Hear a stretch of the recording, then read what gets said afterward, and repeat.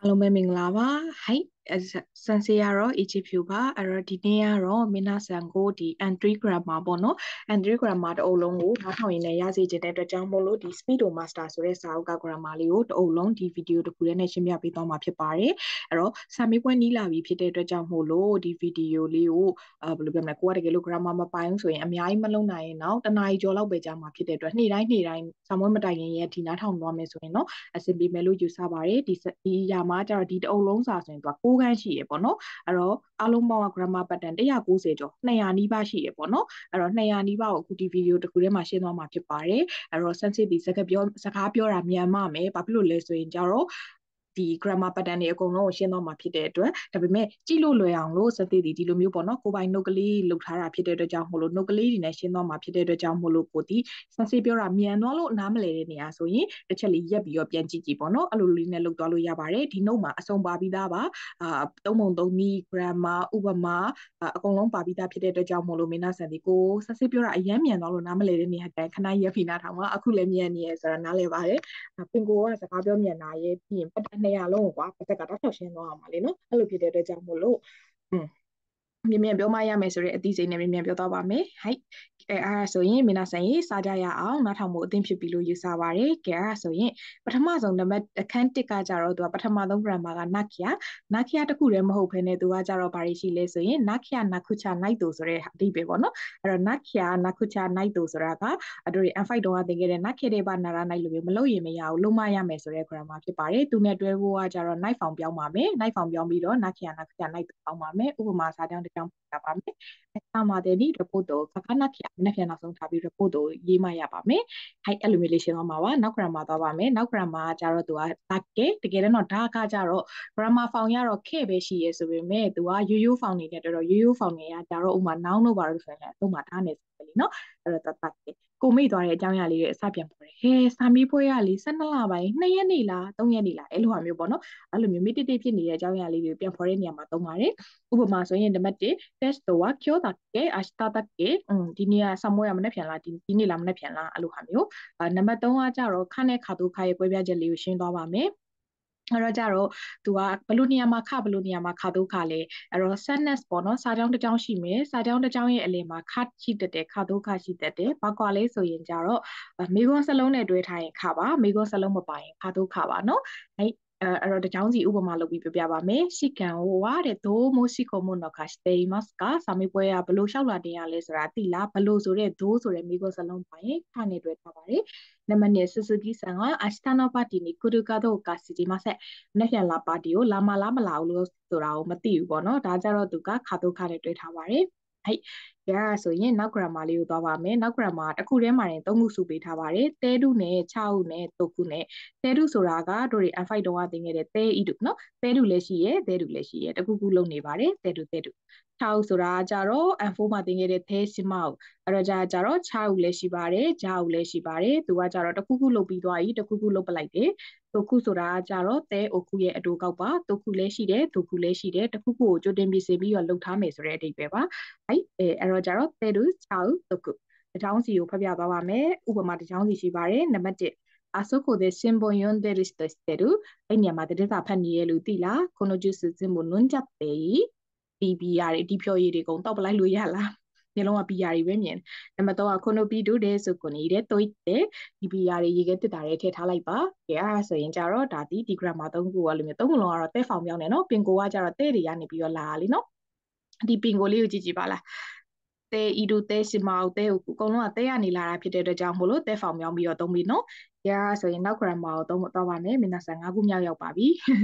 အခုနေရာမှာ၅ခုမြောက်ရောက်ပါပြီအဲ့တော့ yoni eu တခုခုလို့ပြောရဲဆိုတဲ့ grammar ပါအဲ့တော့စာကြောင်းရဲ့အဆုံးမှာသုံးပါတယ်အဲအဲ့တော့ eu လည်းပြောမယ်ပေါ့နော် tree student နဲ့လည်းပုံတစ်ခါလေးကြာရင်တတိပေးတယ်ပေါ့သူကကြတော့အမိန်ပေးတာတော့အကြံဉာဏ်တောင်းတာတော့တားမြစ်တာတော့ဆိုရင်တော့ နင်ဒီလိုလုပ်ဖို့ပြောတယ်ဒီလိုဒီလိုလုပ်ဖို့ပြောတယ်ဒီလိုမလုပ်ဖို့ပြောတယ်အဲ့လိုဟာမျိုးသူက dictionary found လုပ်ဖို့ဆိုရင် dictionary found နဲ့မလုပ်ဖို့ဆိုရင် knife found နဲ့ပေါ့နော်ဒါနံပါတ်1ကကျတော့ dictionary found နဲ့အတွက်သုံးပြပေးပါမယ်နံပါတ်2က knife found နဲ့အတွက်သုံးပြပေးပါမယ် sansewa minani mu toban kyosuriyo ni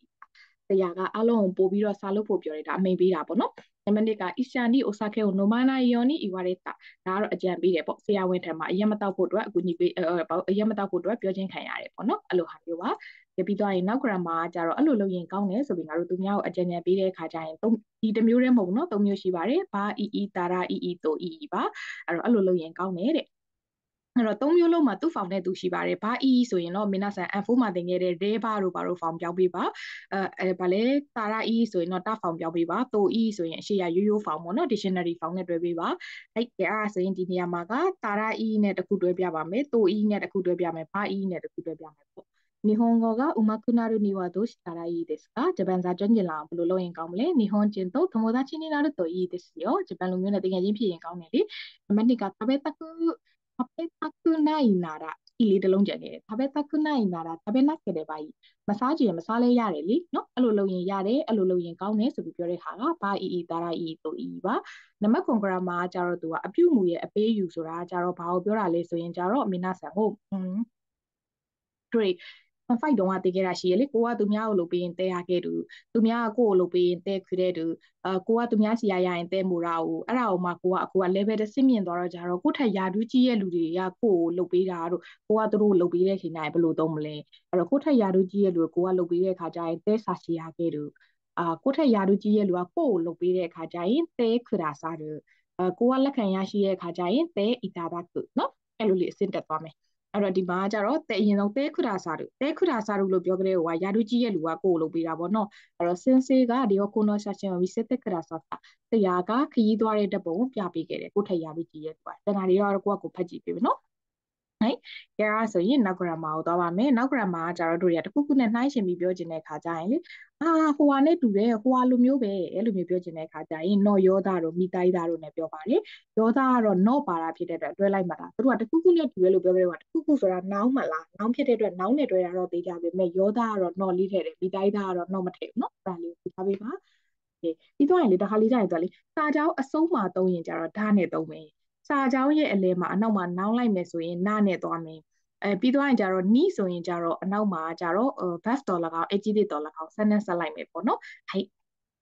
ကဲအားဆိုရင်တို့တွေတစ်ချက်ကြည့်ရအောင်အဲ့တော့ kyo wa atatakakute haru no yoda ဒီနေ့ရနှွေးပြီးတော့နှွေးရသည်လို့ပဲเนาะနှွေးရသည်လို့ပဲဆိုပြီးတော့နှွေးရသည်နဲ့နှိုင်းရှင်ပြီးတော့ပြောရဲပေါ့เนาะဒါကြောင့်ရဲ့အဆုံးမှာသုံးပါတယ်ဟဲ့ကျန်တာကတော့အတူတူပါပဲ နောက်တစ်ကြောင်းကိုသွားပါမယ်နောက်တစ်ခုကကြတော့ယောသားနဲ့မိတိုက်တာယောသားနဲ့မိတိုက်တာဒီတစ်ခေါက်ကကြတော့ခုနလိုတစ်ခုခုကိုကြည့်ပြီးဟဲ့အဲ့ဒါနဲ့တူတယ်လို့အဲ့ဒါလိုပဲလို့ပြောတာမဟုတ်တော့ဘဲနဲ့ဒီတစ်ခေါက်ကကြတော့ဟိုကကို့အမြင်ရခံမှန်းပြီးတော့ပြောမယ်ဟဲ့သူကြည့်ရတာအဲ့လိုဖြစ်နေရဲ့ပုံပဲနော်အဲ့တော့ကြတော့သူကကြတော့ဒီတစ်ခေါက်ကနောင်တစ်ခုလေးနဲ့တွဲတာမဟုတ်ပါဘူးရိုးရိုးဖောင်နဲ့အကုန်လုံးနဲ့တွဲပါမယ်ရိုးရိုးဖောင်နဲ့တွဲပြီးတော့ခုနလိုပဲချွင်းချက်လေးရတော့အာယောသားဆိုရင်ကြတော့ယောသားကနာဆိုရင်နာယောသားနောင်ဆိုရင်နော်ယောသားနော်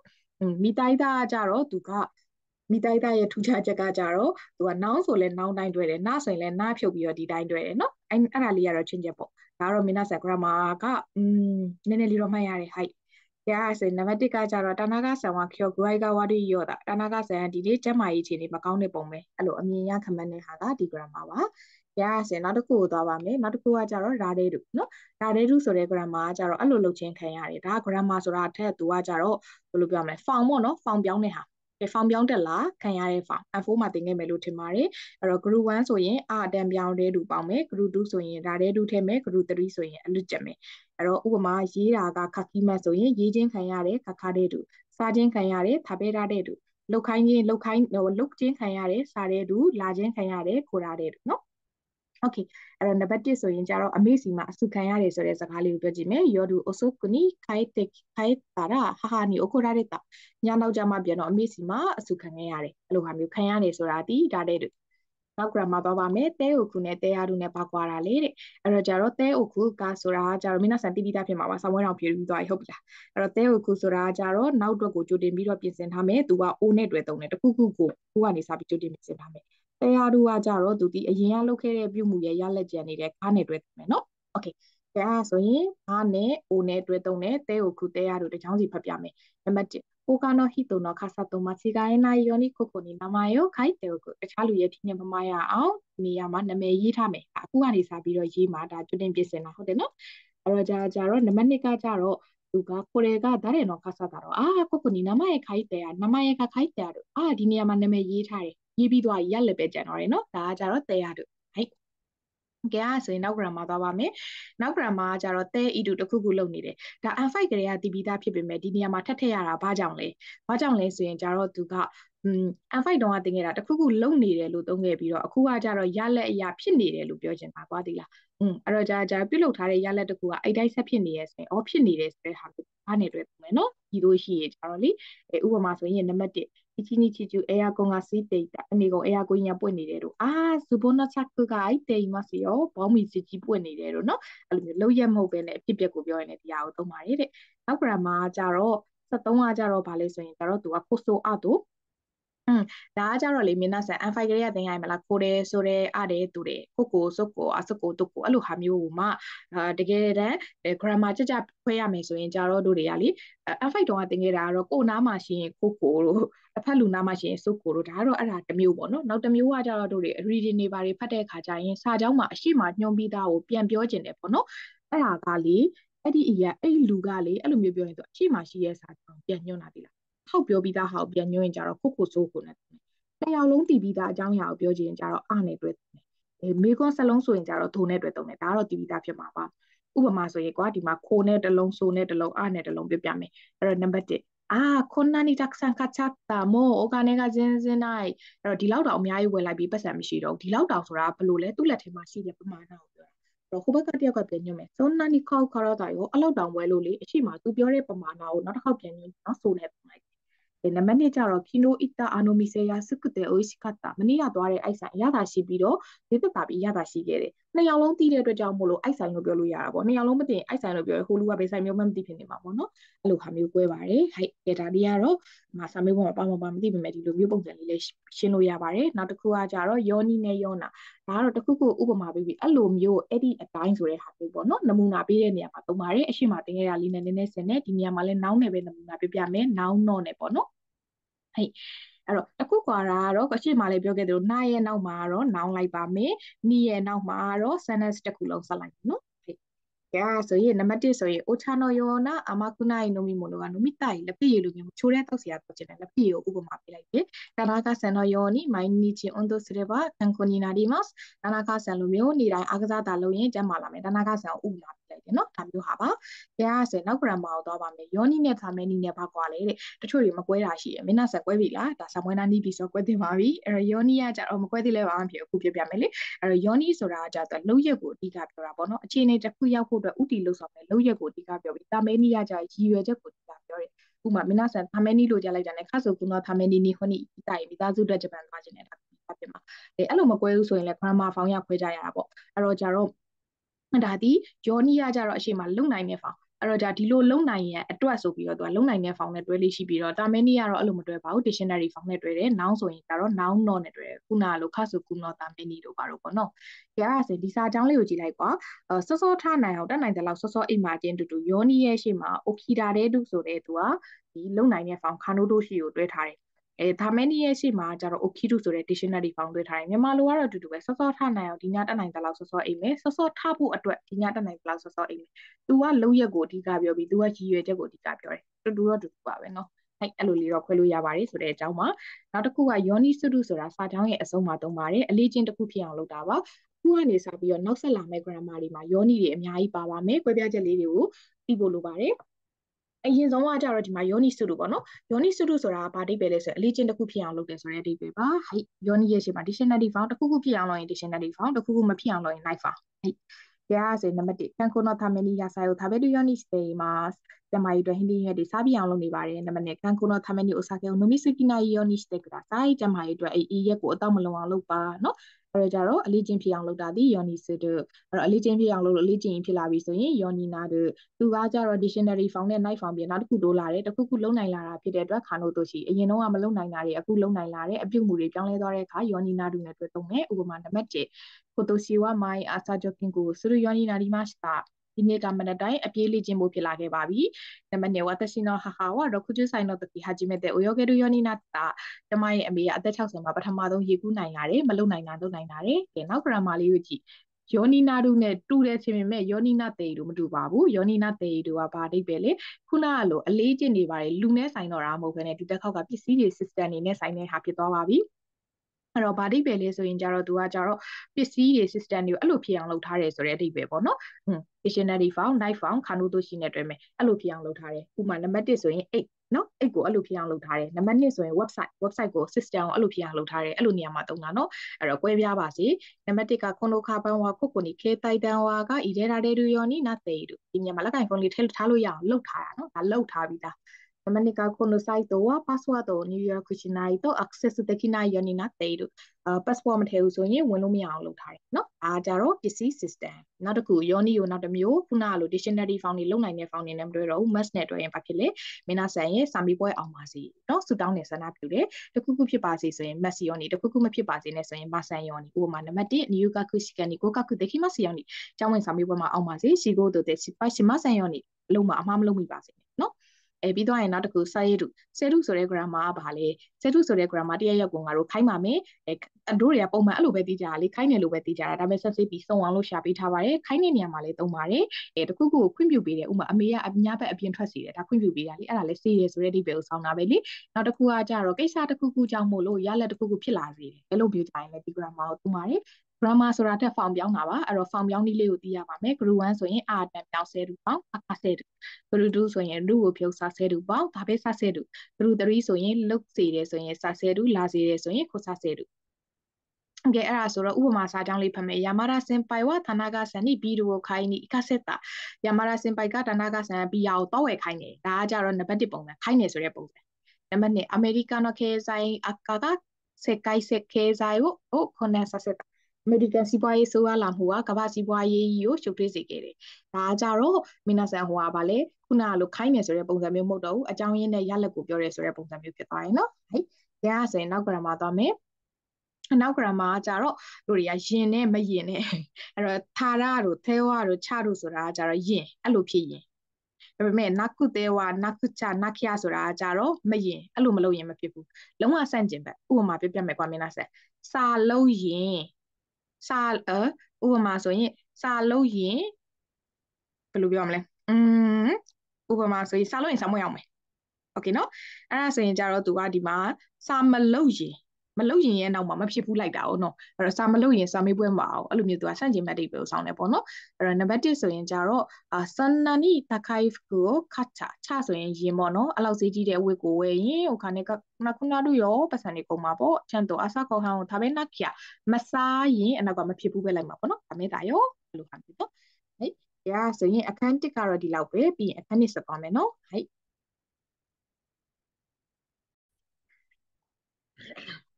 ကဲအဲ့ဆိုရင်အခန်းနှစ်ဆက်သွားရအောင်အခန်းနှစ်ကပထမဆုံး grammar ကဘဲခိတာမြန်မာလိုပြန်ရင်အဲ့လိုလုပ်တင်တယ်သူရဲ့ရှေ့မှာ dictionary found နဲ့ပဲတွဲပါတယ်အဲ့လိုလုပ်တင်တယ်ဆိုရင် dictionary found plus ဘဲခိတာအဲ့လိုမလုပ်တင်ဘူးဆိုရင်ကျတော့ dictionary found plus ဘဲခိသေးဝနိုင်နော်ဘဲခိသေးဝနိုင်ဒီဘက်ကိုကြည့်ပြီနော်ဒီဘက်မှာဘဲခိသေးဝနိုင်အဲ့တော့ကျတော့တို့တွေကအဲလုပ်တင်တယ်လို့ပြောရင်စရုဘဲခိလို့မပြောဘူးတဲ့စဘဲခိလို့ပြောရဲပေါ့နော်ဒါကတယောက်ယောက်ကိုမင်းနာဆန်ဒါကလုတ်တင်တဲ့အာဗာလဲ ဘယ်လိုပြောမလဲလုံးတင်နဲ့လုံးမရမယ့်ကိစ္စဒါကတော့လုံးလို့မဖြစ်ဘူးဆိုရင်ဘက်ခိတာနဲ့ဘက်ခိသေးဝါနိုင်အရှိရ dictionary ဖောင်ပဲသုံးတယ်နော်သွားပြီးတော့ knife ဖောင်သုံးလို့ရမယ်မထင်နဲ့ knife ဖောင်သုံးလို့မရအောင်နောက်ကဟာကိုပဲ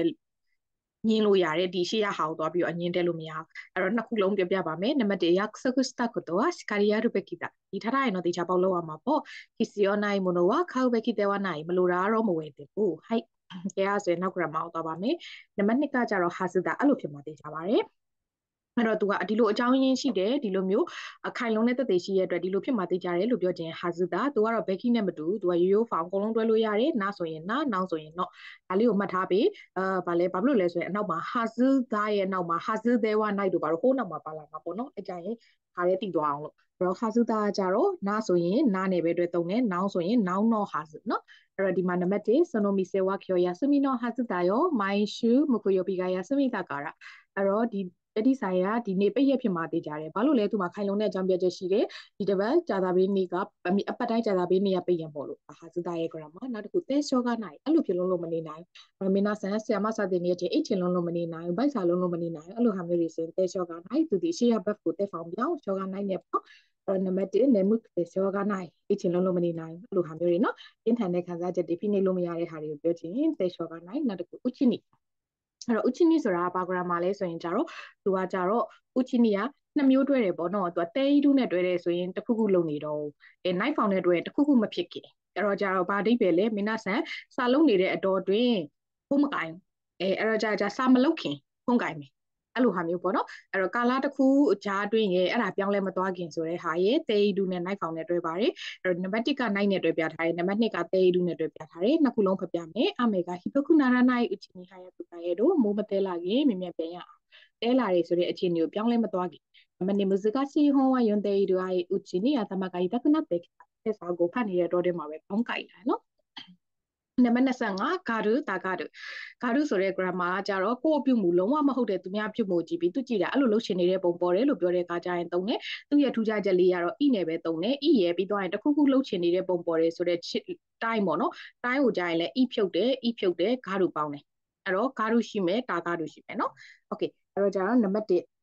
ဟာဇဂရှိကတဲ့ဝိုင်ခဲနိုင်ဟာဇဂရှိယိုဤဖြုတ်ပြီးကတဲ့ပေါင်းထားတယ်ရှက်နေလို့တော့မဖြစ်ဘူးနံပါတ်1ကိုရဲအီမိုတိုကမိသားကတဲ့တို့အဲကညမလေးကြည့်ချင်နေတဲ့ပုံပေါ်တဲ့ရုပ်ရှင်အဲ့တော့ဒီမှာတတိထားဖို့ကသူများပြုမှုကိုပဲတုံးတယ်ကိုပြုမှုကိုလုံးဝတုံးလို့မရပါဘူးနံပါတ်26ခါရဒခန္ဓာကိုယ်မဟုတ်ပါဘူးခါရဒဆိုတာကြတော့သူဒီအကြောင်းရင်းကိုပြောတာအဲ့ဒါအကြောင်းဖြစ်ပါတယ်ဆိုပြီးစာကြောင်းရဲ့အဆုံးမှာသုံးတာများပါတယ်သူ့ရဲ့ရှေ့မှာနော်ဝနဲ့တွဲသုံးတာများတယ်ဒီလိုဖြစ်တာကဒီလိုဖြစ်တာကြောင့်နော် အဲ့တော့သူက Yoyo Foundless Karada နံပါတ်1မာတာ Asane Bush Teshimata Kito Skarete Iru Karada ထပ်ပြီးမနဲ့အေးရထားနောက်ကျသွားပြန်ပြီအဲ့တော့ကြတော့တေချာပေါက်ပင်မနေတာကြောင့်အကြောင်းပဲချက်ကိုပြောပါရစေနံပါတ်2 Konani Jutai Steidu Nowa ဒီလောက်တောင်ပိတ်နေတာကနန်ဒီကကြည့်ခိုကအတ္တခရတာတော့အခုခုမတော်တဆမှုများရှိတာကြောင့်မလားအဲ့လိုဟာမျိုးနော်အကြောင်းရင်းကိုပြောရင်ခါရတာပါပြီးရင်ကြတော့ခဲဟုတ်ရှိမင်းဆန် F5 ကလေးကတင်ရပါတယ်ဟုတ်ရှိဆိုတာကလိုချင်တာ တဲဟိုရှိဆိုတာကြတော့ကိုကသူများကိုလှုပ်စေချင်တာသူများလှုပ်ပေးတာကိုလိုချင်တာနော်အဲ့တော့ buff ကိုတဲဖောင်ပြောင်းပြီးဟိုရှိပေါင်းလိုက်ရုံပဲနံပါတ်1ဖောင် caster ဟိုရှိဘောပင်လေးငှားပေးစေချင်အဲ့လိုဟာမျိုးပါနောက်တစ်ခုနောက်တစ်ခုကကြတော့ခါနိုဒိုရှိဒါကတော့ grammar form ပေါ့နော် grammar ဆိုတာတက်သူက form ပြောင်းရပါမယ်မင်းနာဆန်ကမှတ်မိတယ်ဆိုရင် N4 ရဲ့စစချင်းဒုတိယမြောက်ခန်းအခန်း26 မင်းနာတော့နေုံက26မှာပါပါတယ်အဲ့တော့အဥဆိုရင်အဲတန်ပြောင်းမယ်ရူပေါင်းမယ်ဂရု2ဆိုရင်ဒါတဲတူပြောင်းမယ်ဂရု3ကအလွတ်ကျက်လုံနိုင်တဲ့တေခီရူလာနိုင်တဲ့ကိုဒါတဲတူနော်ဒါကဆိုရင်ဒါကတော့ထွေထွေတူတူမဟုတ်ပါဘူးဒါပေမဲ့တစ်ခုတတိထားဖို့ကသူလုံနိုင်တာတွေရဲ့ရှေ့မှာကားနဲ့တွဲသုံးပါတယ်အာနို့တိုဝါဖရန်ဆုကောဟာနာဆက် ပြင်သစ်စကားပြောနိုင်တယ်အဲ့လိုလုံနိုင်တာတွေကိုပြောရင် found လေးပြောင်းပြီးသုံးလို့ရပါတယ်နောက် grammar ကကြတော့ tatto koro tatto koro ဆိုတဲ့အဓိပ္ပာယ်ကဘာလဲဆိုရင်တစ်ခုခုလုပ်လိုက်တော့တစ်ခုခုလုပ်လိုက်တော့အဲ့လိုရလက်ထွက်လာတယ်ဥပမာဆိုရင်စာကြက်လိုက်တော့စာရသွားတယ်ဒီ video လေးနားထောင်လိုက်တော့ grammar တွေကုန်သိသွားတယ်ဟုတ်တယ်မလားအဲ့လိုဟာမျိုးပေါ့အဲ့တော့တတ်တခုလိုဖြစ်တဲ့အတွက် buff ကိုတာဖောင်လေးပြောင်းပြီနော်အဲ့တော့ kinjo no shito ni ki temi tatto koro ဆိုတော့ပြောရင်က ismo konte iru ဆိုတာအဲ့တော့ပတ်ဝန်းကျင်ကလူလည်းမေးလိုက်ကောအဲ့ဒီစီယုံဟာအမြဲတမ်းပြည့်နေတဲ့ပုံပဲ အဲ့လို grammar ပါနောက် grammar တာမဲတာမဲဆိုတာကမင်းနာဆက်ရှိမှပြောပြီးသားရည်ရွယ်ချက်ကြောင့်ရည်ရွယ်ချက်အတွက်အဲ့တော့ကြတော့သူဒီသူလည်းအကြောင်းပြချက်ပဲနော်ရည်ရွယ်ချက်ပြင်ဒါအကြောင်းပြချက်အနေနဲ့သုံးတဲ့ပုံစံမျိုးကိုပြောတာသူလည်းအကြောင်းရင်းကိုပြောပြတယ်ဒါပေမဲ့ခါရနဲ့ပါကွာလဲဒီလားဒီလားအဲ့တော့ကြာကြတော့ခါရကကြတော့သူကလေဒီလိုလောက်တာကြောင့် อืมပေါ့ဒီလိုဖြစ်တာကြောင့်ဒီလိုလုပ်တယ်ဆိုပြီးအနောက်ကလှုပ်ရက်လိုက်လို့ရတယ်ကွာဒီလားစာမင်းကကြာလှုပ်ရက်လိုက်လို့မရဘူးဖြစ်ပျက်တွေကိုပဲလိုက်လို့ရတယ်အဲ့တော့ကြာကြာတော့ဒီလိုဖြစ်တာကြောင့်ဒီလိုဖြစ်သွားခဲ့တယ်ဆိုတော့အဖြစ်ပျက်တွေကိုပဲလိုက်လို့ရတယ်လှုပ်ရက်တွေလိုက်လို့မရဘူးပေါ့နော်အဲ့တော့ဟိုက်ကဲဆိုရင်ကြာတော့နံပါတ်1အာတီးပြီးရင် grammar form ရတော့သူက UU form နေနဲ့တွဲတယ်ဆိုပေမဲ့နာဆိုရင်ကနာတာမေရဲ့နောင်းဆိုရင်နောင်းတော့တာမေနော်နံပါတ်1အမေကဖတ်တာမေတဲ့ဆက်ကကိုကလေးတာမိုးရတာကြောင့်ရထားနောက်ကြိုက်တယ်ဖြစ်ပြနေပဲတွေ့တော့မယ်နော် နောက်တစ်ခုနော်နီဆိုတာစာကြောင်းရဲ့အလဲကောင်တက်တက်မှာတုံးပြီးသူကနှစ်ခုကိုစန့်ကျင်မဲ့စက်တာပေါ့ကွဒီလိုရဲ့သားနဲ့ဥပမာဆိုရင်ကြတော့စာမကျက်စာမကျက်ဖဲနဲ့စာမကျက်ဖဲနဲ့ပေါ့နော်စာမကျက်ခဲရဲ့သားနဲ့စာမွဲအောင်နေအဲ့လိုဟာမျိုးပေါ့နော်အဲ့တော့အရှင်းနဲ့နောက်ကစန့်ကျင်မဲ့အဓိပ္ပာယ်ပုံမှန်ဖြစ်ရမယ့်ဟာရဲ့စန့်ကျင်မဲ့အဓိပ္ပာယ်ကိုဆောင်နေရိုးရိုးဖောင်နဲ့ပဲတွဲသုံးတယ်နော်ဆိုတာလေမင်းနာဆန်တတိထားမိတာအားကြိုက်တယ်အဲ့လိုဖြစ်တဲ့အတွက်နားနဲ့တွဲသုံးရင်လည်းနားအောင်နားတိုင်းတွဲသုံးတယ်နောင်းနဲ့သုံးရင်လည်းနားလေးထည့်ပြီးတော့နားနော်နီဆိုပြီးတော့ဥမာဆရာဝန်ဖြစ်ရတာနဲ့ဆိုရင်ဣရှာနာနော်နီ ကဲအဲ့ဆိုနံပါတ်1လေးကိုနမူနာပြပြမယ်ကုရုတိုရက်ဆိုခွစ်တာနော်နိခနာကတာလာမယ်လို့ကတိထားရတာနဲ့မလာဘူးနော်ဒါမျိုးကြရမှာနောက်တစ်ခုဟာဇုကနိုင်ရှေ့မှာဟာဇုတာပြောတော့မှပြောခဲ့တယ်လေအနောက်မှာနောက်တစ်ခုလာအောင်မယ်လို့အဲ့တော့ဟာဇုကနိုင်ဆိုတာကကျတော့ဟာဇုတာတော့အဲ့လိုဖြစ်မှသိကြတယ်ဟာဇုကနိုင်ကျတော့အဲ့လိုဖြစ်စရာအကြောင်းမရှိဘူးအသေးပဲဖြစ်ပြင်းတာ အဲ့လိုဟာမျိုးနော်တေချာပေါက်မဖြစ်ဘူးအဲ့တော့သူဒီလဲ grammar form ဟာစုကနဲ့တူတူပဲအဲအဲ့တော့ဥပမာဆိုရင်နံပါတ်1 anosio ချင်မူက market ဟာစုကနိုင်အဲ့လောက်အကောင့်နဲ့တင်ရရှုံးစရာအကြောင်းမရှိဘူးဘာလို့လဲအကောင့်နဲ့တင်မို့လို့နံပါတ်2 anosto anosto ဒင်းဆန်တော့ဟာစုကနိုင်အဲ့ဒီလူဒင်းဆန်ဖြစ်စရာအကြောင်းမရှိဘူးဘာဖြစ်လို့လဲဒင်းဆန်ဝါကီနိုကီကိုကုဆက်ပါတော့ဒင်းဆန်မနေ့ကလင်းသူ့နိုင်ငံပြန်သွားပြီလေအဲ့လိုအဲ့လို ဖြစ်စရာအကြောင်းမရှိဘူးလို့ညင်းညင်တဲ့ခါကျရင်တုံးနဲ့နောက် grammar ကကျတော့အခြေအနေတစ်ခုပြောင်းလဲလာတယ်အဲ့လိုဖြစ်လာတယ်ပေါ့နမူနာပြောရရင်ကျတော့မင်းနာဆန်အန်1ဖြစ်လာတယ် NU အချီနီနာဒီမတ်ဟုတ်တယ်မလားအဲ့လိုမျိုးပြောချင်တဲ့ခါကျရင်တို့တွေက e adjective ဆိုရင်ခုနာဒီ mas na adjective ဆိုရင်နိနာဒီ mas noun ဆိုရင်လည်းနိနာဒီ mas verb တစ်ခုခုလုပ်ချင်လာတယ်ဆိုရင်တိုင်းရနေပြီးတော့ e လေးရနေပြီးတော့ခုပြောင်းပါတယ်ခုနာဒီ mas နော် အဲနံပါတ်1ဆိုရင် shoyu o ide taramoto oishiku oishii yo iyo kunaru ဖြစ်သွားမယ်เนาะအဲငံပြားရီထည့်လိုက်ရင်ပိုပြီးရတာရှိသွားမယ်နံပါတ်2 theory ကဂျောစုဆိုတာ na adjective ဖြစ်တဲ့အတွက်နိနာရီမတ်ဂျောစုနိနာရီမတ်နဲ့ပို့တော်လာရင်เนาะနောက် grammar သွားပါမယ်သဲတာမာရာနိုင်အဲ့လိုဖြစ်လို့လို့သူကသူ့စိတ်ထဲမှာလုံးဝမတီးခံလို့မရတော့တဲ့အခြေအနေကြရင်သုံးပါတယ်။ဒါတာမာရာနိုင်ကကြတော့သူကသာပါတုဆိုတာတီးခံတယ်။သာမာရာနိုင်ဆိုတာတီးခံလို့မရဘူးဆိုတဲ့ဟာမျိုးဖြစ်နေတဲ့အခြေအနေရင်သုံးမယ်။သဲဖောင်ပြောင်းပါတယ်။ဟဲ့ ဥပမာဆိုရင်အော်သူကလေ e ဆိုရင်ခုသေးပြောင်းတယ်နာဆိုရင်နီသေးပြောင်းတယ်နော်နည်းနည်းလေးတော့ထူကြချက်ထူကြတယ်အဲ့တော့နံပါတ်1 aircon က sky night တော့ ask တဲ့သမ ara night aircon သုံးလို့မရရင်သူပူလုံးလို့တီးခံလို့မရအောင်နော်နေဦးမနေနိုင်နံပါတ်2 sono drama နော် suzuki က shiri tax တဲ့သမ ara night drama ရဲ့အဆက်ကိုသိချင်လို့လို့သိခံလို့မရအောင်မနေနိုင်နော် နောက်တစ်ခုတဲနာရာနိုင်တဲနာရာနိုင်ကကြတော့ခံစားချက်တွေနဲ့တွဲသုံးတယ်ပေါ့နော်အဲဥမာဆိုရင်သူ့ကောင်းထဲကနေအဲ့ဒီအဖြစ်ပြက်လေးကတစ်စက္ကန့်နဲ့ဖတ်မသွားလောက်အောင်ဒီကောင်းထဲမှာသူကရောက်ရက်ခတ်နေရဆိုရင်အရန်အဲ့လိုဖြစ်တဲ့ဆိုပြီးတော့တဲနာရာနိုင်နဲ့တွဲသုံးတယ်အဲသူလည်း buff တွဲပုံကအတူတူပဲတက်ဖောင်ပြောင်းတယ်ဤတို့ဘာလို့ဆိုရင်ခုတဲနာဆိုရင်ကျတော့နီးတယ်ဥပမာနံပါတ်1ဆိုရင်တော့ခုနီစွန်တဲ့ဤတို့ဟာဟာနော်ဟုတ်ပါရှင်ပိုက်တဲ့နာရာနိုင်အဝေးမှာနေနေတဲ့အမေကိုစိတ်ပူလုံးလို့မနေနိုင်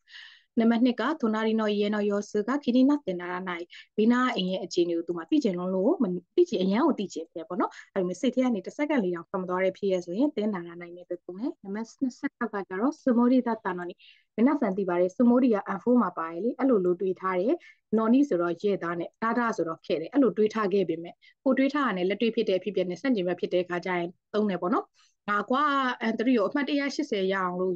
ယူမယ်လို့တွေးထားရတာနဲ့ လောလောဆယ်တော့စာမကျက်တော့အဲ့လိုဖြစ်နေရဆိုတာမျိုးပေါ့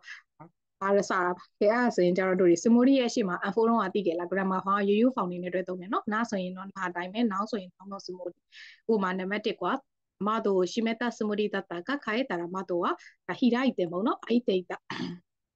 ဆက်စစ်တာမင်းရိုက်တာမှားသွားတယ်ထင်တယ်အဲ့တော့ပတင်းမောက်ကိုဖွင့်နေဖွင့်ထားတဲ့အတူပိတ်ထားခဲ့တယ်လို့သူ့စိတ်ထဲမှာတော့တွေးထားတာပဲဒါပေမဲ့ပြန်လဲရောက်တော့ပတင်းမောက်ကြီးကပွင့်နေကိုတွေးထားတာနဲ့လက်တွေ့ဖြစ်တာနဲ့ကွာနေရလीနော်နံပါတ်2 kyoju ni shikuta suru sumori tatta no ni tekina kata ဒီနေ့အတွင်းနေအင်စာကိုလုံမယ်လို့ရည်ရွယ်ထားပေမဲ့မပြီးခဲ့ဘူးကွာဒီလားတကယ်တမ်းကိုယ်စိတ်ထဲမှာပြီးပြီးအောင်လုပ်မှာကွာဒါပေမဲ့တကယ်လက်တွေ့မှာမပြီးခဲ့ဒီနေ့အတွင်းဒီဗီဒီယိုကိုနှစ်ခေါက်ကြည့်မယ်လို့ရည်ရွယ်ထားပေမဲ့တစ်ခေါက်တော့မပြီးခဲ့ဘူးအဲ့လိုတော့မလုပ်နဲ့နော်ဟဲ့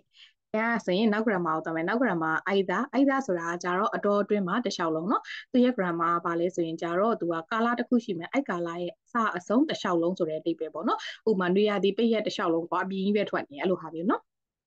ဒီနေရာမှာဆန်းစစ် note ကလေးတစ်ခုရေးထားတယ်တော်တော်များများအိုက်သားနဲ့အိုက်သားနေရာဘာကွာလဲဆိုတာမသိကြဘူးတဲ့အဲ့တော့အိုက်သားဆိုတာကြတော့ဒီကာလတစ်လျှောက်လုံးအစအဆုံးတစ်လျှောက်လုံးမှာကွာဖြစ်ရတစ်ခုကထက်ကထက်ကဖြစ်နေရပေါ့နော်ဒီအိုက်သားနေရာကြတော့အဲ့လိုမဟုတ်ဘဲနဲ့သူကြတော့ဘာလဲဆိုရင်ကြတော့အိုက်ကာလအတွင်းမှာတစ်ချိန်တစ်ခါပဲဖြစ်တဲ့ဖြစ်ရတွေကိုသုံးတယ်ဥပမာဆိုရင်ဆရာစမီနိုအိုက်သားနီအီစီတိုဟော့ကိုက်တိုရဲ့ဤတိုက်ရတဲ့နေရာဒီပြည့်ရဲ့အတော်အတွင်းမှာချိန်တော့ဟော့ကိုက်တိုသွားတယ်ဒီကာလကိုပြောတာတော့တူတယ်ဆိုပေမဲ့သူကတစ်ချိန်တစ်ခါပဲဖြစ်တဲ့အရာကြတော့အိုက်သားနီ ဒီရင်တစ်ခါမကဖြစ်တာအိုက်တာနော်နည်းနည်းလေးတော့မကိုအတွက်လိုတယ်ထင်လဲမှတ်လို့ရတယ်စိတ်ရှုပ်တယ်ဆိုရင်လည်းမမှန်နဲ့ပါမတော့အဲ့လောက်ထိအသေးစိတ်တော့မမေ့ဘူးထင်တာပဲလေအဲ့တော့အိုက်တာအကြောင်းလေးကိုဆက်ပြောမယ်နာဆယာစမီနောအိုက်တာအိုတိုတိုဝါမိုင်းနီချီပူရုတဲ့အိုယိုတေတာနေရာဒီပိရဲ့အတော်တွေမှာညီလေးကနေ့တိုင်းရေကန်မှာရေကူးနေခဲ့တယ်နောက် grammar သွားပါမယ်သာပိနီ ဟာဘီနီဆိုတာကကြတော့အဲ့လိုဖြစ်တဲ့အချိန်တိုင်းပေါ့နော်အဲ့လိုဖြစ်တဲ့အချိန်တိုင်းအချိန်တိုင်းနော်သူရဲ့ရှင်မှာ dictionary found noun ဆိုရင် not နဲ့တွဲပါတယ်တစ်ခုကိုအလုပ်တိုင်းလုပ်တိုင်းဥမာနံပါတ်1 combini iku tabini ဆိုရင် kai sigi desimata combini ကိုသွားတိုင်းသွားတိုင်းသူကမမျောလင့်မဲ့အဝယ်လွန်လွန်သွားတယ်နော်အဲ့လိုဟာမျိုးသွားတိုင်းသွားတိုင်းနောက်တစ်ခု site tune site tune ကလည်းအရှိမတင်ခဲ့တဲ့ကွာအူချီနီတို့ဘာလို့ ਨੇ နည်းနည်းဆင်နေဆိုပေမဲ့သူ့ရဲ့သူများနဲ့လုံးဝမတူတာကြတော့ quality ကိုအဲ့ဒီချိန်မှာကွာဖြစ်လာတဲ့ဖြစ်ရရဲ့ပြီးရင်ကြတော့ များသောအားဖြင့်စိတ်နှောက်ယှက်ဖြစ်ပွဲကိစ္စတွေမှာ site tune ကိုသုံးတာနော်အဲ့ဒါလေးကိုမမေ့နဲ့နော် site tune ရဲ့ကျင့်တွေပါစိတ်နှောက်ယှက်ဖြစ်တဲ့ကိစ္စတေးယူနဲ့တွဲသုံးတယ်နောင်းဆိုရင်တော့နဲ့တွဲသုံးတယ်ဥပမာနံပါတ်1ပေါ့ဆာဝါအဘိတေးယူ site tune ကခုကတိဒီချိုးရီအောင်ဧည့်သည်လာရဲ့လေကွာဒီလားနှစ်နှစ်နှစ်သက်ပွဲကောင်းလို့လားကိုတော့ကနှစ်သက်ပွဲမကောင်းလေရေချိုးနေရင်တန်လိုင်းနဲ့ဆက်ပြမြုပ်တွေနဲ့ပဲထပြီးတော့ဘာလို့ရတော့မလို့လို့အဲ့လိုမျိုးဖြစ်တယ်လေနော်နံပါတ်2ဆိုရင်လည်း Hikoshino site နဲ့အမေကဖီးပါချာ အိမ်ပြောင်းနေတဲ့တောတွင်မှာကွာဒီလားမိုးရွာချလာတယ်ကွာအဲ့တော့ကြာကို့မှာအထုပ်တွေနဲ့ဒုက္ခရောက်တယ်လीနော်အဲ့လိုအခြေအနေမျိုးကြရင်ဆိုင်းချွနီကိုသုံးတယ်ကွာနံပါတ်2ကနံပါတ်20ကကျတော့ခါရနီခါခဲ့တယ်။ तू ကတော့ခါရမာတယ်လို့ပဲကွာ။မှားအတွင်းဆိုတာတော့တူတယ်။အဲဒါပေမဲ့လေတခုပြပြမယ်အဲ့တော့ခါရမာတဲ့နဲ့ခါရနီခါခဲ့တဲ့နဲ့ဘာကွာလဲပေါ့နော်အမ် မင်းနာဆန်တီးပြီးသားလားတော့မသိပေမဲ့အရင်ကြီးတော့လေအဲ့လောက်အသေးစိတ်ကတော့မမေးဘူးလို့ထင်ပါတယ်ဆန်းစီကဒီမှာကိုကိုနှုတ်ရေးထားမိလို့မတက်တာလို့ပြောနေရဆိုပေမဲ့လေအဲ့တော့ခါရမာတဲ့ကကြတော့အလုတ်ချိန်တို့စာမွဲချိန်တို့အဲ့လိုမျိုးသတ်မှတ်ထားတဲ့အချိန်ဒီမှာသုံးတယ်လေမင်းနာဆန်ငငယ်ကလေးကအငငယ်ကလေးကတော့မဟုတ်ပါဘူး F5 ကလေးကတည်ခဲ့ပြီးသားကွာဥပမာဆိုရင်ဝတ်တရှိနကကောခုချီကာရာကောကြီးပါတယ်ကျမရဲ့အကြောင်းက9နာရီကနေ9နာရီထိအဲ့လိုမျိုးသတ်မှတ်ထားတဲ့အချိန်ဒီမှာသုံးတယ်ခါရနီကကေတဲ့ကကြတော့အဲ့လိုမျိုးမဟုတ်ဘူးကွာအဲ့ဒီကာလာအတွင်းမှာကြတော့ဥပမာဆိုရင် ဒီချိန်တစ်ခါမကဖြစ်တဲ့ဟာမျိုးဥမာစာမေးပွဲလို့ပြောလိုက်ရင်ကွာ9နာရီကနေ12နာရီထိစာမေးပွဲဆိုရင်မင်းနာဆိုင်9နာရီကနေ12နာရီထိအဲ့စာမေးပွဲတစ်ခုတည်းကိုပဲစက်တိုက်လုပ်ရတာမလားအဲဒါပေမဲ့ဒီနေရာမှာကျတော့နိခါရနိခါခဲ့တဲ့အဲ့လိုမဟုတ်ပါဥမာ၈လပိုင်းကနေ9လပိုင်းတွင်ကွာစပစ်သီးရိတ်သိမ်းမယ်လို့ပြောရင်တခါတည်းဟွီဆိုရိတ်သိမ်းလိုက်လို့ပြီးသွားမှာမဟုတ်လေအဲ့လိုတကားထက်မကလုပ်ရတယ်ပေါ့နော်အဲ့လိုဟာမျိုးတွေဆိုရင်ဒါတော့ခါရနိခါခဲ့တဲ့အဲ့တော့မတော်တဆခွဲမယ်ဆိုတော့မှသာမခွဲရင်တော့ဘာမှပြဿနာမရှိဘူးနော် ခါရမာတဲ့နဲ့ဆင်တယ်လို့မှတ်ထားရတယ်။နံပါတ်1ခုနပုတော့ဟာချီကစကာရခုကစနေခါကတဲ့ရှိဖတ်ကြတယ်မတ်။အဲဒါခုနပြောရရှိလာပိုင်းကနေကုလာပိုင်းတို့ရေးသိမယ်ဆိုရဲဟာပါနောက်တစ်ခုနောက်ကိုတို့ဆိုတာဒါတစ်ခုခုနဲ့ပတ်သက်တဲ့သတင်းချက်လက်ကိုပြောတဲ့အခါကျရင်နောက်နောက်ကိုတို့နောက်ရဲ့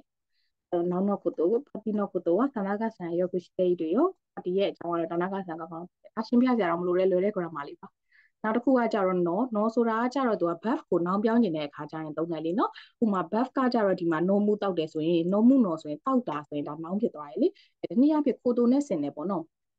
ခဏဒီနော်ဒီဟာလေးကွဲပြားချက်ကိုမရှင်းခင်မှာဒီဥပမာစာကြောင်းလေးရေးရှင်းလိုက်မယ်နော်မဟုတ်ဆိုစိတ်ရှုပ်သွားမှာဆိုလို့အဲ့တော့ no ကဘာတွေနဲ့တွဲသုံးလဲဆိုရင်ကြတော့ buff တွေနဲ့တွဲသုံးတာများတယ်ပေါ့နော် adjective တွေနဲ့လည်းတွဲသုံးမယ်ဆိုပေမဲ့လေ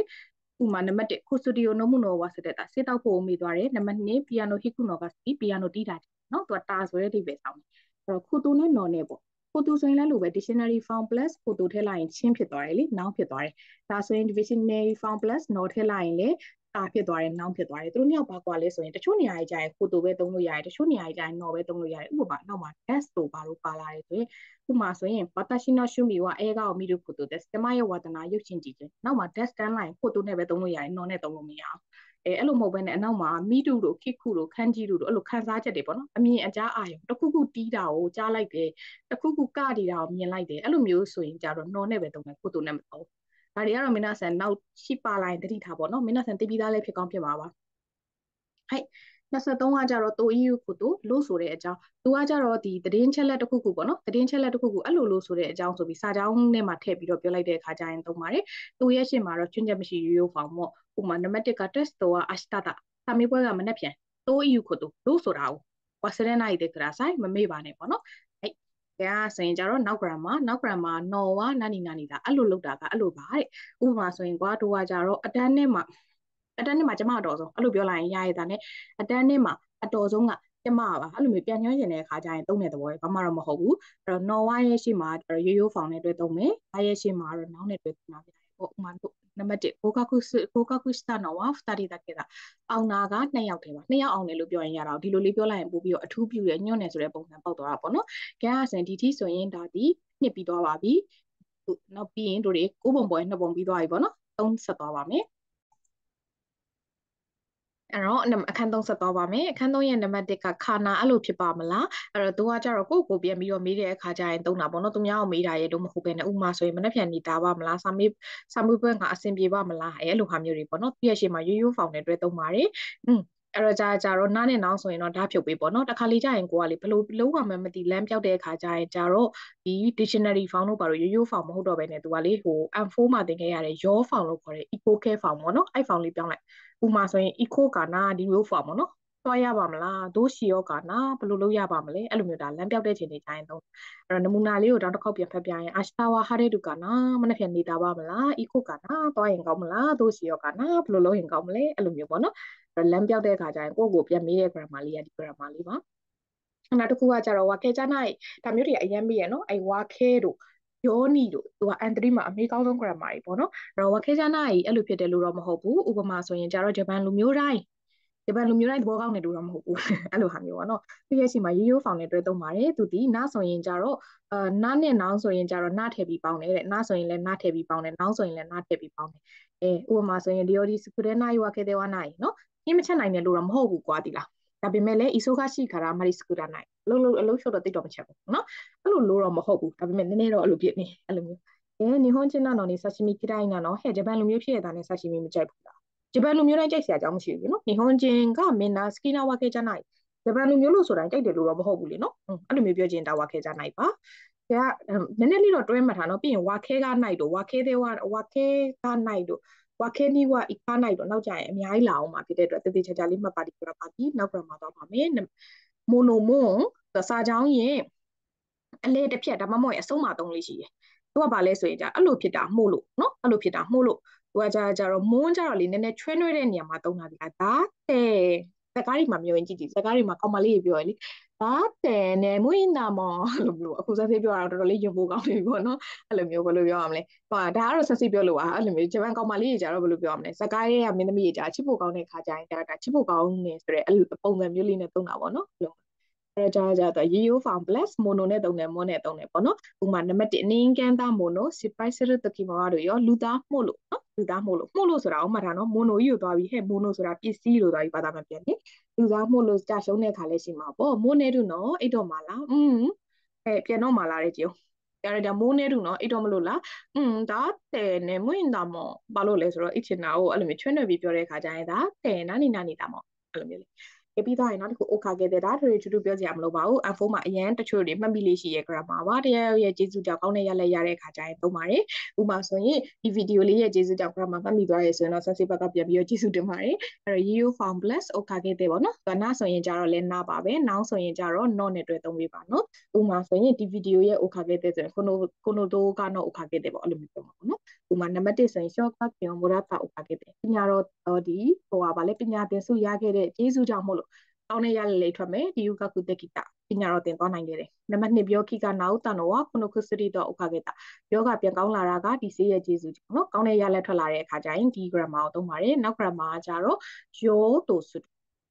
အဲ့တော့ကြာကြာတော့ယောဆိုတာကကြာပုံမှန်ယောမဟုတ်တာ found နော်မင်းနာဆန် N4 မှာချက်ခဲ့တဲ့ eco care လို့ခေါ်တဲ့ sense ကတော့ယော found လို့ပြောတယ်ဒါပေမဲ့များသောအားဖြင့်ကတော့ eco care လို့ပဲချက်ခဲ့ကြတာများမယ်နည်းအဲ့တော့သူကတိုရှိတာရဲ့အရှိမအဲ့လိုမျိုးအရှိက eco care နဲ့တွဲလိုက်ရင်ဗာလဲဆိုရင်ကြာတော့အဲ့လိုလုံးမလို့လုပ်တယ် ဖို့လုပ်တယ်ပေါ့နော်စတော့မစားရသေးဘူးစဖို့လုပ်နေပြီအဲ့တော့သူအရှိမကျတော့ your found ဒါကတော့ထူထူတူတူမပြောတော့ပါဘူးမင်းဆက်သိရမလား group 1ဆိုရင် o တန်းပြောင်း o ပေါင်းတယ်လေ group 2ဆိုရင်ကျတော့ root ကိုဖြုတ်ပြီး your ထည့်တယ်လေလောက်ရအောင်ဆိုရင် she ရောလာရအောင်ဆိုရင်ကိုရောနော် okay ဒါဆိုရင်အဲ့လို your found plus အနောက်ကတိုးしたနံပါတ်1ဆိုရင် find down အာကာဒိုတိုးဒီနာမယောရောပါတယ် Desadam lo lodo name ko kan la yare Yamara sang wa khae do so shite ja ka chot to mat te morat ta ပြန်မလို့လုပ်နေတော့ခဏဆောင်ခိုင်းလိုက်တယ်နော်အဲ့လိုမျိုးတစ်ခုခုစတင်မလို့လုပ်နေရဆိုရင်အဲ့ဒီ grammar theory ဆိုတာကတော့မင်းကစံသိပါတဲ့အတိုင်းပေါ့နော်သူကကြတော့ theory နဲ့တွဲသုံးပြီးရော dictionary form ရဲ့ ta form ရဲ့တွဲတယ် noun ဆိုရင် noun not theory တခါလေးကြာရင် theory ဖြစ်တာမြင်ဘူးရမှလား grab ဟိုဟာမိကွန်းဟောင်းနေပါလိမ့်ဖြစ်သူကကြတော့ဘာကွာသွားလဲဆိုရင် not ထည့်ရင်တော့ theory not မပါရင် theory noun နဲ့တိုက်ရိုက်တွဲလိုက်ရင်သူကအနောက်ကပြောင်းသွားပြီး theory ဖြစ်သွားတယ် အဲ့တော့ဒီမှာတိုဒီနဲ့တိုဒီနဲ့နှစ်ခုပြောပြမယ်အဲ့တော့ဆန်စေကခုခုပန်နီခိုက်တာတိုဒီနီနိုတိုနီခိုက်တာဆရာကြောက်တယ်မမှာရေးထားတဲ့အတိုင်းနှုတ်ကိုမှာရေးတယ်ခိုင်ကီဝယောတဲတိုဒီနီယောကအစည်းဝေးကအစီအစဉ်အတိုင်းပဲပြီးသွားခဲ့တယ်နောက် grammar ပါခုနှစ်နိချီကိုင်းနိုင် ချီကိုင်းဆိုတာကလွဲတာလေနိချီကိုင်းအဲ့လိုဖြစ်မှမလွဲဘူးကွာအဲ့လိုဖြစ်မှသိကြတယ်ဟာစုသားနဲ့နည်းနည်းစင်တယ်ဒါပေမဲ့ဟာသုတလိုမျိုးသူကခိုင်လုံတဲ့တက်သေးတွေပါတော့မရှိဘူးပေါ့နော်ကိုယ့်ရဲ့ပြင်းပြတဲ့စိတ်ခံစားချက်ကိုပြောရုံပဲရှိရဲ့အဲ့တော့သူ့ရဲ့ရှေ့မှာရိုးရိုးဖောင်နေတဲ့အတွက်သုံးတယ်နားနဲ့နောင်ဆိုရင်ဒါလေးဖြုတ်ပြီးတော့သုံးပြီနံပါတ်1ဝါသချင်းတော့ခါစားကနာပြီအဲ့ဒါကမိုးတိတ်ပန်ချီကိုင်းနာကျွန်တော်ထင်မရှိဘူးကွာတယောက်ယူသွားမှသိထားတယ်ခိုင်လုံတဲ့တက်သေးတော့မရှိဘူးဒါပေမဲ့ तू ကတော့အဲ့လိုခံစားရတယ်ဒါမျိုးဆိုရင်နိချီကိုင်းနာနောက် grammar ကကြတော့တိုအမုတ်တေလို့ ပုံမှန်တိုအမုတ်တေလို့ဆိုရင်ကြတော့အဲ့လိုလိုတွေးတယ်နော်အဲ့ဒါရဲ့ရှေ့မှာမှသူကရိုးရိုးတိုရဲ့ရှေ့မှာပုံမှန်ရိုးရိုးဖောင်လေးလိုက်ပြင်မယ်ဒီရှေ့မှာပြောခဲ့သလိုရောဖောင်လေးနဲ့အတွက်နော်အဲ့တော့ eco care နဲ့တွဲသုံးမယ်ပေါ့နော်အဲ့တော့ကြာကြာတော့သူဒီอืมအဲ့လိုလိုတွေးထားတယ်เนาะအဲ့လိုလိုတွေးထားတယ်ဒါပေမဲ့လေဒီညမှာလေ grammar မှာမိတတ်တာလေးတခုရှိရတယ်သူကလေတခြားသူကိုမဟုတ်တဲ့တခြားလူတွေးနေတာကိုပြောရင်ကြတော့လေတိုအမိုးသိလူပဲသုံးလို့ရတယ်ကိုတွေးတာကိုကိုပြောရင်တိုအမိုးဥလည်းတွဲလို့ရတယ်တိုအမိုးသိလူလည်းသုံးလို့ရတယ်เนาะ အားသူဆိုရင်အမုန်းနဲ့သဘောမရအောင်နော်อืมဘာလို့လဲတော့မသိနံပါတ်1 Rhinan နဲ့ Higo So Tomote တို့နော်အကြီးကရောဖောင်လေးနဲ့တွေ့သုံးထားတယ်နော်နောက်နှစ်အိမ်ပြောင်းမယ်လို့တွေးထားတယ်ကိုယ့်ရဲ့အတွေးဆန္ဒကိုပြောတယ်နံပါတ်2 Chichino Tanjobi Present တို့ Kao Tomote ဖေဖေရဲ့ဒီမွေးနေ့လက်ဆောင်ဝယ်မယ်လို့တွေးပြီးတော့နော်ဒီပတ်တနီပုံတိုက်ကိုတွားခဲ့တယ်ကိုယ့်ရဲ့အတွေးလေးကိုပြောရင်ဒီ grammar လေးပါအရှိကရောဖောင်ဆိုတာကိုမမေ့နဲ့နော်ဟဲ့ တရားစင်နောက်တစ်ခုကကြတော့တတ်တယ်တတ်တယ်ဆိုတာစာကြောင်းရဲ့အလယ်မှာသုံးပါတယ်ပေါ့နော်သူကတဲမုံနဲ့တူတယ်ကွာဒီလားအဲ့လိုဖြစ်လဲပဲနော်အဲ့လိုဖြစ်လဲပဲအဲ့တော့သူကတော့တဖောင်လေးတော့ပြောင်းပြီးပေါ့ကွယ်အဲ့တော့ဤဆိုရင်ကြတော့ခုတတ်တယ်နော်နောင်းနဲ့နောင်းနောင်းနဲ့နားနဲ့ဆိုရင်ကြတော့ဒါတယ်နော်အဲ့တော့ဥမာဆိုရင်ဣမခါရာဟာရှိတာဟာရှိတတ်တယ်မနီယာဝနိုင်သူတဲမုံနဲ့တူတယ်အခုကလည်းအခုကစပြီးပြေးလဲပဲမမီဘူးကွာနော်အဲ့တော့じゃလုတ်လဲပဲဘာမှဖြစ်မလာအောင်ဆိုတဲ့ဟာမျိုးこの料理は簡単だから子供だって作れる အဲ့တော့ဒီဟင်းကလွယ်တာဖြစ်တဲ့ကလေးတောင်မှာပဲနော်ကလေးတောင်မှာကလေးလေးပဲချက်နိုင်တယ်ဒါမျိုးဟာအဲ့ဒါဒီ grammar ပါအဲ့တော့နောက်တစ်ခုတော့ပါမယ်တဲ့အဲ့တော့တဲ့ဆိုတာကကြတော့အဲ့လိုလို့အဲ့တော့ကြာကြာတော့လို့နော် သူကကြတော့တဲ့လေးရလေးကြည့်တော့တာဘာမှမဟုတ်တလုံးလေးပဲရှိရနော်တစ်ခုပေါင်းမှာအတန်လေးတစ်တန်ပဲရှိရဒါပေမဲ့လေအတိတ်ပဲကလေဘသူတွေရဲ့အတူကောက်လဲဆိုရင်ဟို EU နော်ကုကုလို့ဆိုတယ်ဆိုတဲ့ဟာကိုအတူကောက်လုပ်ထားတာတော့ပြီးရင်တို EU အဲ့လိုလို့ဆိုတယ်လို့တိုအဲ့လိုလို့ဥပမာဆိုရင်ကအဲကိုကိုနီခင်းအန်တဲ့ခိုက်ကြရဒီမစီရောဒီနေရာမှာခင်းအန်စလိမ့်မတော့ရလို့ရေးထားတယ်နော်အဲ့တော့ဒါကြတော့အဲ့လိုလို့နံပါတ်2က隣のクラスの山田って人知ってる山田လို့ဆိုတဲ့လူ သိလားနော်အဲ့လိုဟာမျိုးအဲ့တော့အဲ့ဒါလေးရတဲ့ဆိုတဲ့ grammar လေးနော်အဲ့အရှိရရိုးရိုးဖောင်နဲ့တွဲရမယ်ဆိုတာမမေ့နဲ့နော်နောက် grammar တစ်ခုသွားမယ် nan ka nan ka ဆိုတာနားတုံနဲ့တူတယ်ဒီလားစတာတွေနားတုံကကြတော့စာရေးသားမှာတုံးတာ哦စကားပြောမှာနားတူတော့ရန်ထူးဆန်တာပဲဆက်စရတော့ခဏမှကြားဘူးလေပေါ့နော်ပတ်ဝန်းကျင်မှာတချို့ပြောရင်နိုင်ငံသားတွေရတယ်စကားပြောပြီးမှနားတူကြီးထင်တော်တော်ကြားရတာတမျိုးကြီးဖြစ်တယ်နန်းခါနဲ့တွေ့တုံတယ်နော်စကားပြောမှာကြာနန်းခါနဲ့တုံပြီးတော့ဒါတော့စာရေးသားမှာနားတူနဲ့တုံတာနော် ဒါတခုခုဥပမာပေးပြီးဒါတွေဒါတွေစတာတွေလို့ပြောတဲ့အခါကျရင်တုံးတယ်နောက်နေပဲတွေ့တယ်ယာစမီနိုဟီဝါရှီဘူယာယာဟာရာဂျီကူနာကူနာကာယိုခွီကီမော့စ်ပြရဆိုရင်တော့ကရှီဘူယာတို့ဟာရာဂျီကူတို့အဲ့ဒါတွေကိုမကြခဏသွားရင်နော်ဟဲ့တရားစင်နောက် grammar ကိုသွားပါမယ် nante nante ဆိုတာလေခုနက nan ကာလိုမျိုးလေဥပမာပေးတဲ့အခါကျရင်လည်းသုံးတယ်ဒါပေမဲ့သူ့ရဲ့သူများနဲ့မတူတဲ့တုံးကလေတစ်ခါလေးတိုင်းအဲ့လောက်များဆိုပြီးတော့နည်းနည်းလေးလေး ဘယ်လိုလဲအထင်သေးခြင်းတဲ့သဘောမျိုးပေါ့နော်လစ်လျူရှုခြင်းတဲ့အခါမျိုးကြရင်သုံးတယ်ပေါ့နော်သူကကြတော့ noun နဲ့လည်းသုံးတယ်လို့ dictionary form နဲ့လည်းသုံးတယ်ဥပမာနံပါတ်2ဆိုရင်ဒါ dictionary form နဲ့တွေ့သုံးသွားတာဟုတ်နံပါတ်1က uafanan temina tsugu wa sereru yo ဒီ kola hala လောက်မြန်กว่าအားလုံးမေ့သွားမှာကောလာဟာလာဆိုတဲ့ဟာကြီးကကြီးမားတဲ့တက်ရောက်မှုကိုကပို့အောင်ပြောလိုက်တာပေါ့ကောလာဟာလာလောက်များလို့ပြောရင်ကောလာဟာလာဆိုတာဘာမှမဟုတ်တဲ့အရာလို့ဖြစ်သွားတယ်လေအဲအဲ့လိုမျိုး fake you screenant တဲ့ခံတန်းတာရောကိမှုလို့တာလောက်မြန်လွယ်တာပေါ့မျိုးဟာနော် တရားစင်နောက်တစ်ခုသွားပါမယ်စိတ်အော်ဒါသိရပါမင်းနာဆာအိုခါခဲတဲ့တည်ရင်စိတ်တဲ့လည်းတည်တယ်လေအိုခါခဲတဲ့ကကောင်းတဲ့ရလက်ထွက်တယ်တရယောက်ကြောင့်ကောင်းတဲ့ရလက်ထွက်လာတဲ့အခါစိတ်တဲ့ကတစ်ခုခုကြောင့်မကောင်းတဲ့ရလက်ထွက်တဲ့အခါကျရင်နော်အိုခါခဲတဲ့ရဲ့စန့်ကျင်ပါနော်အရိုးရိုးဖောင်နေနဲ့တွဲပါမယ်နော်ဒါလေးကတော့ချင်းချက်လေးကတော့ဒီတိုင်းလေးပါအဲ့တော့နံပါတ်1 tonari no bidu ka papa sei de heya ka kra kra တဲ့ရှင်မှာဘေးနောက်မှာအဆောက်အုံကြီးဆောင်းလိုက်တော့ကိုယ်အခါမှောင်သွားတယ်မကောင်းတဲ့ရလက်ထွက်လာတယ်အဲ့ဒါဆိုရင်စိတ်တယ်နော်ဟဲ့ ကဲနောက်တစ်ခု grammar ကကြတော့ခါဝရီနီတယောက်ယောက်ရဲ့အစား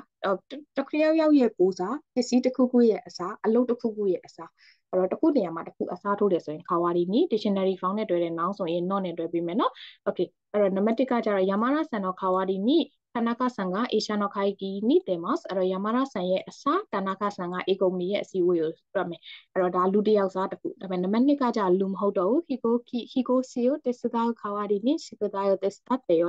စတာတေယောတက်စတာတေယောငါအိမ်ကြောင်းလာကူပေးမယ်ကွာအဲ့ဒီအစားအိမ်စာလုပ်ပေးတာကိုကူပေးအိမ်စာကိုလုပ်ပေးနော်အဲ့လိုမျိုးတစ်ခုလုပ်ပေးရဲ့စာတစ်ခုဆိုရင်လည်းဒီခါဝါးရင်းမျိုးသုံးတယ်နော်အဲ့တော့ dictionary form ဆိုတာမမေ့ပါနဲ့ noun တော့ဆိုတာမမေ့ပါနဲ့ UNI ဆိုတာအပေါ်မှာလို့ဘာသာမပြန်ပါနဲ့နော် grammar အရာကတော့အဲ့လိုဖြစ်တဲ့အပြင်လို့ဘာသာပြန်ပါတယ်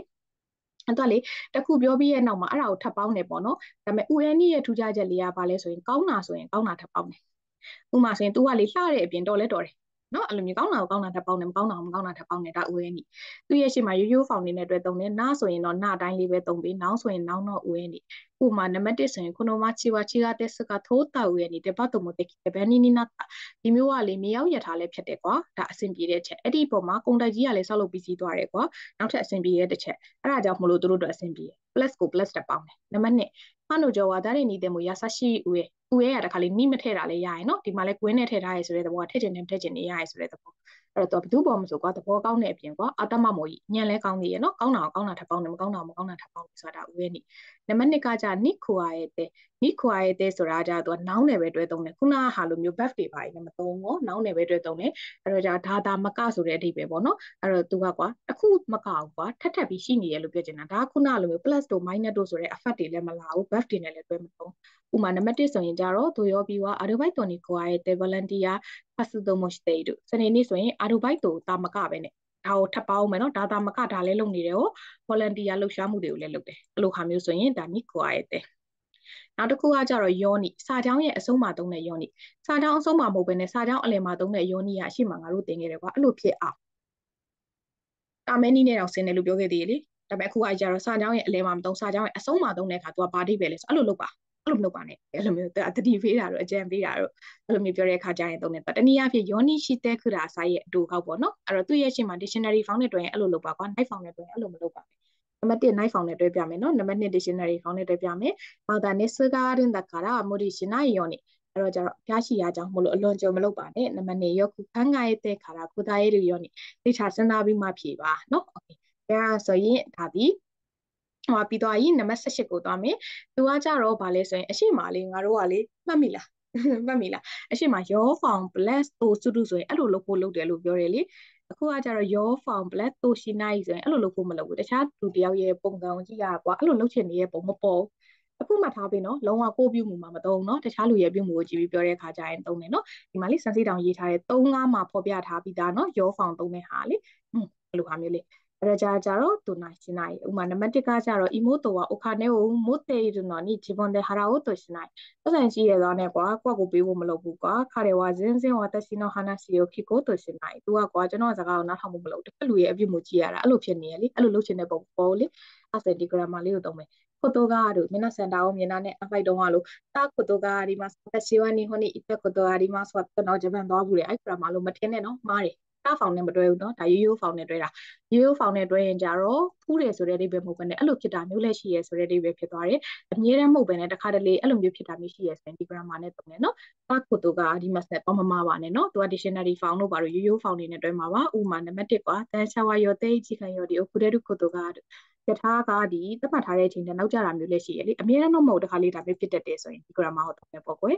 နောက်တစ်ခုကကြတော့ osodega ဒါတဲ့ n3 မှာမေးလေးရှိရဲ့ grammar တစ်ခုပါအဲ့လိုဖြစ်မှာစိုးရတယ်ပေါ့နော်မကောင်းတဲ့အဖြစ်အပျက်တစ်ခုဖြစ်လာနိုင်တဲ့ခါကျရင်တုံးနေကျင်းသေးပါမကောင်းတဲ့အဖြစ်အပျက်နော်အဲ့ dictionary found နဲ့တွဲပါတယ်နောက်ဆိုရင် not နဲ့တွဲပါတယ်အဲ့တော့ osodega တို့ဥမာနံပါတ်1ဆိုရင် oki ကြီးရှင်းကခိတာရာကိုနိုသတဲ့မိုနိုဝါထောက်တဲ့တို့ osodega တို့ငလင်ကြီးလိုင်းဒီစာဦးကကြတော့လဲသွားမှာစိုးရတယ်နော်ဒါတကယ်တမ်းဖြစ်လာနိုင်တယ်မကောင်းတဲ့ဖြစ်ပျက်ဖြစ်လာနိုင်တယ်ဆိုရင် grammar ပါအဲ့တော့နောက် grammar ကကြတော့ ni kima te တို့ဒါကလည်းလေဟာဇူသားတို့ဘာလို့လို့အဲ့လိုဖြစ်မှာတေးကြတယ်ဆိုတဲ့ grammar ပဲနော် ဒါပေမဲ့လေဟာဇူတာတို့ဘာတို့ကကြတော့ကွာတက်တေခိုင်လုံးတဲ့အခါကျရင်သုံးတာကွာအဲဒီနိခိမတေးတို့ကလည်းတက်တေမခိုင်လုံးအဲနိချီဂိုင်းနိုင်ဆိုတာလည်းအရှိမသိငယ်သေးတယ်ဟောနိချီဂိုင်းနိုင်ကကြတော့သူကစာရေးသားမှာသုံးတာနိခိမတေးတို့ကစကားပြောမှာသုံးနော်အဲ့လိုမျိုးနည်းနည်းနည်းစီတော့ပါကြတယ်ကဲအဲ့ဒါဆိုရင်သူလည်းရိုးရိုးဖောင်တဲ့အတွက်သုံးတယ်အဲဒါလေးဆိုရင်တော့ဒါလေးဖြုတ်ပြီနော်အဲ့တော့နံပါတ်1 ခမီနီခိုက်တယ်ဝါစရဲရူနီကီမာတေးတို့စာရဲမှာရေးလဲပဲမိမှာတေးကြတယ်အဲ့လိုမျိုးစကားပြောမှာသုံးတဲ့ grammar လေးနော်အဲ့လိုဖြစ်မှာတေးကြတယ်ဆိုရင်ကိုယ့်ကိုကြိုးပြီးတော့တွေးလို့ရတဲ့အရာတွေပေါ့နော်နံပါတ်22ကနီစကီနိုင်စကီတူဆိုတဲ့ verb ကလေးဒီလားစကီတူဆိုတာကြော်လွန်တာလေးနော်နီစကီနိုင်ကမကြော်လွန်အဲ့လိုဖြစ်ုံမဲဆိုပြီးတော့သူကကန့်သက်ထားတာပေါ့နော်အဲ့လိုဖြစ်ုံမဲနဲတယ်ဆိုတဲ့အဓိပ္ပာယ်ကိုပြောတဲ့အခါကျရင်သုံးတယ်နောင်နဲ့တွဲသုံးတယ် dictionary found တို့ the ဤတို့တာ found တို့နဲ့လည်းတွဲသုံးတယ်ဥပမာနံပါတ်1ဆိုရင်ကျတော့ဒါနောင်နဲ့တွဲသုံးထားတယ် နံပါတ်2ကကြတော့ဒီမှာ the iru ဆိုတဲ့ buff နဲ့တွေ့သုံးထားတယ်။ကိုလုံးဖတ်ပြမယ်။ကိုကိုနီရှင်ကာကိုရှင်နိုင်စ်တော့5%တော့ ikane suki nai ထထန်းကျောင်းကိုစမ်းတက်တဲ့လူကတဲ့900ခိုင်နှုန်းအောက်ပဲရှိတယ်900ခိုင်နှုန်းလောက်ပဲเนาะနဲတယ်ဆိုတဲ့ပမာဏကိုပြောချင်တာပေါ့နော်နံပါတ်2ကခရဲနော် speech ကနာဂကတာက onaji koto iteiru ni suki nai အဲ့တော့သူ့ရဲ့ speech ကကွာအကြာကြီးတော့ပြောနေရဒါပေမဲ့လည်းတူညီတဲ့အကြောင်းအရာတွေကိုပြောနေရုံပဲနဲတယ်တန်မိုးသိမရှိဘူးလို့ပြောတဲ့ခါကျရင်ဒီ grammar လေးပေါ့ကွယ်နောက်တစ်ခုကကြတော့ mono common ကစာကြောင်းဆုံးမှာတုံးတယ်ပါတိလား mono ကိုမြင်လိုက်တော့ဟဲ့ပစ္စည်းလားလို့သွားပြီးတော့ဘာသာမပြန်နဲ့နော်အရှိမ mono နဲ့ mono နဲ့တခါတင်မှုတယ်လေအဲ့လိုမို့လို့အခု mono common ကဆိုတော့အဲ့လိုဖြစ်เสียရလားဒါစကားပြောမှတုံးတယ်ပြင်းထန်တဲ့ညင်းဆိုတာ ဟဲ့ငါကစာမကျက်စရာလားဟဲ့လို့မျိုးနော်အဲ့ဒါရိုးရိုးဖောင်နေနဲ့တွေ့သုံးတယ်နော်အဲ့တော့နံပါတ်1 konani daksana daksano shigoto ashita madeni waru mono ka ဟဲ့ဒီလောက်တောင်လုံးများရင်မနေ့ပြန်ပြီးစရာလားအဲ့လိုမျိုးပြောတဲ့အခါကျရင်သုံးတယ်ပေါ့နော်။ပြင်းထန်သွားညင်းညင်းဆိုတဲ့အခါကျရင်သုံးတာနော်။အဲအဲ့ဒါဆိုရင်သူလည်း24ခုတောင်ရှိတယ်ဟောအခန်းသုံးလဲ။อืมကျမလည်းဖက်ဖက်ကိုမော့လို့ ဒါဆိုရင်ကြတော့သူဒီနောက်30 24ရဲ့ grammar ကကြဒေါနာနီနာနီနာနီကိုတော့ကအဲ့တော့သူကအရှိမကြတော့လေဒေါနာနီထည့်ပြီးတော့ကြတော့ဘလောက်တောင်မှအဲ့လိုဖြစ်လိုက်မလဲဆိုပြီးအလယ်မှာခန်းစားချက်တွေနဲ့တွဲသုံးတယ်ပေါ့အရင်ခန်းစားချက်ပြင်းထန်တယ်ပေါ့ဥမာငါဆာမီဘွဲအောင်ရင်ကွာဘလောက်တောင်ပြောလိုက်မလဲအဲ့လိုဟာမျိုးဘလောက်တောင်ပြောလိုက်မလဲဥပမာဆိုရင်ကွာอืมဥပမာဆိုရင်တခုခုဝမ်းနေစရာရှိရဆိုရင်လေ ဝမ်းနေတာကြဥပမာမပေးချင်ဘူးပေါ့နော်အဲဒါကြောင့်မို့လို့အလုံးဝမ်းနေတာရှိရင်လည်းအော်ဘယ်လောက်တောင်ဝမ်းနေလိမ့်မလဲအဲ့လိုဟာမျိုးပေါ့နော်အဲ့လိုမျိုးခံစားချက်တွေကိုကိုကအရန်ဖြစ်တယ်ဆိုတာကိုစကားလေးကိုတွဲဝဲပြီးဘယ်လောက်တောင်အဲ့လိုဖြစ်လိုက်မလဲဆိုပြီးအလဲမှာခံစားချက်တွေနဲ့တွဲသုံးတယ်ခံစားချက်ဆိုတာကလေ EAG တင်နာ AG တင်လည်းရှိတယ်လို့ buff ကိုတောက်ဖောင်နေလည်းရှိရပေါ့နော်အဲ့လိုဟာမျိုးလေးတွေဥမာနံပါတ်1ဖတ်ပြမယ်နော်အတရာရှိရှိကိုတိုကခိမတာခိမတာတိုကီတာရာယောရှင်ဝါဒွန်နာနီယောရိုခုပုခုတိုကအလုတ်တတရရလို့ကြားလိုက်မိဘတွေဘယ်လောက်တောင်ပြောလိုက်မလဲဟဲ့ ကီလိုဂရမ်မာမျိုးလေးရဒါဒီอืมဒေါ်နာနီနာနိုင်ခိုတိုကမှတ်ထားနော်ခိုတိုခအရှိမှာကြတော့အလင်မှာပေါ့နော်သူတို့နှစ်ယောက်ရဲ့အလင်မှာကျင်းဒီပေါက်ခန်းစားချက်နဲ့ပတ်သက်တဲ့ဟာကြီးပဲလိုက်တယ်နော်ဟဲ့ရစင်ဒီတီဆိုရင်ဆက်စီတို့သုံးပြီးသွားပြီပေါ့နော်နောက်တစ်ခုလေးဆက်သွားပါမယ်သုံးပုံတစ်ပုံတော့ပြီးသွားပြီကိုးခန်းရှိတာကိုသုံးခန်းပြီးသွားပြီဆိုတော့လေနော်ဒီမှာလည်းဖတ်ဖတ်မဟုတ်ပါတယ်ဟဲ့အခန်းလေးဆက်သွားပါမယ် ကဲအခန်းလေးဆက်သွားပါမယ်အခန်းလေးဆက်သွားမယ်ဆိုတော့မင်းနာဆန်ရဲ့တူအိုမိုးဆိုတာမင်းနာဆန်သိခဲ့ပြီးသားကွာအဲ့လိုလို့ထင်တယ်အဲ့ဒါအောင်မှအရှိရဘားနဲ့တွဲတာကြတော့လေဘာတူအိုမိုးကအလဲမှာအီအီလေးမြုပ်ထားတာဒီလားဘာအီအီကိုမြုပ်ထားတော့ကြတော့လေသူကလေအဲ့လိုလုပ်ရင်ကောင်းမယ်ဆိုတဲ့ grammar နော်ဘာတူအိုမိုးလို့မြင်လိုက်ရင်ဟဲ့ဘာကြီးလဲလို့မထင်နဲ့နော်အဲ့တော့ကြာကြာတော့ဘာတူအိုမိုးကအဲ့လိုလုပ်ရင်ကောင်းမယ်ဆိုတဲ့ grammar ပါအဲ့တော့သူကอืมဘာတူအိုမိုးဘာတူအိုမိုးအဲ့လိုလို့ အဲ့လိုဖြစ်ရင်ကောင်းမယ်အဲ့တော့ကြာကြာတော့ဘာနဲ့တွဲမှာတော့ကွယ်ဘာဖောင်ပြောင်းပြီပေါ့ကွယ်ဘာဖောင်ကတော့ထူထူထူထူမပြောတော့ပါဘူး verb ဆိုရင် a ဘာဖောင်တို့ e ဆိုရင်ခဲတဲ့ဘာနာဆိုရင်နာတာပါ noun ဆိုရင်နာတာပါနော်ဒါမင်းနာဆန် info မှာသင်ခဲ့ပြီးသားပါနံပါတ်1ဥပမာလေးပြပြမယ်တားတဲ့အခါ each ဆိုတော့တရားရဲ့ပါတော့မောတဲ့ပါတင်နေဒီရောက်ကောင်းတဲ့လူလေးနဲ့များတွေ့ရင်ကောင်းမှာပဲဆိုပြီးတော့ပါတီကိုတွားတယ်နော်အဲ့လိုဖြစ်ရင်ကောင်းမှာပဲဆိုရင်ဘာတော့မောပြီးနံပါတ်40ဟောပေါ့42မဟုတ်ပါဘူး အဲ့ဒါကြတော့နံပါတ်2ကကြတော့ဘာဟိုးတို့ဘာတော့တီးပြီးသားလို့ထင်တယ်ပေါ့အဲ့လိုဖြစ်ရင်အဲ့လိုဖြစ်တလောက်နော်ရင်တလောက်ကျရင်ကျတလောက်ဝါရင်ဝါတလောက်ပိန်ရင်ပိန်တလောက်သူကဘာရဲ့ရှေ့မှာတော့ဘာဖောင်ပြောင်းဟိုးတို့ရဲ့ရှေ့မှာရိုးရိုးဖောင်လေးထည့်ပြီး verb ဆိုရင်လည်းရိုးရိုး e ဆိုရင်လည်း e တိုင်းနာဆိုရင်လည်းနာတိုင်းအဲဥပမာဆိုရင်နံပါတ်1ကခုနကခုကအခေဘအခုဟိုတို့စကီနီနာတို့ဒီသေးသွားလေးကဖွင့်ရင်ဖွင့်တလောက်ကွာနော်ကြိုက်လာတယ် နံပါတ်2က auto theory က scout နော်တဲ့ခန်းတန်းက na agit ဆိုတော့နာရာပါလေးနဲ့တွေ့သုံးမယ်နော်ခန်းတန်းနာရာပါခန်းတန်းနာဟုတ်တို့ဤလွယ်ရင်လွယ်တဲ့လောက်ကောင်းတယ်လीနော်ဟိုက်ရဆိုရင်နောက် grammar က night ခိုတော့ night ဒီ grammar လေးကိုသွားပြီးမမနဲ့ night နှစ်ခါဆင်းနော်နိုင်နှခါစင်းကိုသွားပြီးတော့အရှိရလည်းအညင်အနောက်ကလည်းအညင်လို့တော့မဟုတ်ဘူးသူကတကယ်တော့အရှိရလည်းအညင်နောက်ကလည်းအညင်ပါအဲ့တော့မမလုံနိုင်တာတော့မဟုတ်ဘူးသူကလေဒီလားဥမာဆိုရင်ဟဲ့နင်းလေးဂျပန်စာဂျပန်စာမရဘူးမလားဟဲ့ မရတာတော့မဟုတ်ပါဘူးငါနည်းနည်းလေးပဲဟန်းကြီးနည်းနည်းလေးပဲသိမသိတာပါအဲ့လိုဟာမျိုးကလုံးဝမဟုတ်လုံးဝတော့မဟုတ်လုံးဝမလုံနိုင်တာတော့မဟုတ်နည်းနည်းပေါ့နော်အဲ့လိုမျိုးတစ်ဖက်လူရဲ့တွေးတာကိုကစန့်ကျင်ဘက်ပြောတာပေါ့နင်မရဘူးမလားမဟုတ်ဘူးမရတာတော့မဟုတ်အဲ့လိုမျိုးနော်လုံးဝမဟုတ်တာတော့မဟုတ်ဘူးနည်းနည်းလေးတော့ဟုတ်တယ်အဲ့လိုမျိုးဆိုတာလေအဲ့တော့ရှေ့မှာလည်း night found ပြောင်းမယ်အနောက်မှာကျတော့ခိုတိုဝါနိုင် night ခိုတိုဝါနိုင်အငင်း found လေးပြောင်းပြီးခုမှနံပါတ်1ကနိဟွန်ကိုယောမဲမဆန်ခါဟဲ့ဂျပန်စာမှာဖတ်နိုင်အေယောမဲနိုင်ခိုတိုဝါနိုင် this တော့ မဖတ်နိုင်တာတော့မဟုတ်ဘူးဒါပေမဲ့လည်းခန်ဂျီဝါအမားဒီယုံမဲနိုင်သစ်ခန်ဂျီဝါကတော့တိတ်မဖတ်နိုင်အဲ့လို grammar လေးကဒါလေးနော်နောက်တစ်ခုနံပါတ်၄ကကြတော့ monothesis ကာတာอืม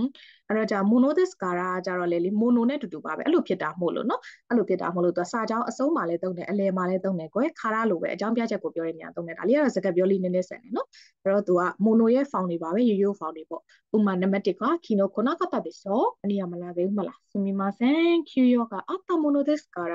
အရေးကြီးကိစ္စရှိခဲ့တာမို့လို့နော်အကြောင်းပြချက်လေးကိုပြောရင်ခါရတို့ဘာလို့အပြီးတော့ဒီ mono တကာရာ mono des ကာရာလေးလည်းရှိရနော်နောက်တစ်ခုကဂျီတိုရှိနဲ့သာတိုရှိ ဘာကွာလဲဒါပင်နဆန်တော်တော်များများ N3 မှာဒါမေးလို့ကောင်းတဲ့ grammar ပါအဲ့တော့အရင်ဆုံးသာတိုရှိကြအောင်ပြောမယ်သာတိုရှိဆိုတာလုတ်ရက်နော်လုတ်ရက်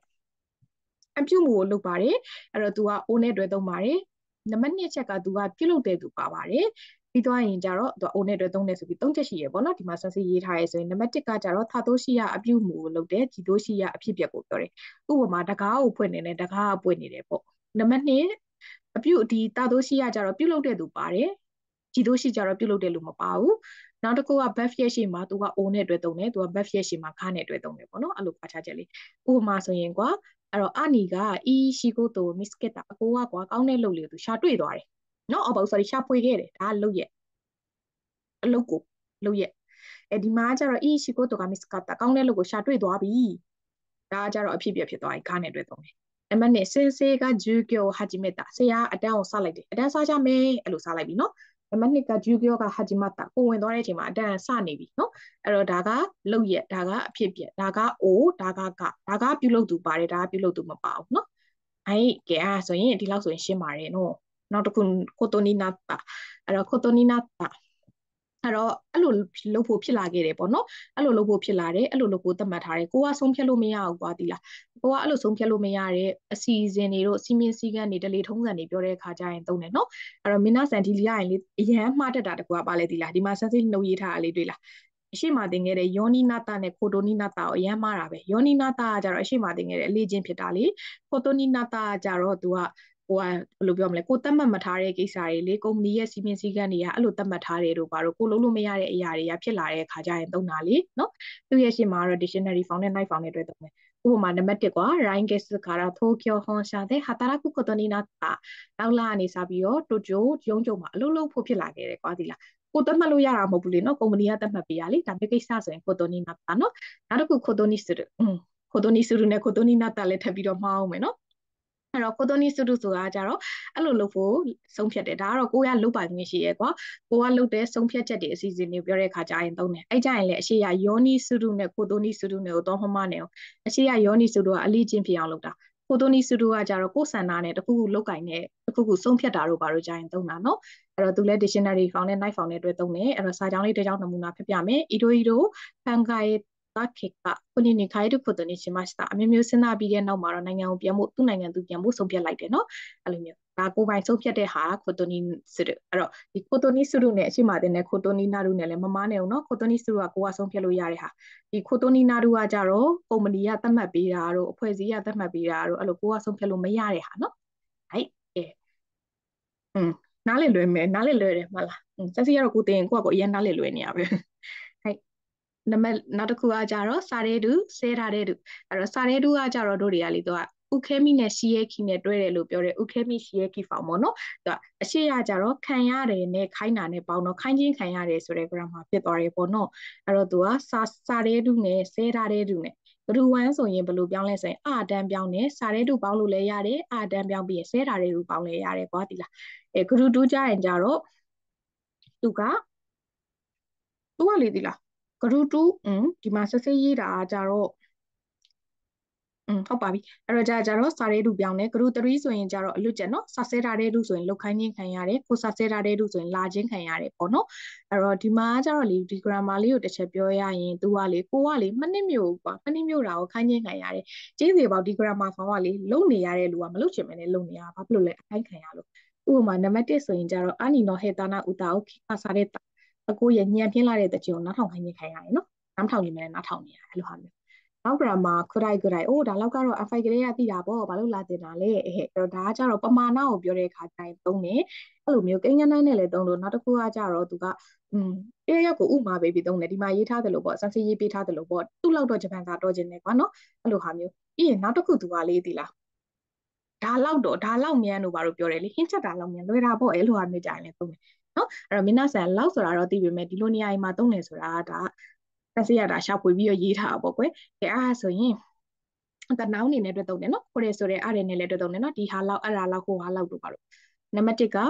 毎日日本語を3時間くらい勉強していますအဲ့တော့နေ့တိုင်းဂျပန်စာကို3နာရီလောက်လေ့လာတယ်နောက် grammar သွားပါမယ်နောက် grammar ကြရင်လေပို့တော့くらいくらいအဲ့တော့ကြာကြာတော့အဲ့ဒါလောက် သူကကြတော့ဒါလည်းအတိုင်းတာပမာဏကိုပြောတဲ့အခါကျရင်သုံးပါတယ်အဲ့လိုဖြစ်လောက်အောင်နော်ဥပမာဆိုရင်ကွာဟာကိုနွေတာတကီဝရှိနုဟိုတိုအမလီတေးလောက်အောင်နာတာနော်အဲ့လိုမျိုးဒီနေရာမှာကြာရင်ကြတော့ဟိုတိုနဲ့ခရိုက်ခရိုက်နဲ့တူတယ်တွေ့လားတူတူသုံးလို့ရရင်နော်အဲ့ဒါပေမဲ့တူတူသုံးလို့မရတဲ့နေရာလည်းရှိရောနောက် grammar သွားမယ်ဒီ grammar ကြတော့ဟိုတိုပဲသုံးလို့ရတော့တယ်ဘာဖြစ်လဲဘာဖြစ်လို့လဲသူ့ရဲ့ grammar ကဘာဟိုတိုအဲ့လိုဖြစ်ရင်ရင်တလောက်တို့ဘာလို့ရဲ့ဟာအော်မဟုတ်တကယ်တော့ဘာဟိုးတူအရှိမှသင်ခဲ့ပြီးသားဒီဟိုးတူကကြတော့ဘာဟိုးတူရဲ့အတူခောက် ဘာမပါတော့ပဲနဲ့ဟိုးတူတလုံးနဲ့နဲ့လေသူရင်တလောက်ဆိုတဲ့အဓိပ္ပာယ်မျိုးသွားတာဟောဒီမှာကြည့်ကြည့်နံပါတ်1結婚式のスピーチは短いほどいいလက်ထပ်ပွဲရဲ့မိကွန်းစကားကတူတလောက်ကောင်းတယ်တူရင်တူတလောက်ကောင်းတယ်ဆိုပြီးတော့ရုပ်ခုယူရတယ်လို့မကြခဏပြောချင်းခံရအဲ့လိုဟာမျိုးကွာဘာတော့မပါတော့ဘဲနဲ့သူ့ရဲ့အဓိပ္ပာယ်ကရင်တလောက်ဆိုတဲ့အဓိပ္ပာယ်ကိုသွားနေတဲ့အခါဒီနေရာမှာခုလိုက်ကြည့်နေသုံးလို့မရအောင်နော်ပို့သွန်လည်းပဲသုံးလို့ရတယ်ဒါကတော့မင်းသားစာကြောင်းရဲ့အရာအရေးကြီးကြီး နောက်တစ်ခု grammar ဒါလည်းခုလိုက်ခုလိုက်မလိုက်ရအောင်နော်ဒါဆိုရင်လည်းဟိုးတူပဲရမှာသူကဟိုးတူရဲ့နောက်မှာကျတော့ကျင်းသေးပေါင်းနိုင်အငင်းနဲ့လိုက်တယ်အဲ့လောက်ဖြစ်အဲ့လိုဖြစ်လောက်တာမရှိဘူးကွာဒီလားဥမာဆိုရင်ကွာဂျပန်စာတော်ဂျပန်စာတော်တဲ့လူတော့အားကြတာအားကြတဲ့လူမရှိတော့ဘူးအဲ့လိုဟာမျိုးပေါ့နော်အဲ့လိုမျိုးဒါကအဖြစ်ဆုံးပဲဒါထပ်ပို့ပြီးတော့ဘာမှမဖြစ်နိုင်ဘူးလို့ပြောတဲ့အခါကျရင် noun နဲ့တွဲသုံးတာများတယ် noun ဟိုးတူ noun ဝနိုင် verb ဆိုရင်ကျတော့ခိုတိုလေးပေါင်းပြီး verb ခိုတိုဟိုးတူ noun ဝနိုင် ဥမာနံပါတ်1ကခန်းသားဟိုးတူဝါစရဲ voice တော့အိနိုင်ခန်းသားလောက်မေ့လွယ်တယ်လို့မရှိတော့ခန်းသားအမေ့လွယ်တော့သူ့လောက်မေ့လွယ်တယ်လို့ဆိုတာရှိမှာပေါ့နော်အဲ့လိုမျိုးပြောတဲ့အခါကျရင်ဟိုးတူနဲ့နိုင်နဲ့တွဲသုံးတယ်နော်အဲခုနဟာကြတော့သူကလေဟိုးတူနိုင်ကတမျိုးဒီဟိုးတူနိုင်ကတမျိုးရောမမနဲ့အောင်ဒီဟိုးတူနိုင်ကကြတော့အဲ့ဒါကအဖြစ်ဆုံးလို့ပြောတာမဟုတ်ဘဲနဲ့ကွာသူကကြတော့ N4 တော့ကနေခဲ့တဲ့နှိုင်းရှင်တာဒီလားဒီဟာလောက်တော့မဖြစ်ဘူးဥပမာဆိုရင် တိုကျိုကဟော့ကိုက်တိုလောက်မအေးဘူးမလားနှစ်ခုကိုနှိုင်းရှင်တဲ့နေရာမှာသုံးတာခုနက grammar နှစ်ခုကိုနှိုင်းရှင်တာမမဟုတ်တာအဲ့ဒါအဖြစ်ဆုံးလို့ပြောသွားတာလी grammar တွေကလေဒီလား nuance လို့ခေါ်တဲ့ဒီစကားအသွားလာလေးပေါ်မှာမူတည်ပြီးတော့အဓိပ္ပာယ်တွေလည်းပြောင်းသွားတယ်ပေါ့နော်အဲ့တော့ဒါဆိုရင်လည်းလို့ပဲသူကဟုတ်တူရဲ့နောက်ကနိုင်ရဲ့နော်ဥပမာဆိုရင်ကွာ run တုံက New York ဖို့တူဖို့တူ samuku နိုင်อืมဖို့တူရဲ့နောက်မှာဝါထည့်လေးရရင်ထည့်လေးရတယ်အဲ့တော့လန်ဒန်က New York လောက်တော့မအေးဘူးဒါနှစ်ခုကိုနှိုင်းရှင်တဲ့အချိန်တိုင်းသုံးတာပေါ့နော် အဲ့တော့နောက် grammar လေးကိုသုံးမယ်နောက် grammar လေးကကြတော့ soda soda อืมစာကြောင်းရဲ့အဆုံးမှာသုံးတယ် soda အဲ့လိုဖြစ်တဲ့ပုံပဲဆိုပြီးတော့သူကကောက်ချက်ချတဲ့အခါကျရင်သုံးတာအဲ့တော့ဒီ soda ကကြတော့လေနှစ်မျိုးရှိတယ်ဟော soda ကကြတော့အမြင်ရကောက်ချက်ချတာနဲ့တစင်စကားနဲ့ပေါ့နော်အမြင်ရကောက်ချက်ချတဲ့ဟာကကြတော့ mask ကိုဖြုတ်ပြီးသုံးလို့ရှိရယ်နော် mask ကိုဖြုတ်ပြီးသုံးလို့ရှိရယ်အဲအဲ့လိုဖြစ်တဲ့ပုံပဲအဲ့လိုမဖြစ်တဲ့ပုံပဲဆိုရင်ကြတော့သူကလေ knife found လေးပြောင်းပြီးတော့လေ nasa soda လို့ပြောတယ်ပေါ့နော်အန်ဖိုးမှာတချို့တွေသိနေပြီးသားပါအဲ့တော့နံပါတ်1 e ဖူဒို ဆန်ယာနီဟာနွန်ဒါနော်တဲ့ e ဟေယာကစာကဆက်ဆိုတာကောင်းတဲ့ item တွေအကျိုးဆောင်ကိုညီတောင်းခဲ့တာကြောင့်မလို့ကောင်းတဲ့အခန်းလေးရှာနိုင်တဲ့ရှာနိုင်မဲ့ပုံပဲနော်ကိုယ့်ရဲ့အမြင်အရကောင်းတဲ့ item တွေအကျိုးဆောင်ကိုအခုညီတောင်းတာတော့ဒီလိုဖြစ်မဲ့ပုံပဲလို့မှတ်ဆလို့ရရလीနော် နောက်တစ်ခုဆိုတာအဲဒါကြတော့တစ်စင်စကားဖြစ်သွားပြီးတော့လုံးဝမတူတော့ဘူးသူကြတော့ mass found နဲ့မတွဲဘူးရိုးရိုး foundationary found နဲ့တွဲတာမျိုးဖြစ်သွားသီလားအဲ့တော့ဒီမှာလေးစိုးသားတစ်မျိုးရှိတယ်တဲ့ဆက်စိအသေးသိရှင်ပေးထားတယ်အရှိခုနလေးတင်ခဲ့တဲ့စိုးသားကြတော့ mass နဲ့တွဲတယ်သူကမြင်တွေ့ကြားသိရတာနေပြီးတော့ကောက်ချက်ချတယ်အဲဒါပေမဲ့အခုစိုးသားကြတော့သူကရိုးရိုး found နဲ့တွဲပြီးတော့တစ်စင်စကားကိုပြန်ပြောတာအဲ့လိုဖြစ်တယ်တဲ့ဥပမာနံပါတ်1ကကြတော့အဟာကာရာခီတာက အနေဝကိုတုံးမနောတခိခရာတာကယောကတ်တာဆိုတာအဲ့တော့အမေစီရကြခဲ့တာလေအမငငယ်တုန်းကကိုခန္ဓာကြတော့အဲအကျမကြီးညံ့ခဲ့တယ်တဲ့အဲ့လိုမျိုးတစ်စစပါနောက်တစ်ခု grammar ကလေရှခနိုင်အဲ့တော့လေရှီခနိုင်လေးလည်းသိချာမှတ်ဘာလို့လဲဆိုတော့ရှီခနိုင်ခါလေပို့တိုနိုင်လို့ပဲနှမျိုးရှိတယ်ရောဒီရှီခနိုင်ကအတွဲလိုက်နော်ဒီမှာလည်းရှီခနိုင်တွေ့လား အဲ့တော့နှစ်ခုရှိရဲဆိုတော့မရောနဲ့နော်အဲ့တော့ဒီရှီခနိုင်လေးကိုအရင်ပြောပြမယ်ဒီရှီခနိုင်ကအလဲမှာဘာမှမချအောင်အတွဲလိုက်ရှီခနိုင်အဲ့ဒါကလွဲလို့မရှိဘူးကွာမတက်တာဘူးလေနော်ငါတို့စာမွေးပြင်မှာမှတ်လား bankier ဆိုလို့ရှီခနိုင်နော်စာလို့ရုံကလွဲလို့မရှိဘူးလေတခြားနည်းလည်းမရှိဘူးလေနော်အဲ့လိုဟာမျိုး dictionary form plus ရှီခနိုင်အဲ့တော့နံပါတ်1ဆိုရင်ကိုကိုမာတဲ့ကမ်ပတ်တာခါရာဆိုင်ကိုမာတဲ့ရာရစ်ခနိုင်ရောဒါမင်းနောက်ဆန်အတွက်လို့အတဲ့စာကြောင်းလေအခုထိစူးစမ်းပြီးပြီဆိုတော့ကွာနောက်ဆုံးထိလို့ရုံပြင်မရှိဘူးလေနော်ဒါ grammar တစ်ခုနောက်တစ်ခုကကြတော့ဒါလေ noun ရှီခ buff night နောင်ကလွယ်လို့ဘတ်မရှိဘူးဘာတိပဲလဲဆိုရင်ကြတော့လေအဲဗာလဲငါကလေအဲခန်းကြီးရလွယ်လို့မရဘူးကွာဒီလားအဲ့ဒါဆိုရင်ခန်းကြီးပဲရရဲဆိုတဲ့သဘောဟုတ်တယ်မလားခန်းကြီးကလွယ်လို့ကျန်တာမရဘူးဆိုရင်ခန်းကြီးပဲရရဲဆိုတဲ့သဘောကွာအဲ့တော့ဒါတစ်ခုပဲလုံနိုင်တယ်လို့ပြောချင်တဲ့ဟာကိုဒါတစ်ခုပဲလို့မပြောဘဲနဲ့ဒါကလွယ်လို့ကျန်တာမလုံနိုင်ဘူးဆိုပြီးပြောလိုက်တဲ့သဘောနော်နောက်ရှိကဘက်ဖနိုင်ဥပမာဆိုရင်အနုရှိတောကနိခုယယယာဆိုင်နိခုယစခနာဝသဘေဇ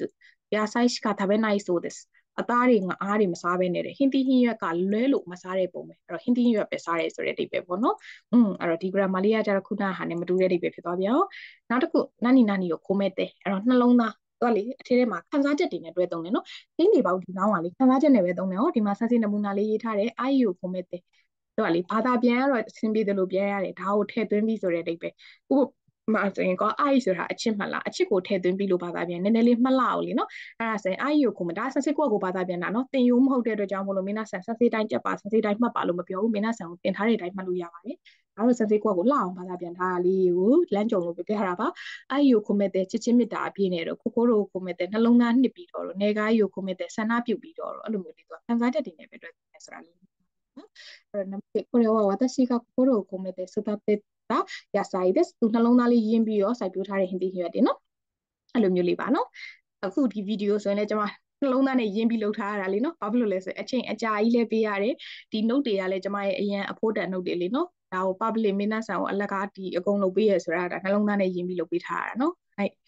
ကဲဆိုရင်နောက် grammar ဆိုရင်ကြတော့ဒါပါလဲဆိုရင် noun ကိုစူးကြည့်တဲ့ စူးကြည့်တဲ့ဆိုတာတခုခုမှတဆင့်ပေါ့နော်တခုခုမှတဆင့်ဆိုတဲ့အဓိပ္ပာယ်တယောက်ယောက်ကနေပြီးတော့တဆင့်ဆိုတဲ့ဟာမျိုးရပြင်သွားအချိန်နဲ့တွဲတဲ့အခါဆိုရင်အဲ့ဒီအချိန်တစ်လျှောက်လုံးဆိုတဲ့အဓိပ္ပာယ်ရနော်အင်းဒေတာကတော့အချိန်မဲလာလာကျန်တာပဲလာလာနောင်းတော့နောင်းမယ်ပေါ့နော်ဥမာနံပါတ်1ဆိုရင်ကြတော့ခါနိုကွာစင်ပိုက်ကိုစုကြည့်တဲ့စီတီယာကြီးမှာ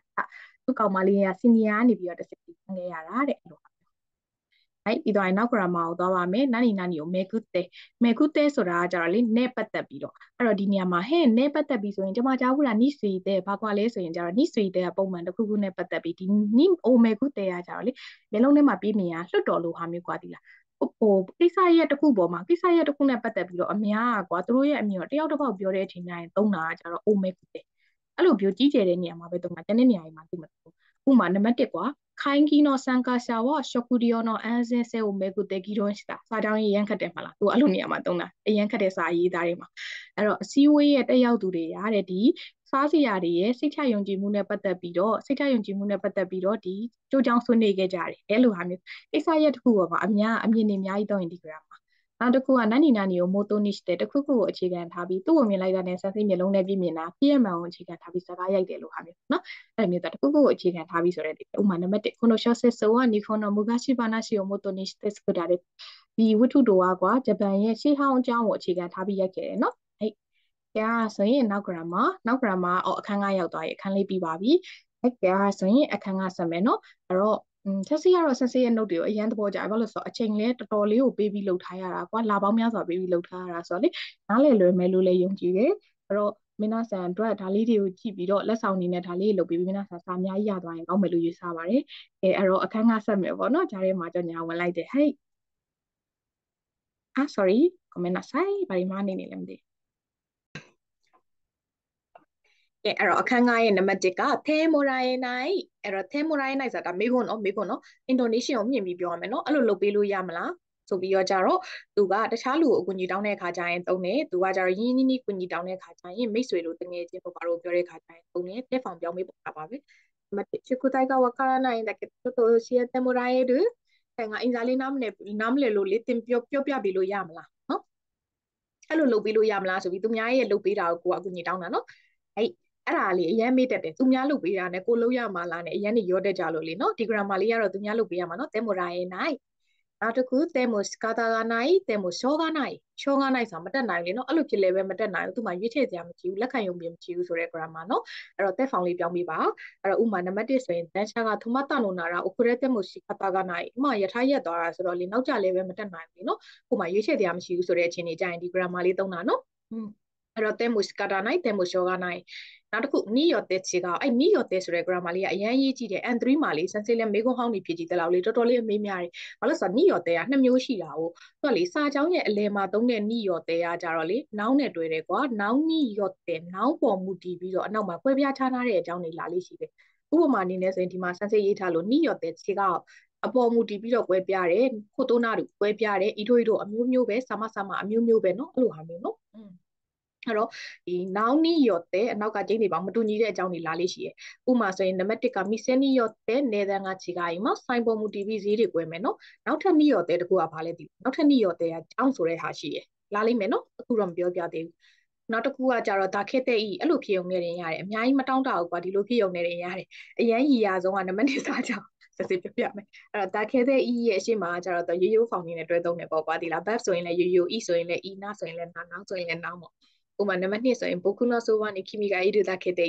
အဲ့တော့ကျို့ကျွန်တော်ရဲ့ဘေးမှာမရှိနေအောင်နေရရပြီပေါ့အဲ့လိုဒီလိုမျိုးရရတဲ့စာကြောင်းတွေတက်ပါတက်တယ်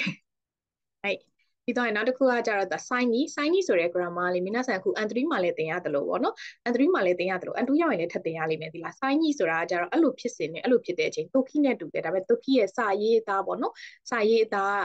dictionary found နဲ့တုံးတယ် noun နဲ့တုံးတယ် noun ဆိုရင် not လေးထည့်ပေးနံပါတ်1က gochumo noun ဆို now gochumo ဆိုတာအမှားစားဆိုတာ noun ဖြစ်တဲ့အတွက် not နဲ့တွဲထားတာနော် gochumo no sign နီတန်ဝဘန်ကိုအရှိလာစက်ကလာ sign အဲ့တော့မှားတဲ့အချိန်မှာဖုန်းနံပါတ်လေးပြပြပေး စာရေးသားဆန်တယ်ပြီးရင်ကြတော့ဟိုနည်းနည်းယူတင်လေးစားဖို့ကောင်းတယ် customer တို့ဘာလို့ပြောတဲ့ချိန်တိုင်းတယ်နော်အနောက် grammar လေးဒါခဲသေးဝနာအဲ့တော့ဒါခဲဆိုရင်အဲ့လိုအဲ့ဒါအဲ့ဒါတင်ပေါ့နော်ခဲသေးဝနာဆိုရင်အဲ့ဒါသာမကဖြစ်ပါတယ်နော်ဒါသာမကတာပါဆိုတဲ့အိပဲအနောက်မှာအမြဲတမ်းမိုးနဲ့တွဲသုံးလေးရှိတယ်ဒါသာမကတာလည်းပဲနော်အဲ့လိုမျိုးအဲ့တော့ကြာသူကအရှိမရိုးရိုးဖောင်နေနဲ့တွဲသုံးတယ်အဲဒါပေမဲ့နားနဲ့နောင်းဆိုရင်တော့ဓာတ်ပြုတ်ပြီးသုံးပေးဥမာနံပါတ်1ဆိုရင် hiko kita kete wa naku funeni monota အဲ့တော့လင်းရင်သာမကတင်မော်လဲစီတယ် ဒါသာမကတာလဲဆိုရင်ဒီ grammar လေးအဲ့တော့နောက်တစ်ခုကိုသွားမယ်နိတုတဲ့နိတုတဲ့ကလေကျင်းတီပေါက်ရွှေမှာလူနဲ့တွဲသုံးတာများရဲ့ဒီလားအဲ့တော့လူတစ်ယောက်အတွက်တော့ဆိုပြီးတော့သူ့ရဲ့အနောက်မှာကျတော့သူ့ရဲ့ခန်းစားချက်တွေကိုပြောတဲ့အခါကျရင်သုံးတယ်ပေါ့နော်ဥပမာဆိုရင်ကျတော့ဒီပု္ပ္ပာကလေသူ့အတွက်တော့လွယ်မှာပေါ့အဲ့ဒါပေမဲ့သူ့အတွက်တော့လည်းခတ်မှာပေါ့အဲ့တော့လူတစ်ယောက်အတွက်တော့ဆိုတော့သူ့ရဲ့ဘက်ကနေပြောတဲ့အခါကျရင်သုံးတယ်အရှိမကျင်းတီပေါက်နောက်လူလိုက်တာများတယ် အဲ့တော့နံပါတ်1ခိုတိုမိုနီတုတဲ့ဆိုပြီးတော့သူ့တိုက်စစ်စနာကိုတော့ that's ကလေးတွေဘက်ကတော့ကစားတွေဆိုတာအရေးကြီးတဲ့ကိစ္စတစ်ခုပဲနော်နောက်တစ်ခုခိုဆိုဆိုတဲ့ဟာလေးဒါသိတဲ့လူလည်းသိတယ်သိပြီးတော့မသုံးတော့မသိရင်လည်းမသိခိုဆိုဆိုတာလေဝါနဲ့တူတယ်သိလားအဲ့တော့ဝါလိုမျိုးပဲကတော့တော့ဟုတ်တယ်ဆိုပေမဲ့သူကတခုခုအလေးနဲ့ပေါ်ပြတဲ့အခါကျရင်သုံးတယ်ဝါနဲ့ပြောတာထက်သူကပို့ပြီးတော့လေးနဲ့သွားတဲ့အခါဥပမာဆိုရင်ဒီစာကြောင်းလေးကွာอืม အဲ့တော့ number 1စာကြောင်းဆိုရင်တော့နောင်းနဲ့ပဲနောင်းနဲ့တွဲသုံးတယ်နော်နောင်းနဲ့တွဲသုံးတယ်အဲအဲ့လိုမျိုး buff နဲ့ဆိုရင်ကျတော့ခါရခိုဆိုဆိုရင်ကျတော့သူကမှု့လို့ဆိုတဲ့အဓိပ္ပာယ်ဖြစ်သွားလိမ့်မယ်အဲ့တော့နှစ်ကြောင်းလုံးဖတ်ပြမယ်နံပါတ်1ကခိုဆိုနံပါတ်2ကခါရခိုဆိုအဲ့တော့နံပါတ်1ဆိုရင်ခိုတိုရှိခိုဆိုဂမ်ဘာရိုတော်မဟုတ်ဒီနှစ်ကတော့ကွာကြိုးစားမယ်လို့တွေးထားတယ်ဒီနေရာမှာဝါနဲ့တွေးလိုက်ရင်ဝါလဲရတာပဲလေနော်ဒီနှစ်ကတော့ကြိုးစားမယ်ဒါပေမဲ့ဝါထက်ဆိုင်ခိုခိုဆိုရေးဆိုရင်ဘာဖြစ်သွားလဲဆိုရင်တစ်တည်အများကြီးရှိခဲ့တဲ့မှာမှာကွာဒီနှစ်ကတော့ငါကျင်းသေးပေါ့ကြိုးစားတော့မယ်ဆိုတဲ့ဟာမျိုးနော်အဲ့လိုမျိုးလေးစောင်းတယ် နံပါတ်2ဆိုရင်ဂမ်ဘာတာခါရခိုဆိုကိုကခုတက်ခိတာတော့ des အဲ့တော့ကြိုးစားခဲ့တာမို့လို့အောင်တာပဲလေနော်အဲ့လိုမျိုးနောက်တစ်ခုသွားပါမယ်နောက်တစ်ခုကကြတော့သူကနိယောတဲ့အဲစမ်းစစ်ပြောခဲ့တယ်လေနိယောတဲ့နှစ်မျိုးရှိရဆိုပြီးတော့လေဒီနိယောတဲ့ဆိုတဲ့အဓိပ္ပာယ်ကကြတော့ကြောင့်သူကဘာလဲဆိုရင်အကြောင်းရင်းကိုပြောတာမျိုးမဟုတ်အကြောင်းရင်းကိုလည်းပြောပြမယ်သူကလေနီလန်တစ်ခုခုကြောင့်လို့ပြောတာများတယ်ပေါ့နော်အကြောင်းရင်းတစ်ခုခုကြောင့်နီလန်တစ်ခုခုကြောင့်နောင်းနဲ့တွဲပါတယ်နောင်းနိယောတဲ့အဲ့တော့ဥပမာနံပါတ်1ဆိုရင် oh how many yacht အဲ့တော့မိုးကြီးတာနော် အောင်ရင်ပြောလိုက်ပြီးအိုးခုနောအေကဟိကာကိုခေတာအိနေအများကြီးပျက်စီးဆုံးမှုခံလိုက်ရတယ်အဲ့တော့ဒီရောတဲချင်းတူပေမဲ့မတူဘူးနော်နီး cash တဲ့အဲ့တော့ဒီကနေစပြီးတော့နောက်ပိုင်းနီးတွေပဲတက်ကြည့်ပြီးလာလိမ့်မယ်မရောအောင်တတိထားပါနီး cash တဲ့ဆိုတာနီးဆွေတဲ့နဲ့တူပါတယ်အဲ့ဒါနဲ့ပတ်သက်ပြီးသူကတော့လုံးဝနီးဆွေတဲ့ရဲ့စာဆန်တဲ့အတုံးပဲနော်နီးဆွေတဲ့နဲ့ဘာကွဲလဲဆိုတာမျိုးခွဲလို့မရတော့တဲ့အဲ့တော့နံပါတ်1ဆိုရင်ကိုနိုရှကန်နီ cash တဲ့ atarasi joho ga hairimasu ta ဒီ g ခံဆိုတာစာမေးပွဲမဟုတ်ဘူး အဲ့တော့ကြာကြာတော့စကန်မဟုတ်ကြီးခံဆိုတာကကြာတော့အမှုကင်းကိစ္စဒီမှုကင်းကိစ္စနဲ့ပတ်သက်ပြီးတော့ဒီသတင်းချက်လက်အသစ်တွေဝင်လာခဲ့တယ်ပေါ့နော်အဲ့ကဲအားစင်းနီခန့်တဲ့ကအဲ့လိုမျိုးနဲ့ပတ်သက်ပြီးဆိုတဲ့အဓိပ္ပာယ်လေးပါနောက်ထပ်နှိလာပါပြီဆက်စစ်ပြောတာလေးမမေ့နဲ့နော်ဒီကနေစပြီးနှိတွေအများကြီးလာမှာနှိ thighs တဲ့ဆိုတာကကြတော့အရှိမကကြတော့အပေါ်ရင်ပေါ့နော်တစုံတယောက်အပေါ်ရင်တစုံတရာအပေါ်ရင်နော်အဲ့တော့တစုံတယောက်အပေါ်မှာကိုယ့်ရဲ့မန်နာတွေကိုပြောတာတော့တစုံတရာအပေါ်မှာကိုယ့်ရဲ့စိတ်ထဲကသိကျင်တာတွေကိုပြောတာတော့အဲ့လိုနေရာတွေမှာ အဲ့တော့သူလည်းရှေ့မှာနောင်းနေပဲတွေ့သုံးတယ်နှိတွေကလေများသောအားဖြင့်နောင်းနေတွေ့သုံးတယ်ဒီလားမသိတော့ရင်ရှေ့မှာနောင်းဆိုတာအောင်မှတ်ထားအဲ့တော့နံပါတ်1ဆိုရင် meruenos tonitais de que gos kauyonisteidu ကိုထက်ရာထူးကြီးရဲ့လူအပေါ်မှာတော့ K ကိုဆိုတဲ့ညင်ကြီးရဲ့အသုံးလုံးတွေကိုသုံးပြအောင်လုပ်နေရနော်အဲဒါစနောက် grammar လေးကိုသွားမယ်နိဝါတတဲ့ဆိုတာကကြတော့သူ့ရဲ့အရှိမှာကသူ့ရဲ့အဓိပ္ပာယ်ကလေတစ်လျှောက်လုံးရယ်တစ်ဝိုက်လုံးရယ်သူ့ရဲ့အရှိမှာအချိန်နဲ့တွဲတယ်နေရာနဲ့တွဲတယ်အချိန်နဲ့တွဲရင်အဲ့ဒီအချိန်တစ်လျှောက်လုံးနေရာနဲ့တွဲရင်အဲ့ဒီနေရာတစ်ပြင်လုံးတစ်ဝိုက်လုံးပေါ့နော်သူကလေ ဘာကိုပြောချင်တာလဲဆိုအချိန်ဆိုအချိန်ဆိုရင်လေလေအချိန်ကြီးကအရန်ကြာတယ်လို့ပြောချင်တော့တစ်လျှောက်လုံးကိုတောင်းလိုက်တာနေနမိတ်ဆိုရင်လည်းအရန်ကျယ်တယ်လို့ပြောချင်လို့တစ်ဝိုက်လုံးကိုပြောတာနော်အဲ့လိုမျိုးသူလည်းပဲဟိုအချိန်ပဲဖြစ်ဖြစ်နေရပဲဖြစ်ဖြစ်နောင်းမဲဆိုတော့လေအဲနီယာနောင်းဆိုတာမှန်ရတယ်ဥမာနံပါတ်1ဆိုရင်နံပါတ်1ကအချိန်နဲ့တွဲသုံးပြမယ်နံပါတ်2ကနီယာနဲ့တွဲသုံးပြမယ်ဒီလားအဲ့တော့ခိုင်ကီဝဣစခခမီဝတတေခနာဝရဲမစတာအစီဝေက9ရက်ကြာလုံးကျင်းပခဲ့တယ်နော်9ရက်ကြာတစ်လျှောက်လုံးကြာညောင်းတယ်လေအစီဝေယူ9ရက်တောင်လေอืม နံပါတ်2ဆိုရင်နနာယာကုမေတိုဒီနီဝတာတေဆာကူရာနာခိကဝဲရတဲ့တေလို့မီတာ900တဝိုက်လုံးမီတာ900တစ်ခွင်လုံးဒီစာကူတာပင်တွေကိုစိုက်ပျိုးထားတယ်အဲ့လိုမျိုးကျယ်ပြန့်တဲ့နယ်နမိတ်ကြာလျောင်းတဲ့အခြေကိုပြောတဲ့အခါကျတော့မဟုတ်ပါတယ်ရှင်နောက်တစ်ခုနိဝအဲ့လိုဖြစ်ဖို့ရနော်တစ်ခုခုဖြစ်ဖို့ရတစ်ခုခုရည်ရွယ်ချက်တစ်ခုပေါင်းမြောက်ဖို့ရလိုအပ်တဲ့ຢာကိုပြောပြတဲ့အခါကျရင်သုံးတဲ့ dictionary form plus နိဝနိဝယူသွားပြီးတော့ပန်းကြံလို့တော့မှတ်မှတ်နေနော်ဟိုဝနဲ့ဒီဝနဲ့မတူဘူးနော် အဲ့နံပါတ်1ကကျတော့နိဟွန်ဂောကဂျောဆူနီနာတွင်နေဝါဒိုရှိတာရရေးသစ်ကဂျပန်စာကျင့်ကျင်ဖို့ရဘလို့လုပ်ရင်ကောင်းမလဲတခုခုဖြစ်ဖို့ရလိုအပ်တဲ့အရာကိုပြောတယ်နော်အဲ့အဲ့တော့တိုဝါနဲ့လည်းမမနဲ့အောင်တိုဝါက definition ဖွင့်တာတို EU နော်ကလို့ဆိုတာကဆိုတဲ့အဓိပ္ပာယ်ရှေ့မှာသင်ခဲ့တဲ့တဲ့ဆိုတဲ့ဟာလေးမှတ်မိရင်တော့တူတယ်နော်အဲ့တော့ဥပမာနံပါတ်1ကွာ digital camera တိုဝါ digital camera ဆိုတာကလေ definition မို့လို့ပြင်ရှင်းပါမယ် digital တို့ camera တော့ကိုတို this digital camera camera ကိုပြောတာပါအဲ့လိုမျိုး definition လို့ပြင်ရှင်းနေဆိုရင်ဒီတိုဝါလေးကိုသုံးပါတယ် နောက်တစ်ခု non နော်နီးယားကြတော့လေအရှိမစာကြောင်းလင်မှာတော့ရင်ရဲ့သားနဲ့ဆိုပြီးတော့စန့်ကျင်ဘက်လို့ပြောရလေလာမယ်လို့ပြောရဲ့သားနဲ့မလာဘူးနေရာမှာအဲ့လိုမဟုတ်တော့ဘူးနော်နီးယားအဲ့လိုလုပ်ရတယ်တခုခုလုပ်ရမှာလိုအပ်တဲ့အရာတွေကိုပြောတဲ့အခါကျရင်သုံးပါတယ်သူလည်း dictionary ဖောင်းနဲ့တွဲတယ်အဲ့တော့နံပါတ်1ကိုတိုဘာနော်အီမီကိုရှီရာဘဲရုနော်နီ internet ကို scape တို့အဲ့တော့စကလုံးရဲ့အဓိပ္ပာယ်ကိုရှာယာရင် internet ကိုအသုံးပြုတယ်နော်အဲ့တော့စာကြောင်းရဲ့အနေဒီထားလေးကိုကြည့်ပြီးတော့ဘာကိုပြောချင်လဲဆိုတာသိဖို့လိုပါတယ်မင်းနာဆန် N3 ရောက်ပြီလीနော်နံပါတ်16ကကြတော့ not normal ထိုးစမ်းတာအဲ့လိုဖြစ်တာလည်းပဲဒါဖြစ်တင်တာပဲเนาะထိုးစမ်းဆိုတာဖြစ်တင်တာပဲအဲ့တော့အမြဲတမ်းထိုးစမ်းပဲသုံးတာတော့မဟုတ်တော့အတာတိမရဲ့ဖြစ်တင်တာပဲမူရီဝါနာရဲ့မဖြစ်နိုင်တာတော့မဟုတ်ဘူးဝါကတို့အဲ့လိုဖြစ်တာလည်းနားလေတယ်ပေါ့နော်အဲ့တော့သူကဒီလိုဖြစ်တာလည်းဖြစ်တင်တာပဲဆိုပြီးအတိမတ်ပြုပေးတဲ့အခါတိုင်းဒီ grammar လေးကိုသုံးတယ်နော်ရိုးရိုး found နဲ့တွဲသုံးတယ်နော်အာ normal ထိုးစမ်းတာဆိုတဲ့ grammar လေးကိုမှတ်တာ no ဖြစ်တဲ့အတွက်ကြောင့်မို့လို့ရှေ့ရချိန်နေပါရိုးရိုး found နဲ့တွဲတယ်နားဆိုရင်နားနောင်းဆိုရင်လည်းနားဆိုတာလေးတော့မမိနဲ့ဘလို့အတိတ်ပဲမျိုးလဲဆိုရင်နံပါတ်1ဥပမာလေးဖတ်ပြမယ် စွန်းနာဟီတိုဟီကိုတိုしたနာတာတဲ့ခရတဲ့ကအခုရုလိုမျိုးထိုးစမ်းတာအဲအနေအဲ့လောက်တောင်ဆိုးရတဲ့ကိစ္စလုံးမယ်လောက်တာကတော့သူစိတ်ဆိုးတာလဲဒါဖြစ်တင်တာပဲလीနော်ငါနားလေပြီးလို့ရတယ်အဲ့လိုမျိုးဆိုရင်ဒီ grammar ကိုသုံးတာပါနောက်တစ်ခုကတုခတုခအဲ့ဒါတို့အဲ့ဒါတို့သူကတော့ဥပမာပေးပြီးပြောတယ်ပေါ့နော်တုခကိုတစ်ခါတစ်ချိန်နဲ့သုံးတာရှိရယ်တုခတစ်ခါနဲ့သုံးတာလည်းရှိရယ်နှစ်ခါသုံးပြီးတော့တုခတုခဆိုပြီးပြောရရှိဒါတို့ဒါတို့နာတို့လိုဟာမျိုးကိုပဲသူကလေဒါတို့ဒါတို့ပစ္စည်းတစ်ခုပြောလိုက်တာပြောလိုက်ပစ္စည်းတစ်ခုပြောလိုက်တာပြောလိုက်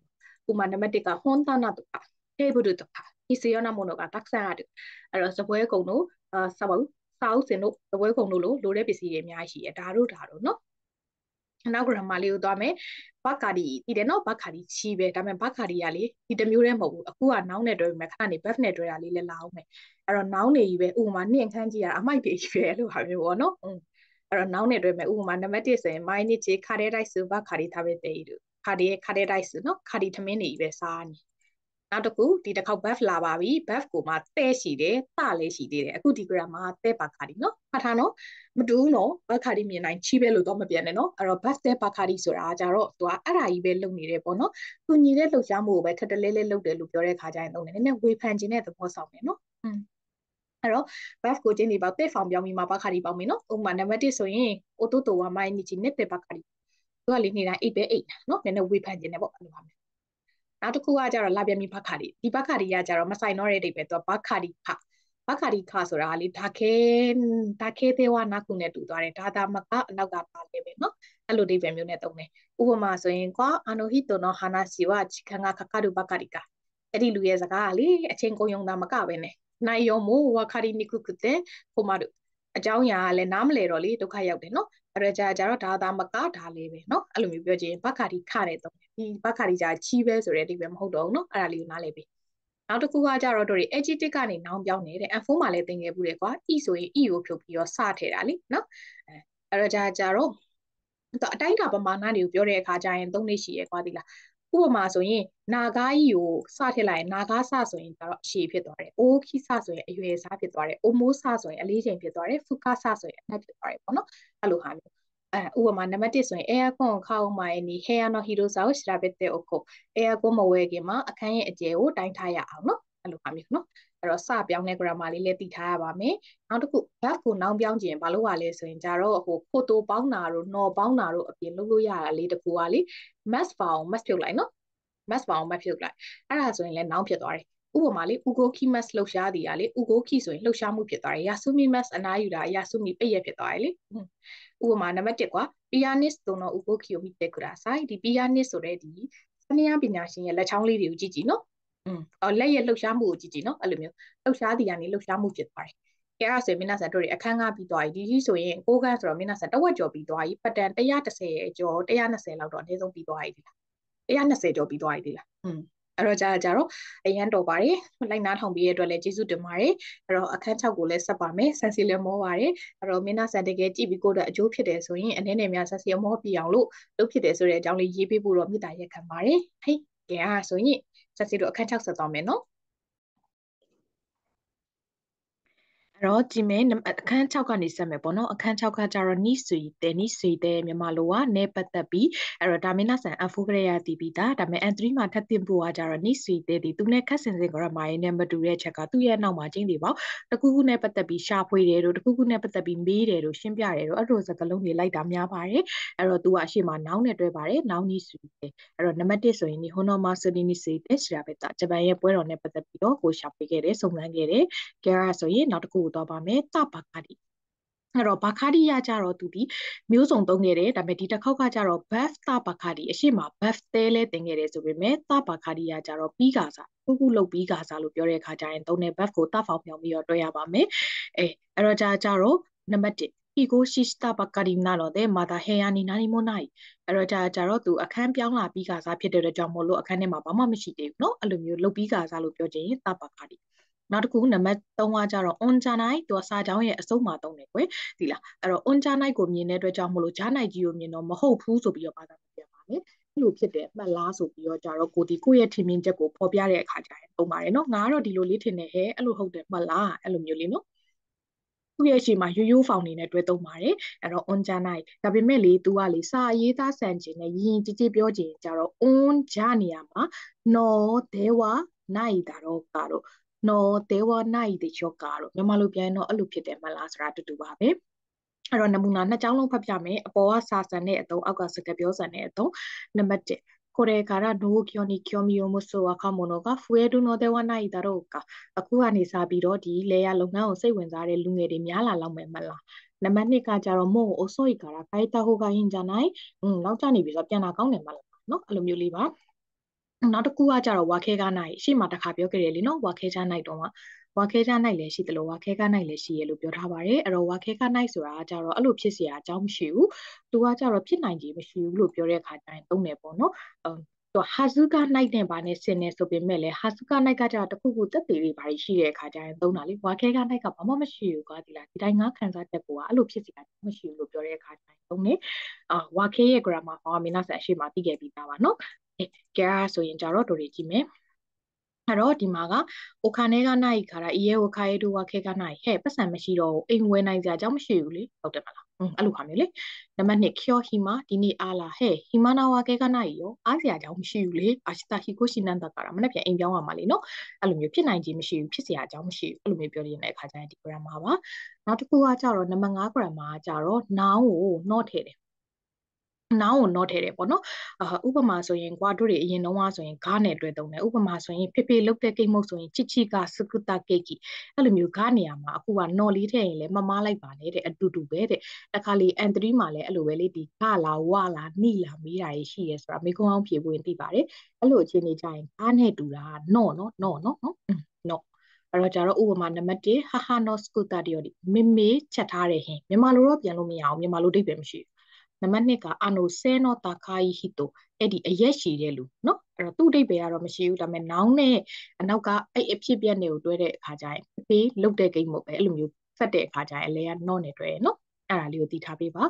နောက် grammar ကိုသွားပါမယ်ယောနိခန်းကြီးတာယောနိဆိုတာဒီနေရာမှာတလိုလို့ဘာသာပြန်ရမယ်ခန်းကြီးတာဆိုတာခံစားရတယ်အဲ့လိုဖြစ်တလို့ခံစားရတယ်ကိုယ်အမြင်လေးရာကိုကြည့်ပြီးတော့ခံစားလို့ရတဲ့အရာတွေကိုထုတ်ပြောတဲ့အခါကျရင်သုံးတယ်ယောနိရဲ့ရှေ့မှာတော့သိတဲ့အတိုင်းပေါ့ရိုးရိုးဖောင်လေးတွဲမယ်နော် အဲ့တော့လေခန်းကြီးလူတစ်လုံးနဲ့မဟုတ်ဘူးအာအဲ့လိုမြင်ရတယ်ငါကြီးသလောက်တော့လေနင်းခုတလောအာနည်းနည်းပိန်သွားတယ်လို့ခံစားပိန်တယ်လို့မြင်ရတယ်အဲ့လိုမျိုးမီရဲလူးနဲ့လည်းတွဲသုံးတယ်อืมငါတွေးသလောက်တော့အဲ့လိုဖြစ်တယ်လို့ထင်တယ်အမိုးနဲ့လည်းတွဲသုံးတယ်ပေါ့နော်ဒါတွေအကုန်လုံးကခုခံစားရတဲ့အရာလေးကိုပေါ့ပေါ့ပါပါထုတ်ပြောတဲ့အခါကျရင်သုံးတယ်အဲ့တော့ဥပမာလေးတစ်ကြောင်းပြပြမယ်ခါတယ်ဝါဒိုင်ကကိုဆူဆူပြောတဲ့ကာရာစုကိုစီခါဝတာယောနီအန်ဂျီအန်ဂျီတူသူကလေတက္ကသိုလ်ကနေဘွဲရပြီးကလေးကနည်းနည်းလေးပြောင်းလဲသွားတယ်လို့ခံစားရတယ်နော်ကိုခံစားရတဲ့ဟာကိုပြောတာ နောက်တစ်ခုဇူနီဇူနီဆိုတာကလေဘာနဲ့တူလဲဆိုရင်မင်းနာဆန်သိလားအဖိုးတော့ကနိုင်တယ်လေမလုတ်ဖဲနဲ့မဖြစ်ဖဲနဲ့မှာပဲနဲ့လေအဲ့ဒါနဲ့တူတာနော်ဟွန်းအဲ့တော့ဇူနီအဲ့တော့ဇူဆိုတဲ့စကားလုံးကြီးမှာ night တော့ပါမနေဘဲနဲ့သူလဲမြန်မာလိုကမှာပဲနဲ့ဖြစ်တဲ့အတွက်ကြောင့်မလို့ night ဖောင်ပြောင်းပြီးမှသူနဲ့တွဲလို့ရရယ်နော် night ဖောင်ပြောင်းပြီးမှဇူနီနဲ့ပေါင်းရမယ်ဥပမာရောမှုစာဖတ်တယ်ဆိုရင်ကြတော့ night ဖောင်ပြောင်းရင်ရောမ night လေအဲ့ night ဖြုတ်ပြီးတော့ဇူနီပေါင်းလိုက်ရောမဇူနီနော်မဖတ်ဖဲနဲ့ အဲ့တော့နံပါတ်1ခုနခေကီဝါစာတိုစကာဝါဇနိစကူဒီမတ်စတာအဲ့တော့ဒီကိတ်မုတ်ကကြားမထည့်ပဲနဲ့လုပ်ထားတာနော် live ဖောင်တွေ့ရရဲဆိုတာမမေ့နဲ့နော်နောက်တစ်ခုနံပါတ်8 grammar ကကြတော့ဘာယောခတာအဲ့လိုဖြစ်ရင်ကောင်းပါတာရာယောခတာအဲ့တော့သူဒီနောင်နာရတဲ့အခြေအနေကြရင်ပြောတယ်ပေါ့နော်အတိတ်ကကိစ္စနဲ့ပတ်သက်ပြီးတော့အဲ့လိုလုပ်ခဲ့ရင်ကောင်းပါအဲ့လိုမလုပ်ခဲ့ရင်ကောင်းပါအဲ့တော့ကြာကြာတော့ buff ကိုဘာဖောင်ပြောင်းတာရာဖောင်ပြောင်းအနောက်ကယောခတာပေါ့နော်အတိတ်ကဖြစ်ရဲ့ကိုပဲသုံးတယ်နော်အဲ့တော့နံပါတ်1 간지가 각해 나이 각세는 또 기모도 반키어스레 바요 갔다 တန်းကြည့်မရေးနိုင်ဘူးကွာအကြောင်းသားဘဝတော့ကပို့ပြီးတော့လေ့လာခဲ့ရင်ကောင်းပါเนาะအဲ့လိုဖြစ်ခဲ့ရင်ကောင်းပါအဲနောက်တစ်ခုနောက်တစ်ခုကကြတော့ဗလည်းရတယ်တာရလည်းရတယ်အနောက်ကနော်နီးနဲ့တွဲတယ်အဲ့လိုဖြစ်ရင်အဲ့လိုဖြစ်မှာကိုအဲ့တော့ကြာကြတော့ကွာလက်တွေ့ရတော့မဖြစ်ဘူးဒါပေမဲ့လေဟောဒီလိုလုပ်ခဲ့ရင်တော့ဒီလိုဖြစ်မှာကိုဥပမာဆိုရင်ကိုကအခုချိန်မှာစမရဘူးပါတိလား စာမရအောင်ဟဲ့ငါသာကွာငါးလပိုင်းလောက်ကလေးကစာချက်ခဲ့ရင်ကွာဒီချိန်တော်တော်လေးရနေမှာပေါ့နော်อืมအဲ့တော့ကြာကြာတော့ဒါပေမဲ့လက်တွေ့မှာကြက်မနေဘူးလေရမနေဘူးလေอืมဒါပေမဲ့လည်းအဲ့ချိန်တုန်းကဒါလုတ်ခဲ့ရင်အဲ့လိုဖြစ်မအောင်ဆိုပြီးအတိတ်ကဖြစ်ရတဲ့ကိုကိုကပြန်တွေးပြီးတော့အဲနောက်နာရတာတို့ဘာလို့ပေါ့နော်လက်တွေ့အဖြစ်ရနဲ့မတူတဲ့ဟာကိုပြောချင်တဲ့အခါကျရင်သုံးတယ်အဲ့တော့ဘာနဲ့တွဲသုံးချင်တော့ဘာဖောင်ပြောင်းတာရာနဲ့တွဲသုံးချင်တော့တာဖောင်ပြောင်းနော်อืมအဲ့တော့နံပါတ်1ကခုနိုနီမို့ဆိုအိုမိုကုနာခဲ့တယ်ပါစတို ဒီတဲ့ဟာကုကုနိုဒီထုတ်ကလေးလေးတာမလေးရင်တယောက်တည်းတည်မှာတကယ်တမ်းတော့ तू ကမလေးအခုကလီးနေရလေလီးတဲ့အတွက်သူများနဲ့တည်နေရနေမှာပေါ့နော်ဒါပေမဲ့လည်းသူကသူပြန်ခံပြီးတော့ပြောတဲ့စကားပေါ့မလေးရင်တော့ငါတယောက်တည်းတည်မှာအဲ့လိုဟာအဲ့တော့အဲ့လို grammar ရှိပါတယ်ပြီးရင်လေဒါလေးကလေ N3 ရဲ့ထူးခြားတဲ့ grammar လေးပေါ့နော်အဲ့တော့သာရခါရဲ့တဲ့အဲ့လိုလုပ်လိုက်တော့လေပို့ပြီးတော့တာပုံမှန်ဆိုရင်ကွာငါတို့ကဥပမာနောက်ကျနေရနေပြီးတော့တက်စီစီးလိုက်တယ်ကွာပုံမြန်အောင်လို့အဲဒါပေမဲ့တက်စီစီးလိုက်ရင်ပုံမြန်တော့မှာမဟုတ်ဘူးလား ဒါပေမဲ့တာရခါရဲ့သဲဆိုတဲ့ grammar သုံးလိုက်လေတက်စီစီးလိုက်တော့မှပို့ပြီးတော့တောင်နောက်ကျသွားပြီအဲ့လိုမျိုးပါလေလုံးလိုက်တော့ပို့ပြီးတော့တောင်စန့်ကျင်ဘက်အခြေအနေဖြစ်သွားရဲဆိုပြီးတော့ပြောချင်တဲ့ခါတိုင်းသုံးတယ်နော်အဲ့တော့ trade to to grammar form ကတော့မခက်ပါဘူးတာရနဲ့တွဲထားတော့တာဖောင်လေးပြောင်းပြီနော်မဖြစ်ခဲ့ရင်တို့ပြောချင်ရင်တော့နခတာရပေါ့နော်အဲ့တော့နံပါတ်1 isoide itano de taxini notara kaete အဲ့တော့တာရနဲ့ခိုင်တဲ့နေရာအတွဲလိုက်ဖြစ်နေရမယ်နော် taxini notara kaete ဒီခံကခတ်တဲ့စင်မတ်တာ အဲ့တော့အလင်းစလိုဖြစ်နေရဲ့အလင်းလိုနေတဲ့အတွက်ကြောင့်မလို့တက္ကစီစီးလိုက်တော့မှပဲပို့ပြီးတော့တော့အချိန်ကြာသွားသေးရဲ့နော်အဲ့တော့အဲ့ဒါဒီပါရခိုင်ပဲဆိုရဲ grammar နောက်တစ်ခုကကြတော့သူဒီကိုကသူများကိုတိုက်တွန်းခြင်းနဲ့ပေါ့ပဲဟဲ့နင်ဒီလိုလေးလုပ်ကြည့်ရင်ဘယ်လိုလဲတဲမိတာရာတို့ဒစ်ကအဲ့တော့တဲမိတာရာတို့ဒစ်က grammar form ကတော့မခက်ပါဘူးတဲနဲ့တွဲတော့တဲ form ပြောင်းနိုင်ရပြီဒီလိုလုပ်ကြည့်ရင်ရောဘယ်လိုလဲဆိုပြီးသူများကိုတိုက်တွန်းတဲ့နေရာမှာ အဲ့တော့နံပါတ်1ဒါတွေကလေ listening မှာလည်းမကြာခဏကြားဘူးလိမ့်မယ်နော်သူများကိုအကြံပေးတဲ့အခါကျရင်လေ mind band နေတာတဲ့နောက်တဲ့ခုမှတည်မှာညာတိုင်းအိတ်လို့မရတော့သူဒုက္ခရောက်နေတယ်အာဟီရူမာအွန်ဒိုစတေမီတာရာဒိုဒက်စကာဟဲ့နေနေလည်းနေခင်အားကစားလုပ်ချင်းရောဘယ်လိုလဲနော်အဲ့လိုအကြံပေးတဲ့နေရာမှာသုံးပါတယ်ဒီနံပါတ်7 gram မှာတော့မယ်တဲ့တယ်ဒါရှိမှလည်းတစ်ခါပါဘူးတယ်နော်ဒါပေမဲ့ရှိမှတစ်ခါပါဘူးတဲ့တဲ့ဆိုတာကကြောင့်လေစာကြောင်းရဲ့အလဲမှာသုံးတာအလဲမှာသုံးပြီးတော့အတိတ်ပဲကကြတော့အဲ့လိုလို့ဆိုတဲ့ဆိုတဲ့အတိတ်ပဲကိုစောင်းတယ်ပေါ့နော် ဒီမှာကကြတော့စာကြောင်းရဲ့အဆုံးမှာတုံးတာ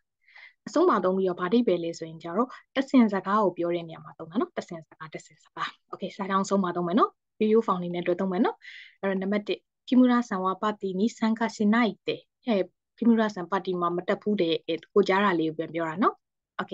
နောက် grammar တခုက ni oi တဲ့ဒါလည်း anti မှာအရင်မေးများရလို့ပြောလို့ရတယ်သူကအဲ့ ni နေရာမှာလေကျင်းတယ်ပေါ့နေရာနဲ့တွဲသုံးတယ်အဲ့ဒီနေရာတွင်ဆိုတဲ့ဒီပဲနော်အခုခုကျင်းပတဲ့နေရာကိုပြောချင်တဲ့အားတိုင်းသုံးတာပေါ့နော်အဲ့အဲ့တော့ navigate ဆိုရင်ကျတော့ social က shiki wa sangasu to sangasu asuka ကကဲဟိုဒူနီအိုတဲအကုနာဝါတဲ့တူအဲ့တော့ကျောင်းစင်းပွဲရ3လပိုင်း20ရက်နေ့ဒီကျောင်းသားဟောကမ်းမှာတွင်ကျင်းပပါမယ်နော်တခုခုကျင်းပတဲ့နေရာကိုစာဆက်ဆန်ပြောချင် နေရနောက်မှာနီအိုတဲ့နော်ဟဲ့ကဲအစနောက် grammar ကလည်းနောက်ထပ်လာပြီးတော့ညှိတွေပဲလာတော့မယ်အဲ့တော့နောက် grammar ကဘာလဲဆိုရင်ကြတော့နီခူတာပဲတဲ့အဲ့ဒါနဲ့ရှင်ရင်အဲ့ဒါနဲ့စာရင်သူကကြတော့နှစ်ခုကိုနှိုင်းရှင်တဲ့နေရာမှာသုံးပါတယ်ယောဒီနဲ့ဆင်ပါတယ်နော်နောင်းနဲ့ပဲတွဲသုံးပါတယ်အဲ့တော့နံပါတ်1ကျောနန်နီခူတာပဲတဲ့ကိုတိုစီဝါယူပီယောအိုမနှစ်ကနဲ့စာရင် မနှစ်ကနဲ့ရှင်ရင်တော့ကိုတိုစီဝါယူကီကဝိဒီနှစ်ကပုံများတယ်နောက်ကဟာကတော့ပိုဖြစ်တယ်ပေါ့နော်အကြီးရဟာနဲ့ရှင်လို့ပြောတဲ့အခါကျရင်နိခုရာပဲတဲ့ကိုသုံးပါတယ်နောက်တစ်ခုလာမယ်နိဒါတွေက N3 မှာအမင်းများတဲ့ grammar တွေပါ niche တာကတဲ့ niche ဆိုတဲ့တဲ့အဲ့လိုဖြစ်တာနဲ့အမျှဆိုတဲ့ grammar ပါနော်အဲ့တော့အရှိမပြောင်းလဲမှုတစ်ခုဖြစ်မယ်အဲ့ဒါပြောင်းလဲတာနဲ့မြအနောက်မှာလည်းပြောင်းလဲမှုတစ်ခုဖြစ်မယ်နော်အဲ့လိုပြောချင်တဲ့အခါကျရင် niche တာကတဲ့ niche ဆိုတဲ့တင်းဒီပေါက်ပြောင်းလဲမှုကိုပြောတဲ့ဘတ်ဖြစ်ရမယ်ပြောင်းလဲမှုကိုပြောတဲ့နောင်ဖြစ်ရမယ်နော် အဲ့တော့နံပါတ်1 UNI Equinista ကတဲ့ခီယွန်ကစားကလို့အပေါ်တက်တာနဲ့အမြအပူချိန်ကြတယ်အရှိမလည်းအပေါ်တက်တက်သွားတယ်ပြောင်းလဲသွားတယ်အနောက်မှာလည်းအပူချိန်ကတက်တာသွားတယ်ပြောင်းလဲသွားတယ်အဲ့လိုပြောချင်ရင်ဒီ grammar ကိုသုံးမယ်နော် niche တာကတဲ့သို့မဟုတ် niche ဆိုတဲ့တဲ့ဟိုင်နောက် grammar ကကြတော့ tosh တဲ့ tosh တဲ့ဆိုတာကကြတော့အရှိမလေလူတစ်ယောက်ရဲ့ယာဒူးတို့ဘာလို့ပါလိရှိတယ်သူသူ့ရဲ့ရက်တီရာပေါ့နော်ဥပမာဒီတန်းရဲ့ကိုယ်စားလှယ်အနေနဲ့ဒီကျောင်းရဲ့ကိုယ်စားလှယ်အနေနဲ့မြန်မာကိုယ်စားလှယ်အနေနဲ့အဲ့လိုမျိုးပြောတဲ့အခါကျရင်သုံးတယ်နံပါတ်1ဆိုရင် တိမှုဆန်ဝါကကစဲနော်ဒါရောတို့စတဲ့ speech ရရှိတိမှုဆန်ကចောင်းသားကိုယ်စားလှယ်အနေနဲ့ဒီမိန်ကွန်းစကားပြောကြခဲ့တယ်နော်ဟိုင်မယမနာပြောတော့တော်တော်မောတယ်နောက်တစ်ခုနောက်တစ်ခုကကြတော့တိုဆုတုတိုဆုတုဆိုတာကကြတော့အဲ့လိုလိုထားတယ်ပေါ့နော်အဲ့တော့ तू ကတခုခုဖြစ်ယူဆလိုက်မယ်လို့ပြောတဲ့အခါကျရင်ဒီ grammar ကိုသုံးတယ်ပေါ့နော်ဒီ grammar ကိုသုံးပါတယ်အဲ့တော့ဘာကိုပြောချင်တာလဲဆိုရင်ကြတော့ तू ဒီ ဥပမာဆိုရင်ကွာအဲငါတို့လေစာမေးပွဲအောင်တယ်လို့ထားထားလိုက်မယ်ကွာအဲအဲ့ဒါဆိုရင်ငါတို့အန်တုပမာသင်တန်းတက်ကြမလဲอืมအဲ့လိုဟာမျိုးအဲ့လိုဟာမျိုးအဲ့တော့ဖြစ်တော့မဖြစ်သေးဘူးအဲ့လိုလိုယူဆလိုက်မယ်ကွာအဲ့လိုပြောချင်ဒီ grammar သုံးတယ်အဲ့တော့သူ့ရဲ့ရှေ့မှာတော့ရိုးရိုး foundation နဲ့တွဲမှာပေါ့နော်အဲ့တော့နံပါတ်1ရချင်းကဂျဟာချီမန်တော့ဆိုတော့ 1面でいくら必要になるだろうအဲ့တော့အင်္ဂါကောင်ငါတို့18တောင်းလို့ထားလိုက်မယ်ဆိုရင်ကွာတစ်နှစ်ကိုဘယ်လောက်လောက်ကုန်မလဲ18တောင်းဟုတ်မဟုတ်တော့မသိသေးဘူးဒါပေမဲ့ဒီလိုလေးယူဆပြီးငါတို့တက်ချက်ကြီးရအောင်လို့ပြောချင်တဲ့ခါကျရင်ဒီ grammar ကိုသုံးတယ်နောက်တစ်ခု grammar ကခုနကတိုစုရုရဲ့အတွဲပါပဲတိုရှိလာတာ အဲ့လိုလိုထားလိုက်ရင်သူကတော့စာကြောင်းရဲ့အလယ်မှာပေါ့နော်အဲ့လိုလိုထားလိုက်မယ်ဆိုရင်ဆိုပြီးတော့စကားကိုဆက်ပြောတယ်ပေါ့နော်အဲ့တော့လက်တွေ့မှာဖြစ်နေရမဟုတ်ဘဲနဲ့ဒါယူဆခြင်းသာတက်တက်ဖြစ်တဲ့အတွက်ကြောင့်မလို့အရှိရနေပြီးတော့မို့ရှိတကယ်လို့မြန်အဲ့လိုစကားလုံးလေးနဲ့တွဲလေးရှိတယ်အဲ့တော့နံပါတ်1မို့ရှိတကယ်လို့မြန် hikosu to shitara အင်ပြောင်းမယ်လို့ထားလိုက်မယ်ဆိုရင်အင်ပြောင်းမယ်လို့ဆိုရင်ကွာအတာရာရှိကုတဲ့ hiroi တခုတော့က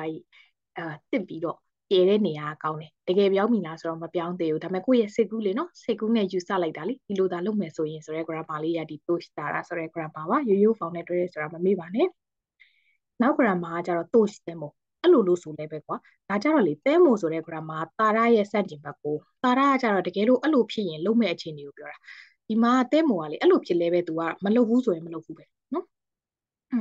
အဲ့တော့じゃအဲ့လိုလို့ဆိုလဲပဲဆိုတဲ့အဓိပ္ပာယ်ပါ grammar ကတော့မပြောင်းပါဘူးရိုးရိုးဖောင်နဲ့တွဲပါမယ်အဲ့တော့နံပါတ်1もし引っ越すとしても今すぐの話ではありません။ဒါလို့ကွာအင်ပြောင်းမယ်လို့ဆိုလဲပဲအခုချက်ချင်းလို့ဆိုချင်တာတော့မဟုတ်ဘူးเนาะ။အဲ့လိုလို့ပြောလဲပဲအခြေအနေတစ်ခုကတော့ပြောင်းလဲမသွားဘူးလို့ဆက်ပြောချင်တာကတော့တိုးရှိတယ်။နည်းနည်းလေးတော့ပါတယ်မို့။အဲ့တော့တာရာနဲ့တဲမူနဲ့ကွာတယ်ဆိုတာမင်းနာဆန် N5 ကလေးကတည်ပြီးသားဆိုတော့အရင်ပြပြစရာတော့မလိုပါဘူး။ အဲ့တော့20ရကြတော့ဗာလဲဆိုရင်တို EU တိုတို EU တိုဆိုတဲ့ grammar ကြတော့ဗာလဲဆိုရင်ကြတော့ဗာလေတခုခုလို့ပြောလိုက်တာနေနော်ဥပမာဆိုရင်မင်းနာဆန်ကွာအာဟိုပါဗာလေอืมဥပမာဆိုရင်ဂျပန်စာလို့ပြောလိုက်တာနဲ့ဘာကိုပြင်းမြင်လဲခန့်ကြီးကိုပြင်းမြင်လဲခက်တယ်လीနော်အဲ့လိုဟာမျိုးပေါ့อืมအဲ့တော့တို EU တိုလို့ဆိုလိုက်တာနဲ့သူကတို EU တိုလည်းရှိတယ်တို E ရဲ့ပါလည်းရှိတယ်တို E တာတာလည်းရှိရနော်ဒါကဆိုရင်နံပါတ်1 နံပါတ်1ကကြတော့学生時代というとサッカーの試合で優勝したことを思い出すကျောင်းသားဘဝလို့ဆိုလိုက်တာနဲ့ကွာဆက်ကပြိုင်ပွဲမှာအနိုင်ရခဲ့တာကိုသတိရတယ်အဲ့တော့ကျောင်းသားဘဝရဲ့အဖြစ်အပျက်တွေအများကြီးထဲမှာမှကျောင်းသားဘဝလို့ဆိုလိုက်တာနဲ့သူ့အတွက်နံပါတ်1ဖြစ်နေတာဒါလေးနော်အဲ့လိုမျိုးအဲ့တော့သူ EU သူကနောင်းနေနေပဲတွဲတယ်ဆိုတာလည်းမမေ့ပါနဲ့ဟဲ့အဲဒါဆိုရင်နောက် grammar ကိုသွားပါမယ်နောက် grammar ကကြတော့သူ EU နော်နီ so in noni ဆိုတာကြတော့အဲ့လိုလုံးမှာဖြစ်ရတာနဲ့ noni ရဲ့အဓိပ္ပာယ်ကသိရမလားရတာနဲ့လीเนาะอืมအဲ့တော့ကြကြတော့ तू ကခင်မမထားတဲ့ကိစ္စတွေမှာအသုံးများရယ်เนาะอืมခင်မမထားတဲ့ကိစ္စတွေမှာအသုံးများတယ်တိုးရဲ့ရှေ့မှာတော့ဒီတစ်ခေါက်ကရိုးရိုးဖောင်နေနဲ့လိုက်မယ်เนาะအဲ့တော့နံပါတ်1 ashita kara diyo koni iku to yu noni မာဘာကျွန်းဘီဝတ်တေနိုင် မနေ့ပြန်ဟဆာပြီးခီးထွက်မယ်လို့ဆိုထားရတာနဲ့ခီးထွက်မှာဖြစ်ရတာနဲ့ဟဲ့ခုဒီအထုပ်တွေပြင်ဆင်လို့မပြီးသေးဘူးเนาะအဲ့လိုထင်မှတ်ထားတဲ့ကိစ္စလေးမနေ့ပြန်သွားမယ်ဆိုဒီနေ့ပြီးနေရမှာဒါကတော့စာရပေါ့စမ်းစစ်ဆိုရင်တော့မနေ့သွားမယ်ဆိုမနေ့မှထုတ်အဲ့လိုမျိုးပေါ့အဲ့ပြီးသွားရင်အော်ဟုတ်အဲ့ဆိုရင်6ပြီးသွားပြီပေါ့နော်နောက်တစ်ပိုင်းဆက်ပါမယ်ခုနှစ်ကိုဆက်သွားမယ်အဲ့ဆိုရင်မနေ့ဆန်ခွန်8ကို3ခုပဲကျန်တော့မယ်နော်ဟဲ့ကဲဆက်ပြီးတော့ကြိုးစားပြီးပါအောင် အဲအခန်းခွန်ကကြတော့ပထမဆုံး grammar ကလေစေတဲ့ဟုတ်စီတဲ့ဒါကိုလေအရန်လဲမိတယ်အရန်လဲမှားတယ်ဒီလားဘာမှလဲဆိုရင်အရှိမသင်ခဲ့တဲ့ grammar ကတဲ့ဟုတ်စီတဲ့ဟုတ်စီဆိုတာသူများကိုလှုပ်စေချင်တာဒီလားအဲ့ဒါကသူများဒီစေတဲ့ဟုတ်ရှိဆိုတာဘယ်သူကလှုပ်ချင်တာလဲဆိုတော့ကိုကလှုပ်ချင်တဲ့အတွက်ကြောင့်ဘလို့ဖွင့်တောင်းတာမြန်မာလိုပြန်ရင်ကြတော့အာခိုင်းစီချင်တယ်အဲ့လိုလုပ်ပေးရစီလို့ပြောတာဆက်စေးဘာသာပြန်တာလေးနည်းနည်းလွယ်နေအဲ့လိုလုပ်ပေးရစီအဲ့တော့ကြတော့ကြတော့အာဟိတ် ဒီမှာတော့ဒါအရင်တော့ဟာလေးကိုဆက်စစ်ပြန်ညွှန်းထားတာအရှိကအခန်းတီးရဲ့20မှာပါတယ်တဲ့တဲဟိုရှိဆိုတဲ့ဟာလေးကိုသူကအရှိကစေတဲ့ဆဲဒုဆိုတဲ့ grammar form လေးပြောင်းပြီးတော့ထည့်ပြီးနော်ဆဲတဲဟိုရှိဆိုတာလေအမဒါကတော့အခုကအသစ်တင်တာမို့တော့မင်းသားဆန်အဲ့လောက်အသေးစိတ်ဒီမလို့ဘူးလေနော်နံပါတ်1ကခုနရှိကိုတော့ဇေဟီအော်တစီနီယာရစစ်တက်ကရာဆိုင်ဒီလုတ်လေးကိုချိန်နေပါကျမကိုလုတ်ခိုင်းစေခြင်းနဲ့ကွာကျမလုတ်ပေးရစေနော်ကိုလုတ်ခြင်းတဲ့အတွက်ခွင့်တောင်းတာဆဲတဲဟိုရှိသူများကိုလုတ်ခိုင်းနေတာကတဲဟိုရှိနော်မမမားနဲ့နော် နောက်တစ်ခုကစာရဲပါစာရဲဆိုတာအဲ့ဒါလေးဒါဘာဆိုတာဖြစ်ရင်အဲ့တော့သိငယ်လေးအရာလေးဒါရှိရင်လုံလောက်ပြီလို့ပြောချင်တာဒီ grammar နော်အရှိရနောင်းရယ်စာအဲရယ် buff ပါရယ်ဒါ found တခုဒုတိယ found ကဘာလဲဆိုရင်ကြတော့အရှိရနောင်းမလိုက်ပဲနဲ့ buff လိုက်လိုက်တဲ့အခြေအနေကြရင်ကြတော့ mask ကိုဖြုတ်ပြီနော်အဲ့တော့ buff စာအဲအနောက်ကကြတော့နောက် buff တစ်လုံးလိုက်လို့မရတော့ဘူးဘာဖြစ်လို့လဲဆိုရင်ကြတော့ငါတို့က um စာ ဟိုဘယ်လိုပြောလဲစားတာစားရင်ကွာတောက်တာတောက်ရင်ကွာအဲ့လိုတူညီတဲ့ buff ပဲလိုက်ရမှာဖြစ်တဲ့အတွက်ကြောင့်မို့လို့နောက်မှာတခြား buff မလိုက်တော့ဘဲနဲ့ဆွတဲပါလေးပဲလိုက်ပြီနော်အဲ့အဲ့တော့ဒီမှာ grammar form လေးအသေးချက်ပါ noun စာအဲ buff ပါသို့မဟုတ် buff စာအဲဆွတဲပါနော်အဲ့တော့နံပါတ်1ကကြတော့ noun စာအဲ noun စာအဲ buff ပါနံပါတ်2ကကြတော့ อืม နံပါတ်2လည်း noun စာရေးဆိုတော့တခုပဲပြောလိုက်ပါတော့မယ်အဲ့တော့နံပါတ်1ကခွေးပြီးတော့ခွဲစာရေးခိခဲပါတော့မှုတေတန်းဟွာしたဒါလည်းရည်ရတဲ့ဥပမာစာကြောင်းလေးပါပဲအဲ့တော့ချစ်သူရဲ့အတန်လေးသာကြားရရင်အကျန်အတန်လေးသာကြားရရင်ဘာရဲ့နောက်မှာကျတော့သူကအီအီကိုမြုပ်ထားတယ်ဆိုပြီးရှေ့ရ grammar တခုမှပြောခဲ့ဘူးလေနော်အဲ့တော့ချစ်သူရဲ့အတန်လေးသာကြားရရင်ကောင်းမယ်လို့တွေးပြီးတော့ဖုန်ဆက်ခဲ့တယ်နော်အဲ့ဒါဒါကအဲ့ဒါလေးသာအဲ့လိုဖြစ်ရင်သိရတဲ့အရာလေးသာရှိရင်ရပြီဆိုတဲ့စာ ever grammar လေးပါ နောက် grammar ကကြတော့လေသူက dictionary form plus ကုတဝနိုင်အဲ့လိုလုပ်เสียမလို့ပေါ့နော်အဲ့လိုလုပ်เสียမလို့ဆိုပြီးတော့ဒါပေမဲ့လေအဲ့ဒါဟိုလိုမျိုးမကောင်းတဲ့အဓိပ္ပာယ်မျိုးမဟုတ်ဘဲနဲ့အဲ့လိုနှစ်သိပ်ပြီးတဲ့နေရာမှာကြာရင်သုံးရတယ်ပေါ့နော်ရတယ်နေစိတ်ပူစရာမလိုဘူးရတယ်နေ view စိတ်စရာမလိုဘူးအဲ့လိုကိစ္စမျိုးတွေနော် dictionary form plus ကုတဝနိုင် ဥပမာနံပါတ်1ကွာအနာတာဝါရုခုနိုင်တော့တခါရာအယမရုခုတောနိုင်ရောဟဲ့နေမကောင်းတာမဟုတ်တော့တောက်ပန်စရာမလိုဘူးနော်လုတ်စရာမလိုဘူးလို့ပြောတဲ့အခါဒီ grammar လေးပါနောက် grammar ကမမမမတီတီတာ and for မှာပါတယ်တာ form plus မမအဲ့လိုဖြစ်လဲတာနောက်တစ်ခုတည်းနဲ့တွဲတာတော့မဟုတ်ဘူးပေါ့ဤတို့နာတို့နောင်းတော့တို့နဲ့လည်းတွဲပါတယ်အဲ့တော့သူဒီတခုခုကိုလုံးလျက်သားတိုင်းပဲအဲ့ဒီခြေနေကြီးကမပြောင်းလဲဘူးဆိုတာကိုပြောချင်တယ်ဥပမာနံပါတ်1တဲတဲ့ဘီကိုစကက်တာမမနဲ့တက်ချင်မှတာဒီဘီကိုဖွင့်ထားတဲ့အတိုင်းပဲအိပ်ပြီး နော်အဲ့လိုမျိုးဟာဒီမမပါအဲပြီးတော့ရင်ပြောင်းလဲမှုတစ်ခုခုဖြစ်လာတယ်ဖြစ်လာတယ်နဲ့ဖြစ်သွားတယ်နဲ့ဒါဆိုရင်သဲခိတာလေနောက် grammar သဲဣကုလေဒီနှစ်ခုရဲ့ကွာခြားချက်လေးကိုနည်းနည်းသိဖို့လိုတယ်အဲ့တော့အရင်ဆုံးသဲခိတာကနေစပြောမယ်သဲခိတာကကြတော့အရင်အခြေအနေတစ်ခုကကိစ္စအရင်အခြေအနေတစ်ခုကလေးကနေပြောင်းလာတဲ့ကိစ္စကလက်ရှိအခြေအနေထိ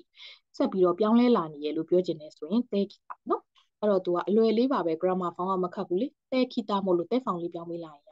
အဲ့တော့နံပါတ်1ဆိုရင်ကြတော့စကီယူနော့နေတန်ကဒန်တန်တခခုနာတေခိတာဒီနိုင်ရဲ့ဈေးနှုန်းကကွာတဖြည်းဖြည်းနဲ့တက်လာတယ်ဒီမှာဆန်းစစ်အရင်အသေးစိတ်ရေးပေးထားတယ်အရင်အချိန်ကနေရစပြီးတော့တက်လာတာအခုချိန်နေဒီတက်လာနေတော့လို့ပြောချင်ကြတော့တေခိတာနော်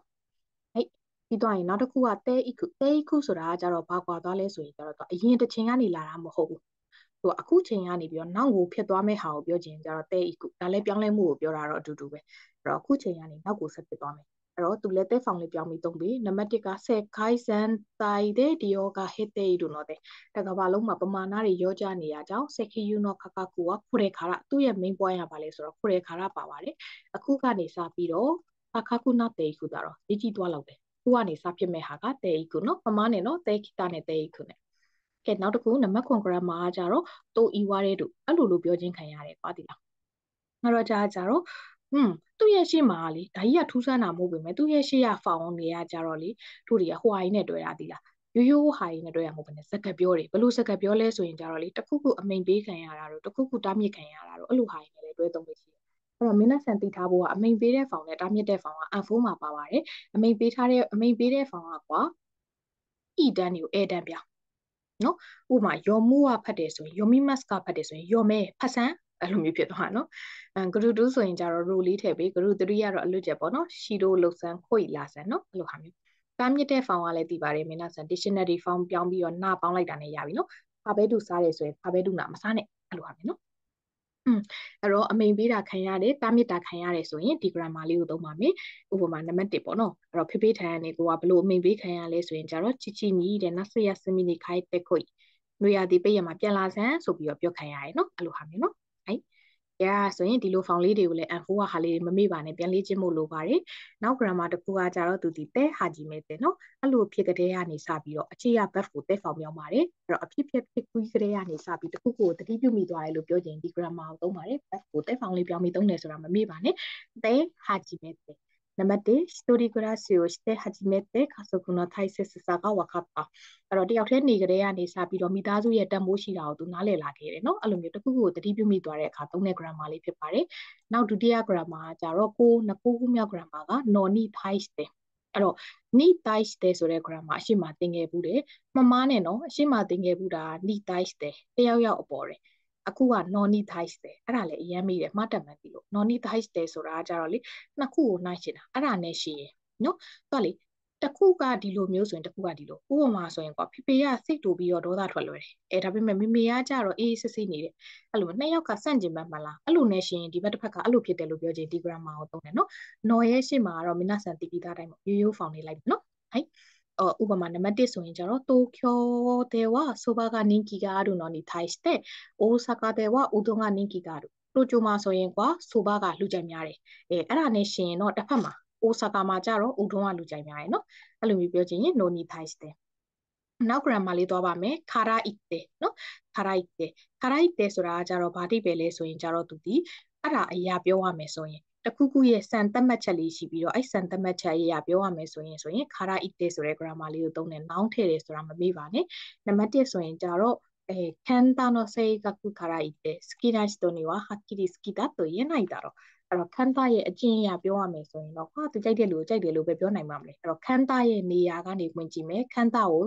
သတ်မှတ်ချက်အနေနဲ့ထားပြီးကြည့်မယ်ဆိုရင်နော်အဲ့လိုမျိုးပြောချင်ရင် noun ခါရ ite ဒီ grammar လေးလက်မှတ်ထားပါနံပါတ်17 grammar ကကြတော့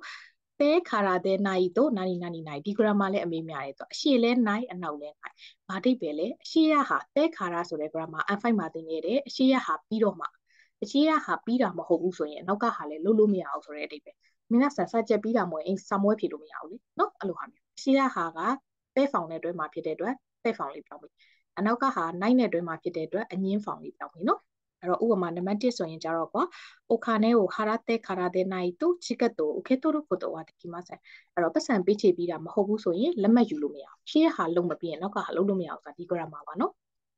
နောက်တစ်ခုနံပါတ်7နံပါတ်7ကကြတော့ niche တဲ့ဝါဝါဒီနိ niche dewa warini ဆိုတဲ့ grammar ကဘာလဲဆိုရင်ကြတော့လေသူကအဲ့လိုလို့ဆိုတော့လေဒီ grammar လေးလဲ n3 မှာမိတတ်တယ်ပေါ့နော် niche dewa warini နှစ်ခုလုံးကအတူတူပဲ grammar form လေးပဲနည်းနည်းကွာသွားတာဒါပေမဲ့ရိုးရိုး form နဲ့တွဲတယ်ဆိုတာတော့မကွာပါဘူးနော်အဲ့တော့ niche dewa warini ဆိုတာကကြတော့လေဘာတိပဲလဲဆိုရင်ကြတော့อืมအဲ့တော့ကြာကြာတော့တစုံတရာကကြာတော့တဲ့သူဖြစ်တဲ့အရာထက်ထိမှန်မထားတဲ့အရာဖြစ်တဲ့အခါကျရင် niche dewa warini နဲ့ပြောတယ် ဒီနေရာမှာဆက်စေးဟာလေးကမှားပြီးတော့စာတွေကထက်ထက်နေရဆိုတော့ဆက်စေးဒီအောက်ကနံပါတ်1လေးပဲရှင်းပြလိုက်မယ်အဲ့တော့ခါဝါရဆန်ကလေမိုင်းနိချီစန်တီကန်ဘန်ကျော်စတေးဒူနိစတေဝအမာဒီစိတ်စိတ်ကြရခုနိုင်အဲ့တော့နေ့တိုင်းသူ3နာရီစာလုံးနေရလို့ဆိုတော့လည်းပဲအဆင်အသိမကောင်းကွာဒီလားတကယ်တမ်းသူနေ့တိုင်း3နာရီစာလုံးရအဆင်ကောင်းရမှာလေဖြစ်တဲ့အရာလိုမျိုးဖြစ်မလာဘူးပေါ့နော်အဲ့လိုမျိုးပြောချင် niche တေဝါဝါဒီနေနဲ့တုံးလေရိုးရိုးဖောင်နဲ့တွဲရဲဆိုတော့မမေ့နဲ့နော်ဟဲ့ ပြီးသွားရင်နောက်တစ်ခုကကြတော့နိခါဝတဲနိခါဝဒီနိဆိုတာတယောက်ယောက်ရဲ့ကိုစားလို့ပြောတဲ့အခါကျရင်သုံးတယ်အရှိမအကျင့်ဒီပေါင်းလူလိုက်တယ်ပေါ့နော်အဲဥပမာဆိုရင်ရှာချောနိခါဝတဲရှာချောရဲ့အစားဝါတစီက speech ကိုစာစတေတာတာကီမတ်ကနော speech ပြောဝင်ပြပါပေါ့နော်အဲ့တော့တယောက်ယောက်အစားလို့ပြောခြင်းဒီ grammar လေးဒါလည်းအမေးများတယ်လွယ်တယ်ပေါ့နော် နံပါတ်14 grammar ကကြတော့တိုတိုမိုနီသူကကြတော့အဓိပ္ပာယ်နှစ်ခုရှိတယ်တစ်ခုခုနဲ့အတူတယောက်ယောက်နဲ့အတူတစ်ခုခုနဲ့တစ်ချိန်တည်းမှာလို့ပြောခြင်းဒီ grammar လေးကိုသုံးတယ်သူကတယောက်ယောက်နဲ့အတူလို့ဘာလို့ပြောခြင်းတော့နောက်နဲ့တွဲသုံးတယ်ပေါ့နော်အဖြစ်ပြက်တစ်ခုခုဖြစ်တာနဲ့တစ်ချိန်တည်းမှာလို့ပြောခြင်းတော့ verb ကို dictionary ကောင်းနဲ့တွဲသုံးတယ်ပေါ့နော်အဲအဲ့တော့ဒီမှာနံပါတ်1ကတယောက်ယောက်နဲ့အတူတူရှေ့မှာဖိဖိနဲ့တွဲသုံးထားတယ်နံပါတ်1ကကြတော့ dictionary ကောင်းနဲ့တွဲသုံးထားတယ်နှစ်ကနေစပြီးပြောပြမယ်နော်အဲ့တော့ကြာကြတော့နီနမ်းမိုင်ဆန်နမ်းမိုင်နီဟာဂျီမဲတဲ့ချီချီတိုချီချီတိုတိုမိုနီနီ Honey Kiba လွန်ခဲ့တဲ့၃နှစ်ကပထမဆုံးဖေဖေနဲ့အတူနော်တယောက်ယောက်နဲ့အတူဂျပန်ကိုလာခဲ့တယ်ပေါ်ပုတ်ကကြတော့ခိုးကျော်ကဟာတန်ဆူတူတူမိုနီခန်ကျော်ကအကတ်စတက်တာအဲ့တော့ဒီစက်မှုလုပ်ငန်းကြီးကဖွံ့ဖြိုးတိုးတက်လာတာနဲ့အတူ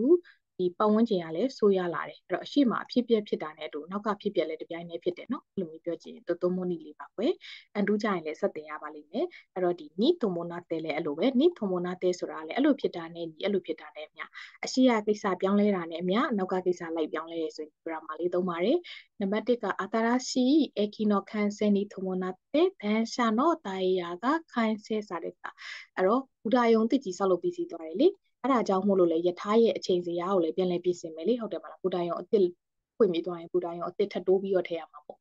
อืมအဲ့လိုမျိုးပြောင်းလဲမှုဖြစ်လို့ထပ်ပြောင်းလဲတာကြတော့ဒီ noun နဲ့တွဲတယ် noun နီထုံမနာတဲ့ verb ဆိုရင်တော့ dictionary ပေါင်းနဲ့ပဲတွဲရမယ်နော်ဟိုက်ကဲဆန်နောက် grammar လေးကိုသွားမယ်အာဒီ grammar လေးကလည်းစိတ်ဝင်စားဖို့ကောင်းတယ်သူ hamman လို့ခေါ်တယ်တစ်ဖက်မှာပေါ့နော်အဲ့တော့ဒီတစ်ခုခုဖြစ်နေတဲ့တစ်ဖက်မှာကောင်းတဲ့တစ်ဖက်မှာမကောင်းတဲ့တစ်ဖက်လည်းရှိရလို့ပြောခြင်းဒီ grammar လေးကိုသုံးတယ် သူကလေဒီ handman ဆိုတာလေခန်းကြီးလေးနဲ့လည်းပြောတယ်တခါလေဟီရာကာနာနဲ့တော့အသုံးနာတယ်။အမေဘွဲမှာမေးကြည့်မနာဆောင်ခန်းကြီးနဲ့မေးရတော့နော်။အဲ့တော့ဒီ grammar ကကျတော့ရိုးရိုးဖောင်နေနဲ့တွဲလေးရှိရပေါ့နော်။ရိုးရိုးဖောင်နေနဲ့တွဲလေးရှိရ။ဒါပေမဲ့လေသူ့ရဲ့ထူးခြားချက်ကနာဆိုရင်နာအတိုင်းလေးပဲတွဲပြီ။နောင်ဆိုရင်လည်းဓာတ်တွေပါတွေမထည့်ဘဲနေဒီသူကဒဲယာဒုနဲ့ထည့်ပေးရမယ်နော်။ဒဲယာဒု။อืม Okay ကဲအဲ့ဆိုရင်ဒီပေါ်ဟာလေအင်တာနက်တို့ွားတယ်ဘန်နီနာဟမ်မန်အင်တာနက်ကလေအဆင်ပြေတဲ့တစ်ဖက်မှာအဘူနာဤတန်မို့ဟာတို့ အနည်းများတဲ့အချက်လည်းရှိတယ်နော်။ကောင်းတဲ့တစ်ဖက်ရှိတယ်လို့မကောင်းတဲ့တစ်ဖက်ရှိတယ်ဆိုတာဒီ grammar လေးနော်စိတ်ဝင်စားဖို့ကောင်းတယ်။ကဲဆိုရင်နောက် grammar လေးကိုသွားပါမယ်။နောက် grammar ရာရှိဒါ info မှာသင်ခဲ့ဘူးလေအဲ့လိုဖြစ်တဲ့ပုံပေါ်တယ်။နော်ကိုကအမြင်ရကိုရဲ့အမြင်ရအော်သူကြည့်ရတာအဲ့လိုဖြစ်တဲ့ပုံပေါ်တယ်ဆိုပြီးတော့ခမန်းပြီးတော့ပြောဆိုတဲ့အခါကျရင်သုံးတယ်နော် อืมအဲ့တော့သူ့ရဲ့ရှေ့မှာရိုးရိုးဖောင်နေနဲ့တွဲသုံးတယ်နော် full ရိုးရိုးဖောင်နေနဲ့တွဲသုံးတယ်အဲ့တော့အာဥပမာဆိုရင်ကွာစိုက်ခင်တနာကဆံဝါအစုမနိခုနိခုရှိတဲ့အမြဲတမ်းတနာကဆံပြုံးစီပြုံးစီလုပ်နေ။ဦးဟာဆန်နီယောတို့တို့စိုက်ခင်ခါနိုကြောကတိတာရရှိခေါ်လာဟာလာရဆိုရင်ကောင်မလေးရတဲ့ပုံပဲနော်အဲ့လိုမျိုးကိုယ့်ရဲ့အမြင်ရခံမှန်းပြီးပြောဆိုရင်ဒီ grammar လေးကိုသုံးပါတယ်နောက် grammar ကကြတော့လေလေဒါရှိတော့ဒါရှိပဲသူကလေခံမှန်းတာမဟုတ်တော့ဘူးအဲ့တော့ဒါရှိရလေလေစိုးသားလိုမျိုးနှစ်မျိုးရှိရလေနော် အမြင်ရခံမှန်းတာရေအစင်စကားပြောတာရေခုနအမြင်ရခံမှန်းတာဒါရှိရလေအခုဟာအခုဟာတစင်ပြောတာတော့မဟုတ်အခုဟာကြတော့ပီတာတယ်ဆိုတဲ့အဓိပ္ပာယ်ပေါ့နော်အခုခုရဲ့ဂုဏ်ကြီးကိုပြောချင်တဲ့အခါတုံးတယ်အခုဆန်းစစ်စာရှင်းတာကဆရာမနဲ့တူတယ်လို့မင်းသားဆန်ထင်တယ်ဆိုရင်ဒါဆန်းစစ်တာရှိဆရာပီတာတယ်လीနော်အဲ့လိုမျိုးပြောလို့ရတယ်အဲ့လိုမျိုးအခုခုရဲ့ဂုဏ်ကြီးကိုပေါ်လွင်အောင်ဖော်ပြတာဒါရာရှိနော်อืมအဲ့တော့ရာရှိလည်းရိုးရိုးဖောင်နေနဲ့တွေ့သုံးပါတယ်ဥပမာဆိုရင်ကျော်ဝါတဲ့နာ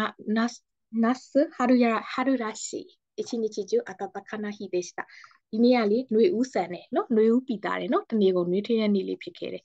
အဲ့ဒါအောင်မှလေဒီနေရာမှာပြောချင်တာလေစာမေးပွဲမှာလည်းမီးလေးရှိတယ်လို့မျိုးလေတခါတလေကြာရင်မကွဲကြတာလေရာရှိနဲ့မိတိုင်းနဲ့ကိုမကွဲကြဘူးဒီလားဥပမာလေးစစီနမူနာတစ်ခုပြောပြမယ်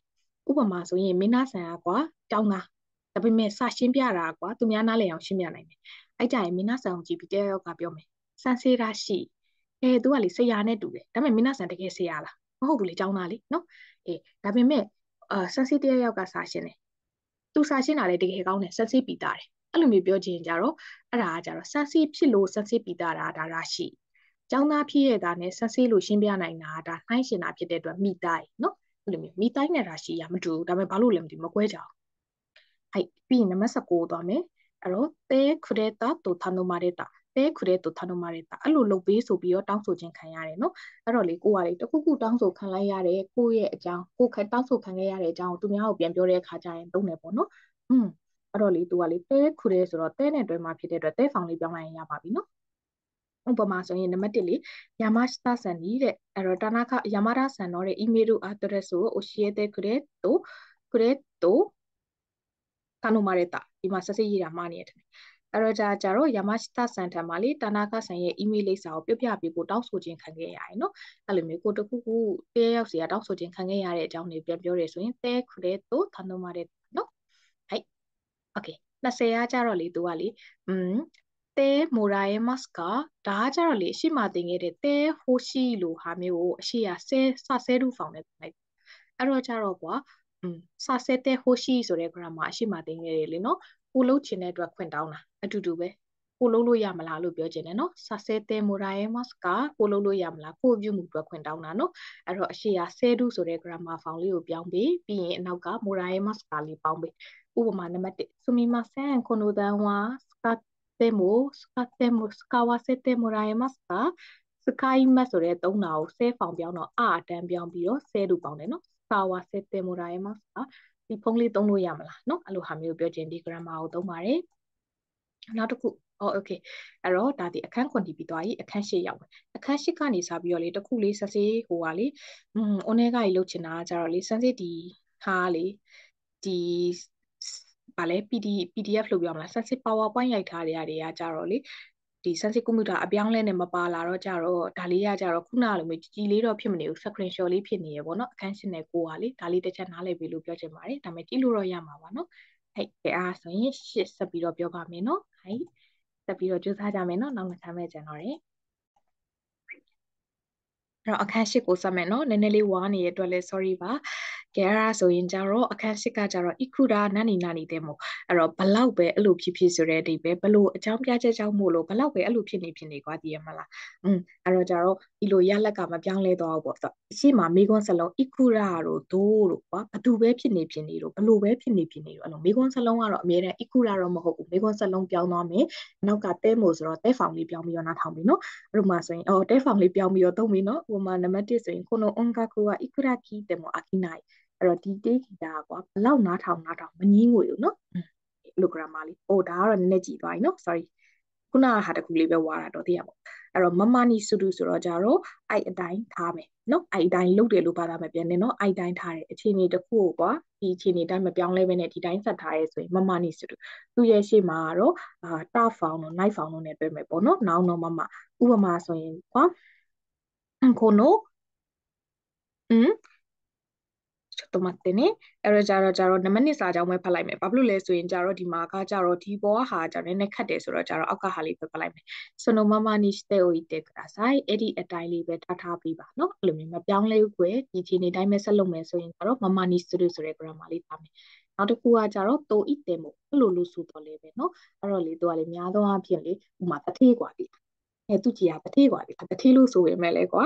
อืมအိမ်တလုံးလောက်ပဲရှိရအဲအဲ့လိုဟာမျိုးเนาะအဲ့လိုမျိုးတော့အနောက်မှာလေအဲ့လိုလို့ဆိုပေမဲ့လေတကယ်တမ်းတော့ဆိုပြီးတော့လေအနှုတ်သဘောဆောင်နေပေါ့နော်အဲ့လောက်ကြီးလည်းမဟုတ်ပါဘူးကွာဆိုတဲ့အဓိပ္ပာယ်မျိုးလိုက်တာသူဣတင်ပေါ့နော်အဲ့တော့နံပါတ်1အဲ့တော့ဒီဟာဒူနီနာတာတိုဣတင်မို့အစာပန်ဝမာတာဆာမွေอืมနွေရာသီရောက်ပြီလို့ဆိုပေမဲ့လေဒါမနေ့နဲ့ညကတော့နည်းနည်းလေးအေးသေးတယ်နော် ຫນွေဦးရောက်ပြီလို့ဆိုပေမဲ့လည်းຫນွေဦးဆိုတာနှွေးရမှာလေဒါပေမဲ့မနက်နဲ့ညကတော့အေးသေးတယ်နေ့လယ်လောက်ပဲနှွေးရပေါ့နော်အဲ့လိုလို့ဆိုပေမဲ့လည်းအဲ့လောက်တော့မဟုတ်ပါဘူးအဲ့လိုပြောခြင်းဒီ grammar လေးကိုတုံးနေသူ့ရဲ့ရှေ့မှာရိုးရိုးဖောင်နေနဲ့လိုက်မယ်နော်သူ့ရဲ့ရှေ့မှာလीနော်ဟိုင်ကြရစင်နောက် grammar လေးဆက်သွားရအောင်နောက် grammar ကကြတော့ tokoro tokoro သုံးမျိုးရှိရတာသိလား dictionary form plus tokoro ဆိုရင်တခုခုစလုပ်တော့မလို့ te idu plus tokoro ဆိုရင်တခုခုလုပ်နေတော့ ta form plus tokoro ဆိုရင်တခုခုလုပ်ပြီးကြစားနော် အဲ့တော့နံပါတ်1ဆိုရင်ကိုရဲခါရာအိုဖူရိုနီဟိုင်တုတကိုရောကိုကနေစပြီးရေချိုးကန်နဲ့ဝင်တော့မလို့နံပါတ်2ကကြတော့နံပါတ်1ရဲ့ထူးခြားချက်ကကိုရဲခါရာအခုကစပြီးလုံးမှာဖြစ်တဲ့အတွက် dictionary found plan တကိုရောလုံးတော့မလို့အဲနံပါတ်2ကကြတော့ဤမှာအခုဖြစ်တဲ့အတွက်ကြောင့်မလို့တဲဤဒူပလက်တကိုရောတစ်ခုခုလုံးနေတော့နော်အဲ့လိုမျိုးအဲ့လိုမျိုးကြည့်ပြီးတော့ရင်နောက်တစ်ခုကိုတိုနီကိုတိုနီကိုမြင်ရင်လေဒီလား ချင်းမှာလို့ဘာသာမပြောနဲ့နော်အဲအဲ့လိုမဟုတ်ဘူးဒီလားခိုတိုနီးကကြတော့အရှိရခန်းစားချက်တွေနဲ့တွဲသုံးပြီးတော့လေအဲ့လိုဆရာကတော့ဥမာဆိုရင်တော့ငါတွက်ပြောဆရာကတော့ဝမ်းနေဆရာကတော့စိတ်ကြည်နူးဆရာကတော့ရင်ခုန်ဆရာကတော့အဲ့လိုခန်းစားချက်အပေါင်းခိုတိုနီးနဲ့တွဲလိုက်လို့ရှိရင်နော်ခန်းစားချက်ကကြတော့ EAG တစ်လည်းသုံးတယ်နာ AG တစ်လည်းသုံးတယ် BEFTA ဖောင်လည်းသုံးတယ်ပေါ့နော်အဲ့အဲ့တော့နံပါတ်1ကကြတော့ကွာဇန်နန်နာစိတ်မကောင်းစရာဖိုတိုနီနဲ့တွဲလိုက်တော့စိတ်မကောင်းစရာကတော့နင်းကီနိုအိုဘန်တိုကဥဒီကြီးတဲ့ လူကြိုက်များတဲ့မင်းဘူးကသူစားမဲ့ချိန်မှာရောင်းကုန်သွားတယ်နော်အဲ့လိုမျိုးစံစားချက်အပေါင်းခုတုံးနေနော်ဟဲ့နံပါတ်6ကကြတော့နိယောတုတုအဲ့တော့နိယောတုတုတာဆိုတာကြတော့တခုခုအရာဆိုရင်သူ့ရဲ့ရှေ့မှာခိုင်လုံးတဲ့သတင်းအချက်လက်တွေပေးတဲ့အရင်းမြစ်ရှိဥပမာမိုးလေဝသသတင်းရဆိုရင် PB သတင်းရဆိုရင်အစိုးရပြောတဲ့စကားအရဆိုရင်အဲ့လိုခုခုအရာလို့ပြောခြင်းဒီ grammar လေးသုံးတယ်အရှိမနောင်းတဲ့တခါတည်းတွဲထားတာဖြစ်တဲ့အတွက်ကျန်တာရေးနဲ့မမပါနဲ့နောင်းနဲ့တွဲချက်ပေးပါ နံပါတ်1 thank you ယောဟနီယောတုတောအာရှတာဝါမေရာရှိမိုးလေဝသသတင်းရဆိုရင်မနေ့ပြန်မိုးရမယ်ပုံမယ်ကဲနောက်တစ်ခုနော့ခုတိုတကာရာနော်ခုတိုတခါရဆိုတာကလေကိုတေချာသိတဲ့လူတယောက်ရဲ့အပြုတ်မှုကိုပြောတဲ့အခါကျရင်သုံးတယ်နော်သူမှုလို့လို့ပြောတဲ့အခါသုံးတယ်ဒီအောက်မှာစမ်းစစ်ဘာမှမထည့်ရတဲ့အကြောင်းရင်အပေါ်မှာနောင်းထည့်နေပြီးမှတော့ပြောစရာမလိုတော့လူတယောက်အကြောင်းဖြစ်တဲ့အတွက်အဲ့ဒီလူနော်ခုတိုတခါအဲ့ဒီလူမှုလို့ဥပမာကအမြဲတမ်းမေ့ကြံတတ်တဲ့လူဆိုရင်အမြဲတမ်းသူမေ့မှာပဲနော်အဲ့လိုမျိုး အဲ့တော့နံပါတ်1ဆိုရင်မာဂျီမဲနာဆက်စစ်ခန့်ကြည့်ရတာမှာねマジメな田中さんのことだからうんヨタジョザレ田中さんめもろ宿題はきちんとやってやってきたうんအဲ့တော့ကြာကြာတော့ရတဲ့ခိတာじゃないんだろအဲ့တော့ဒီညမှာနည်းနည်းလေးမှားနေစစ်စစ်တိုင်မရိုက်ထား sorry နော်အဲ့တော့ကြာတော့ယူတာစူးစားတဲ့တာနာကဆံမဲမှု့လို့ တာနာကဆံမဲမှု့လို့အင်စာကိုတည်တည်ချာချာလုပ်လာတယ်မှလားအဲ့လိုမျိုးပြောချင်တဲ့အခါကျရင်သုံးပါတယ်နောက် grammar ကိုသုံးပါမယ်နောက် grammar ကဘာလဲဆိုရင် wakeni wa ikanai ဝါခဲနောက်တစ်မျိုးလာရယ်နော်ဝါခဲနီရိုက်ခါနိုင်ဆိုတာကြတော့အဲ့လိုဖြစ်လို့တော့မဖြစ်ဘူးတနည်းအားဖြင့်အဲ့လိုအဖြစ်မခံနိုင်ဘူးနော်အဲ့လိုလုံးဝမဖြစ်တဲ့ကိစ္စဆိုပြီးတော့ပြင်းပြင်းထန်ထန်ညှင်းဆန်ခြင်းတဲ့အခါကျရင်သုံးနေအဲ့လိုတော့အဖြစ်မခံနိုင်ဘူးဝါခဲဖြစ်တဲ့အတွက်ကြောင့်မို့လို့သူ့ရှိမှာဘာရင်းနဲ့တွေ့သုံးလဲဆို dictionary form နဲ့တွေ့သုံးတယ် knife form နဲ့တွေ့သုံးတယ်အပေါင်းဝါခဲနီရိုက်ခါနိုင် အဲ့လိုဖြစ်လို့တော့မရအောင်အဲ့လိုတော့အဖြစ်မခံနိုင်ဘူးကွာဆောင်းဝဲဖြစ်မှာမလားဆောင်းဝဲဖြစ်မှာဖြစ်တဲ့အတွက်ကြောင့်မလို့ငါအကြတော့မခံနိုင်ဘူးကွာဒီလားကိုကကုစုရဝခင်ဒီဝိုင်ကနိုင်ကိုကကုတော့ဖြစ်လို့မရဘူးပါတိလားอืมအဲ့တော့ကြတော့ငါစာချက်မှဖြစ်မယ်ကွာလို့ခါမယ်နော်ဥပမာနံပါတ်1အစတာဝရှိကန်တာကာရနေဘူးစုရဝခင်ဒီဝိုင်ကနိုင်စာမေးပွဲဖြစ်တဲ့အတွက်အိယာထားနောက်ကြတာတော့အဖြစ်မခံနိုင်အိယာထားနောက်ကြလို့မဖြစ်ဘူးနော်အဲ့ဒါဆိုရင်ဝခင်ဒီဝိုင်ကနိုင်နောက် grammar ကကြတော့မမနီနာတို့အဲ့လိုလုပ်ထားတဲ့အတိုင်းဖြစ်နေတယ်ပေါ့နော်ဖြစ်နေတယ်အဲ့တော့ကြာကြတော့ကိုကြည့်လိုက်တဲ့အချိန်ဒီမှာ အဲ့ဒီအရင်တော့လှုပ်ထားတယ်ဘသူလှုပ်ထားမှမသိတဲ့အခြေအနေတကူကဆက်ပြီးတော့ဖြစ်နေတယ်ဆိုရင်ဒါတော့ဒီမမနီနာတို့သူရှိရတွဲတဲ့ grammar တွေကတော့အရှင်းမပြောခဲ့ပြီးသားပါမမနဲ့တွဲတာဘာတွေလဲဆိုတာလေနော်အဲ့တော့နံပါတ်1အားတဲ့တိုးတဲ့အာဟုရောက်စုခုစခဲ့တဲ့တို့ဖြစ်ခဲ့ဘူးအဝနိုင်မမနီနာတဲ့စီမတာသူနဲ့တွေ့ဖို့ချိန်ထားခဲ့ပေမဲ့လည်းနောက်ဆုံးတော့မတွေ့တဲ့အတိုင်းပဲဖြစ်သွားတယ်မတွေ့ဖြစ်တဲ့အတိုင်းပဲဖြစ်သွားတယ်မတွေ့ဘူးဆိုတဲ့အခြေအနေကြီးကမပြောင်းလဲသွားဘူးအဲ့တိုင်းပဲဆက်ဖြစ်နေရဆိုရင်ဒီ grammar ကိုသုံးတာပေါ့နော်အဲ့ ရပြီးသွားရင်နောက်တစ်ခုသွားမယ်နောက်တစ်ခုကကြတော့ပါနာစီပါနာစီကလည်းမမနဲ့စင်နေဆိုပြီးကြက်ခဲ့ဘူးတယ်မလားအဲ့လိုဖြစ်လျက်သားတိုင်းဒါပေမဲ့ဘာမတူဘူးလဲဆိုရင်ကြတော့ပါနာချီကကြတော့လေနည်းနည်းလေး negative သဘောကိုဆောင်းနေပေါ့နော်ဒီအပေါ်မှာဝေဖန်တာပေါ့နော်အဲ့နင်းလေးရေကိုဖွင့်လျက်သားတိုင်းမထားစမ်းနဲ့အခန်းကိုအခန်းထဲမှာအဝတ်တွေကိုချွတ်လျက်သားတိုင်းမထားနဲ့အဲ့လိုမျိုးတွေပြောတဲ့အခါကျရင်တော့နည်းနည်းဝေဖန်ခြင်းတဲ့သဘောကိုဆောင်းနေပေါ့နော်အဲ့တော့ကြာဒီပါနာရှိရကြတော့လေသူက mask တွေကို mask ဖြုတ်ပြီးသုံးတာနော် mask ဖြုတ်ပြီးတော့ပါနာရှိနေသုံးတာနော်အဲ့အဲ့ တော့နံပါတ်1ဆိုရင် therapy ကို scale ပါနာရှိတဲ့နေတဲ့ရှိမှာ EB ကိုဖွင့်လျက်သားတိုင်းပဲအိပ်ပျော်သွားတယ်နော်ဒါကတော့ပါနာရှိနော်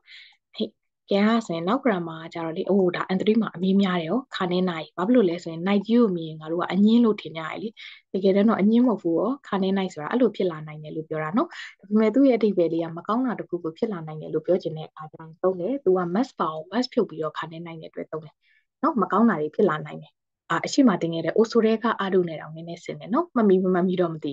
အဲ့တော့နံပါတ်1ဆွမ်းနာအဘုနာယအွန်တန်ကိုစတေတာရာဂျီကိုနီနာရီခါနေနိုင်အဲ့လောက်တောင်အနေအများအောင်ကားမောင်းနေနော်ရင်မတော်တဆမှုဖြစ်လာနိုင်တယ်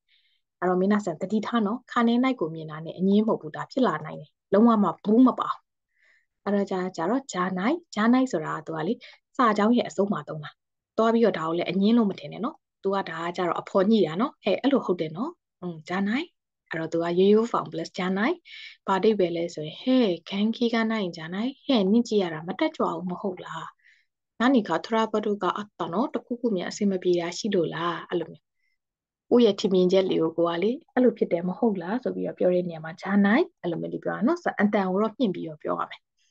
ဒီ grammar လေးကလည်း answer မှာအမေးများတယ် noun ni hash တဲ့ ဟန်ရှိတယ်ဆိုတာပင်ကိုဘယ်ကလာလဲဆိုရင်ဟန်တိုင်းဆိုတဲ့စန့်ကျင်တာကနေလာတယ်အဲ့တော့ noun တစ်ခုခုနဲ့စန့်ကျင်ပြီးတော့ပေါ့နော်အဲ့တော့ဒီကိုယ့်ရဲ့တစုံတစုံတရာနဲ့ကိုကစန့်ကျင်တယ်ဆိုတဲ့အဓိပ္ပာယ်ပေါ့နော်တယောက်ယောက်ရဲ့ထင်မြင်ယူဆချက်တွေနဲ့စန့်ကျင်တာတို့ထုံနှန်းစလရာတွေနဲ့စန့်ကျင်တာတို့အဲ့လိုနေရာမှာသုံးတယ်နော်အရှိရ noun နဲ့တွေ့တယ်အဲ့တော့နံပါတ်1ဆိုရင်ခိုတိုရှိဝအတတခိုင်ဖူယူနီနာတို့ဒီနှစ်ကကွာနေထွေးတဲ့စောင်းရာတီဖြစ်လာမယ်နော်အဲ့လိုဆိုတဲ့ ပြောဆိုခုခံမှန်းချက်တွေနဲ့ဟန်ရှိဆန့်ကျင်ပြီးတော့ကွာစာမူကြီးဟီကစစ်စစ်တဲ့ယူအေးတဲ့ရက်တွေကဆက်ဖြစ်နေတယ်ခံမှန်းချက်တစ်ခုကိုဆန့်ကျင်တယ်နံပါတ်2ဆိုရင်မာနာနီ hashtag ပြုလုပ်တဲ့အပြုမူတွေကိုဆန့်ကျင်တယ်ဆန့်ကျင်တယ်အဲ့လိုစန့်ကျင်တဲ့ဟာစကန်ထုတ်ပေါ်ပြောကြားမှုတွေကိုတော့မလုပ်ပါနဲ့တဲ့နော်အဲ့လိုမျိုးတကူကူအမှုအရာတွေခမန်းချက်တွေရင်ကျေးမှုထုံးစံတွေအဲ့လိုဟာတွေကိုစန့်ကျင်တာက ni hash တဲ့ဆိုတဲ့ grammar လေးနောက်နေပဲတွေ့ရနော်မမင်းနဲ့နောက် grammar ကကြတော့ ni moto ဆွေတဲ့ တခုခုကိုစံအနေနဲ့ထားပြီးတော့အခြေခံထားပြီးဥပမာဆိုရင်ဥပဒေတို့အဲအဲ့လိုဟာတွေကိုပြောတဲ့အခါကျရင်သုံးတယ်ပေါ့နော်ဥပဒေတို့စစ်တမ်းကောက်ချက်တို့အဲ့တော့သူလက်ချင်းဒီပေါင်းနောင်းနေပဲတွဲရဆိုတာမမေ့နဲ့ဥပမာဆိုရင်ကြတော့ဖူနီနိုဟိုဒီဆိုနိမိုတိုဇူယီတဲ့စာတာမဲရာတဲ့တာရှီကာကူနိုကိုတိုပိုကာရှကာကူတိုယူအဲ့တော့နိုင်ငံရဲ့ဥပဒေကိုအခြေခံပြီးတော့ဒီသတ်မှတ်ထားတဲ့အရေးချင်းစစ်လက်မှတ်တွေကို နိုင်ငံအသိမြတ်ပြုအရေးချင်းလက်မှတ်အရေးချင်းစစ်လက်မှတ်လို့ခေါ်တယ်နော်ဒါတွေကနည်းနည်းခက်ပါတယ်ဟဲ့အဲ့တော့နိမိုတိုဇူဤတဲလေးကလည်းနောင်းနေပဲတွဲတယ်ဆိုတာမမေ့ပါနဲ့နောက် grammar ကကြတော့နာနီနာနီကို no so ဤတဲ့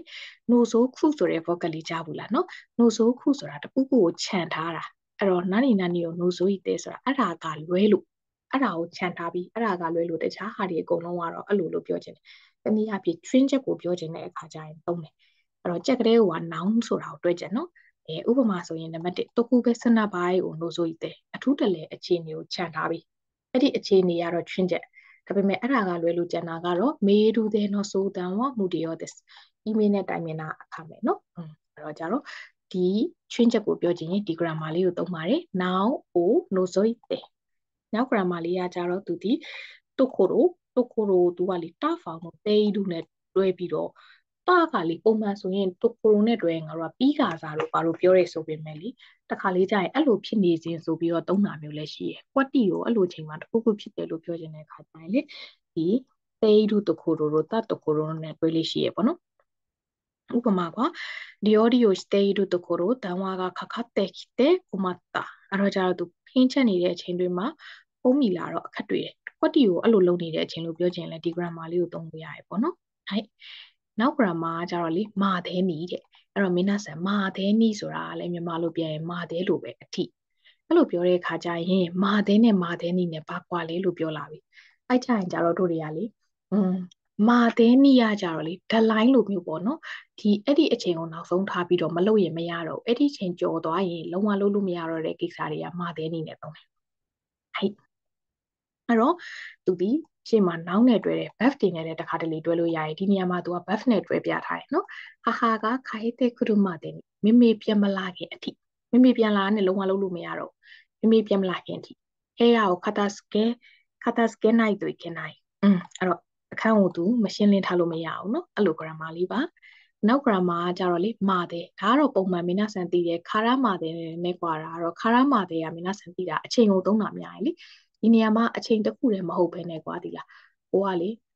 ကိုတွေးထားတာဒီလောက်လို့ထင်ပေမဲ့ကွာအဲ့လောက်အထီတောင်ဆိုရဲအဲ့ဒါကိုကြော်လွန်တဲ့အထီတောင်လို့ပြောချင်ရင်ကျတော့ဒီဟာလေးကိုမာသေးကိုသုံးလို့ရတယ်ပေါ့နော်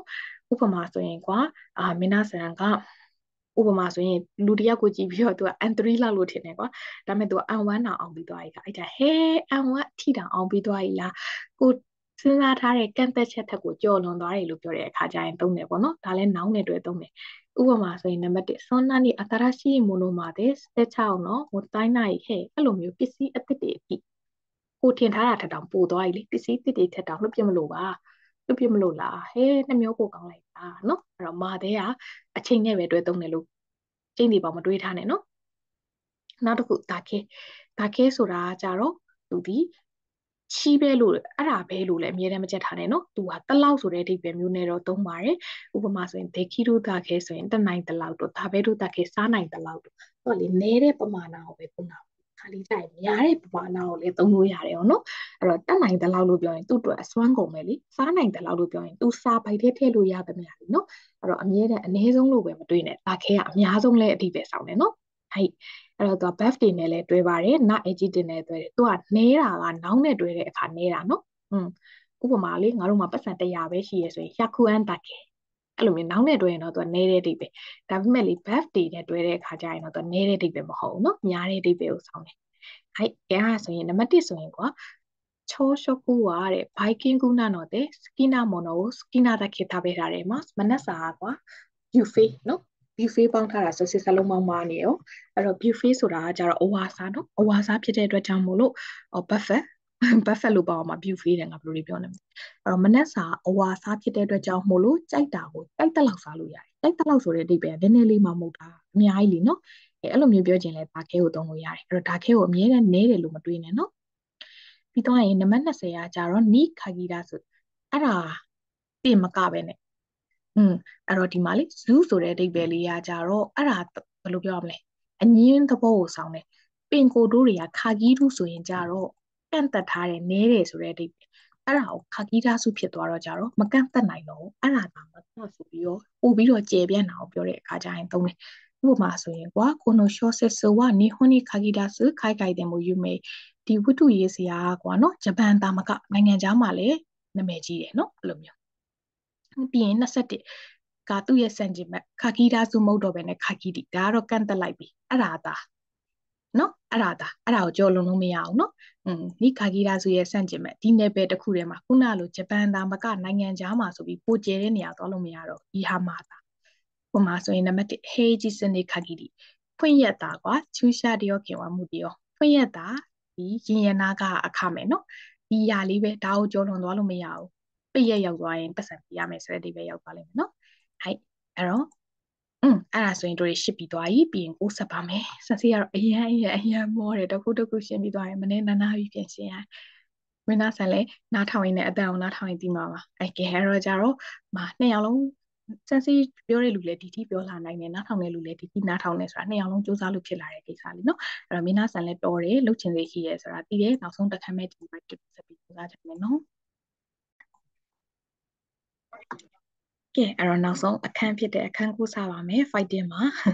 အဲ့တော့နောက်ဆုံးခန်းကကြတော့ဒီမှာပထမဆုံး grammar စီးတဲ့နီစီးတဲ့နီဆိုတာကတခုခုလှုပ်လက်စားတယ်နော်တခုခုလှုပ်လက်စားတယ်နောက်တစ်ခုကိုလှုပ်တယ်လို့ပြောတဲ့အခါကျရင်သုံးပါတယ် listening မှာလည်းပါတယ် reading မှာလည်းပါပါတယ်ဒါအရှိရဟာလှုပ်လက်စားတယ်နောက်ကဟာလှုပ်တယ်ပေါ့ verb dictionary form နဲ့တွဲတယ် noun ဆိုရင် not နဲ့တွဲတယ်နော်အဲ့တော့ဥပမာနံပါတ်1ဆိုရင်သူကဒီ sample sample နီ ikusi တဲ့နီလမ်းလျှောက်သွားလက်စားနဲ့ gyuni mo khatte koyo နော်နိုပါဝယ်လာနော်ဆက်စီဘာသာပြန်ထားတဲ့စာကြောင်းလေးတွေကလေတစ်ခါလေးမှားနေရမျိုးရှိရဲ့ဒီလားမှားနေတစ်ချက်ဖွင့်လို့ပြီနော်ဆက်စီမှန်အောင်တော့ပါဇက်ကတော့ပြောသွားရဲ့ဒီလားနော်အဲ့တော့ကျတော့တစ်ခုလုံးလက်စာနဲ့တစ်ခုလုံးပါဆိုရင်ဒီ grammar လေးကိုသုံးတဲ့စာကြောင်းရဲ့အလေကောင်တက်တက်မှာသုံးတယ်နော်အရှိရဟာလုံးလက်စာနဲ့တခါတဲ့နောက်ကဟာပါလုပ်တယ်နောက်တစ်ခုနံပါတ်2ကကျတော့ဝါခဲတာ ဝါခဲသားဆိုတာကြတော့ဘာတိပဲလဲဆိုရင်တဆာကြောင်းရဲ့အစိုးမှာတုံးတယ်အဲ့လိုဖြစ်မှာပေါ့ဥမာဘာဖြစ်လို့လဲဆိုရင်အကြောင်းရင်းရှိနေတဲ့အတွက်ကြောင့်မို့လို့ကွာဒီလိုဖြစ်တာလည်းမထူးဆန်းဘူးဖြစ်မှာပေါ့ဖြစ်တင်တယ်လေတဘာဝကြတယ်လေအဲ့လိုမျိုးလက်ခံပြီးတဲ့အချိန်တိုင်းဒီ grammar ကိုတုံးတယ်သူ့ရဲ့ရှင်းမှာရိုးရိုးဖောင်လေးနဲ့တွဲတုံးတယ်ဥပမာနံပါတ်1ဆိုရင်ကိုနိုအေယာကိုနီဂျူနက်မာရဲ့တော့ဒါကိုဝါရဲတို့ဝါခဲ့တာဟွန်းအနည်း20တုန်းကဟာပဲလွန်ခဲ့တဲ့နှစ်20တုန်းကအေယာကိုကြီးကွာဒီလားပြတ်မှာပေါ့နော်ဒါလက်ခံပြီးလို့ရတယ်လीနော်အဲ့လိုဟာမျိုးဆိုရင်ဒီ grammar ကိုစာထောင်းဆုံးမှာထည့်သုံးတယ်နော် ကဲနောက်တစ်ခုခါရတဲ့ခါရတိုီတဲ့အဲ့တော့ကြာကြတော့အဲ့လိုလို့ဆိုတိုင်းလဲအဲ့တော့ခါရတဲ့ခါရတိုီတဲ့ဘာဂရမာလဲဆိုရင်ကြတော့လေသူကလေအရှိနဲ့အနောက်နဲ့ကြိုးချောင်းမစီလျော်ဘူးလို့ပြောတဲ့အခါကျရင်သုံးတယ်သူ့ရှေ့မှာရိုးရိုးဖောင်သူ့ရှေ့မှာဒီမှာစစီတာမနေရိုးရိုးဖောင်နေနဲ့တွေ့သုံးတယ်ပေါ့နော်ဥပမာနံပါတ်1ဆိုရင်စကီဂျာနိုင်မကြိုက်ဘူးကွာဒီလားအဲ့တော့စကီဂျာနိုင်ခါရတဲ့ခါရတိုီတဲ့မကြိုက်ဘူးလို့ဆိုတိုင်းလဲကွာရာဆိုင်ကိုသာဘင်းနိုင်တော့ခါရတာနေဝါတွေ မကြိုက်ဘူးလို့ဆိုတိုင်းလဲဟင်းသီးဟင်းရမစားတာခနာကိုတော့မကောင်းလေနော်အဲ့တော့ပြောချင်တာဒီအကြောင်းပြချက်ဒီမှာဆက်စိပါတာပြန်ထားမှာနေအဲ့တော့ဒီအကြောင်းပြချက်လေးတစ်ခုတည်းအတွက်နဲ့ဆိုတာကတော့အဆင်မပြေဘူးဆိုတဲ့အကြောင်းနည်းနည်းနားမလည်သေးရင်နံပါတ်2ပါဆက်ပြောမယ်ဘတ်စကတ်တိုဘိုးဒူဝါဆန်ရှူတာခါရတဲ့ဆဲကတခိုင်ဝါခဲတဲ့ဝနိုင်ကွာဘတ်စကတ်ဘောလက်ရွေးစင် လို့ဆိုတိုင်းလဲကွာနော်အရက်ရှည်ရမယ်လို့တော့မဟုတ်ဘူးလေနော်ဒီအကြောင်းပြချက်လေးတစ်ခုအတွက်ကြောင်းလဲဆိုတာမျိုးမဟုတ်ဘူးလေနော်အဲ့လိုမျိုးပြောခြင်းဒီ grammar လေးကိုသုံးတယ်နော်ခါရပ်ပဲခါရပ်ပဲနောက်တစ်ခုကလေ night တို့ night တို့ကလေအရှိမတစ်ခါရှေ့ဆုံး grammar မှာတစ်ခါပြောဦးတယ်နာခ ्या နာကုချာ night တို့ဆိုတာကမလို့ရင်မဖြစ်ဘူးဒါပေမဲ့အဲ့ဒါတွေကစာကြောင်းရဲ့အဆုံးမှာသုံးတဲ့ grammar သူကကြောင့်လေ night တို့ကစာကြောင်းရဲ့အဆုံးမဟုတ်ဘူးရောစာကြောင်းရဲ့သူကလေအလယ်မှာသုံးတာဒီလား သူ့ရဲ့အရှိမကြတော့အငင်းပုံစံနဲ့တွဲသုံးပြီးတော့လေအဲ့လိုမလုပ်ရင်ဆိုတဲ့အဓိပ္ပာယ်ကိုသုံးတယ်နော်ဟိုလိုမျိုးမလုပ်ရင်မရဘူးဆိုတဲ့အဓိပ္ပာယ်ကိုပြောတာမဟုတ်ဘဲနဲ့ဥပမာမကြည့်ရင်မသားရင်မသွားရင်အဲ့လိုမျိုးဟာမျိုးဒါကခတ်တော့မခတ်ပါဘူးနော်ပုံမှန်ဘာသာပြန်ရင်လည်းအဲ့လိုအဓိပ္ပာယ်မျိုးထွက်တာပဲလေဥပမာနံပါတ်1ယခုမီနာရီတို့မှာခြေကာရဲလို့ရောအဲ့တော့ကောင်းကောင်းမကြည့်ရင်မှားမယ်နော်อืม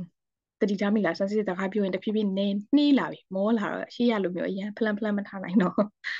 အဲဒါကြတော့နံပါတ်5 grammar ကြတော့ idai idai ဆိုတဲ့ grammar ကြလိတော့ကတဲကဆိုတဲ့အဓိပ္ပာယ်ပေါ့နော်အာအရှိမတင်ခဲ့တဲ့ grammar တစ်ခုဖြစ်တဲ့တဲဟာဂျီမဲတဲ့နဲ့နည်းနည်းဆင်နေကွာအိစာတစ်ခုဖြစ်ပြီးကလေးကဆိုတဲ့အဓိပ္ပာယ်ကြီးတူပေးမယ်ကွာအရှိမတင်ခဲ့တဲ့တဲဟာဂျီမဲတဲကကြတော့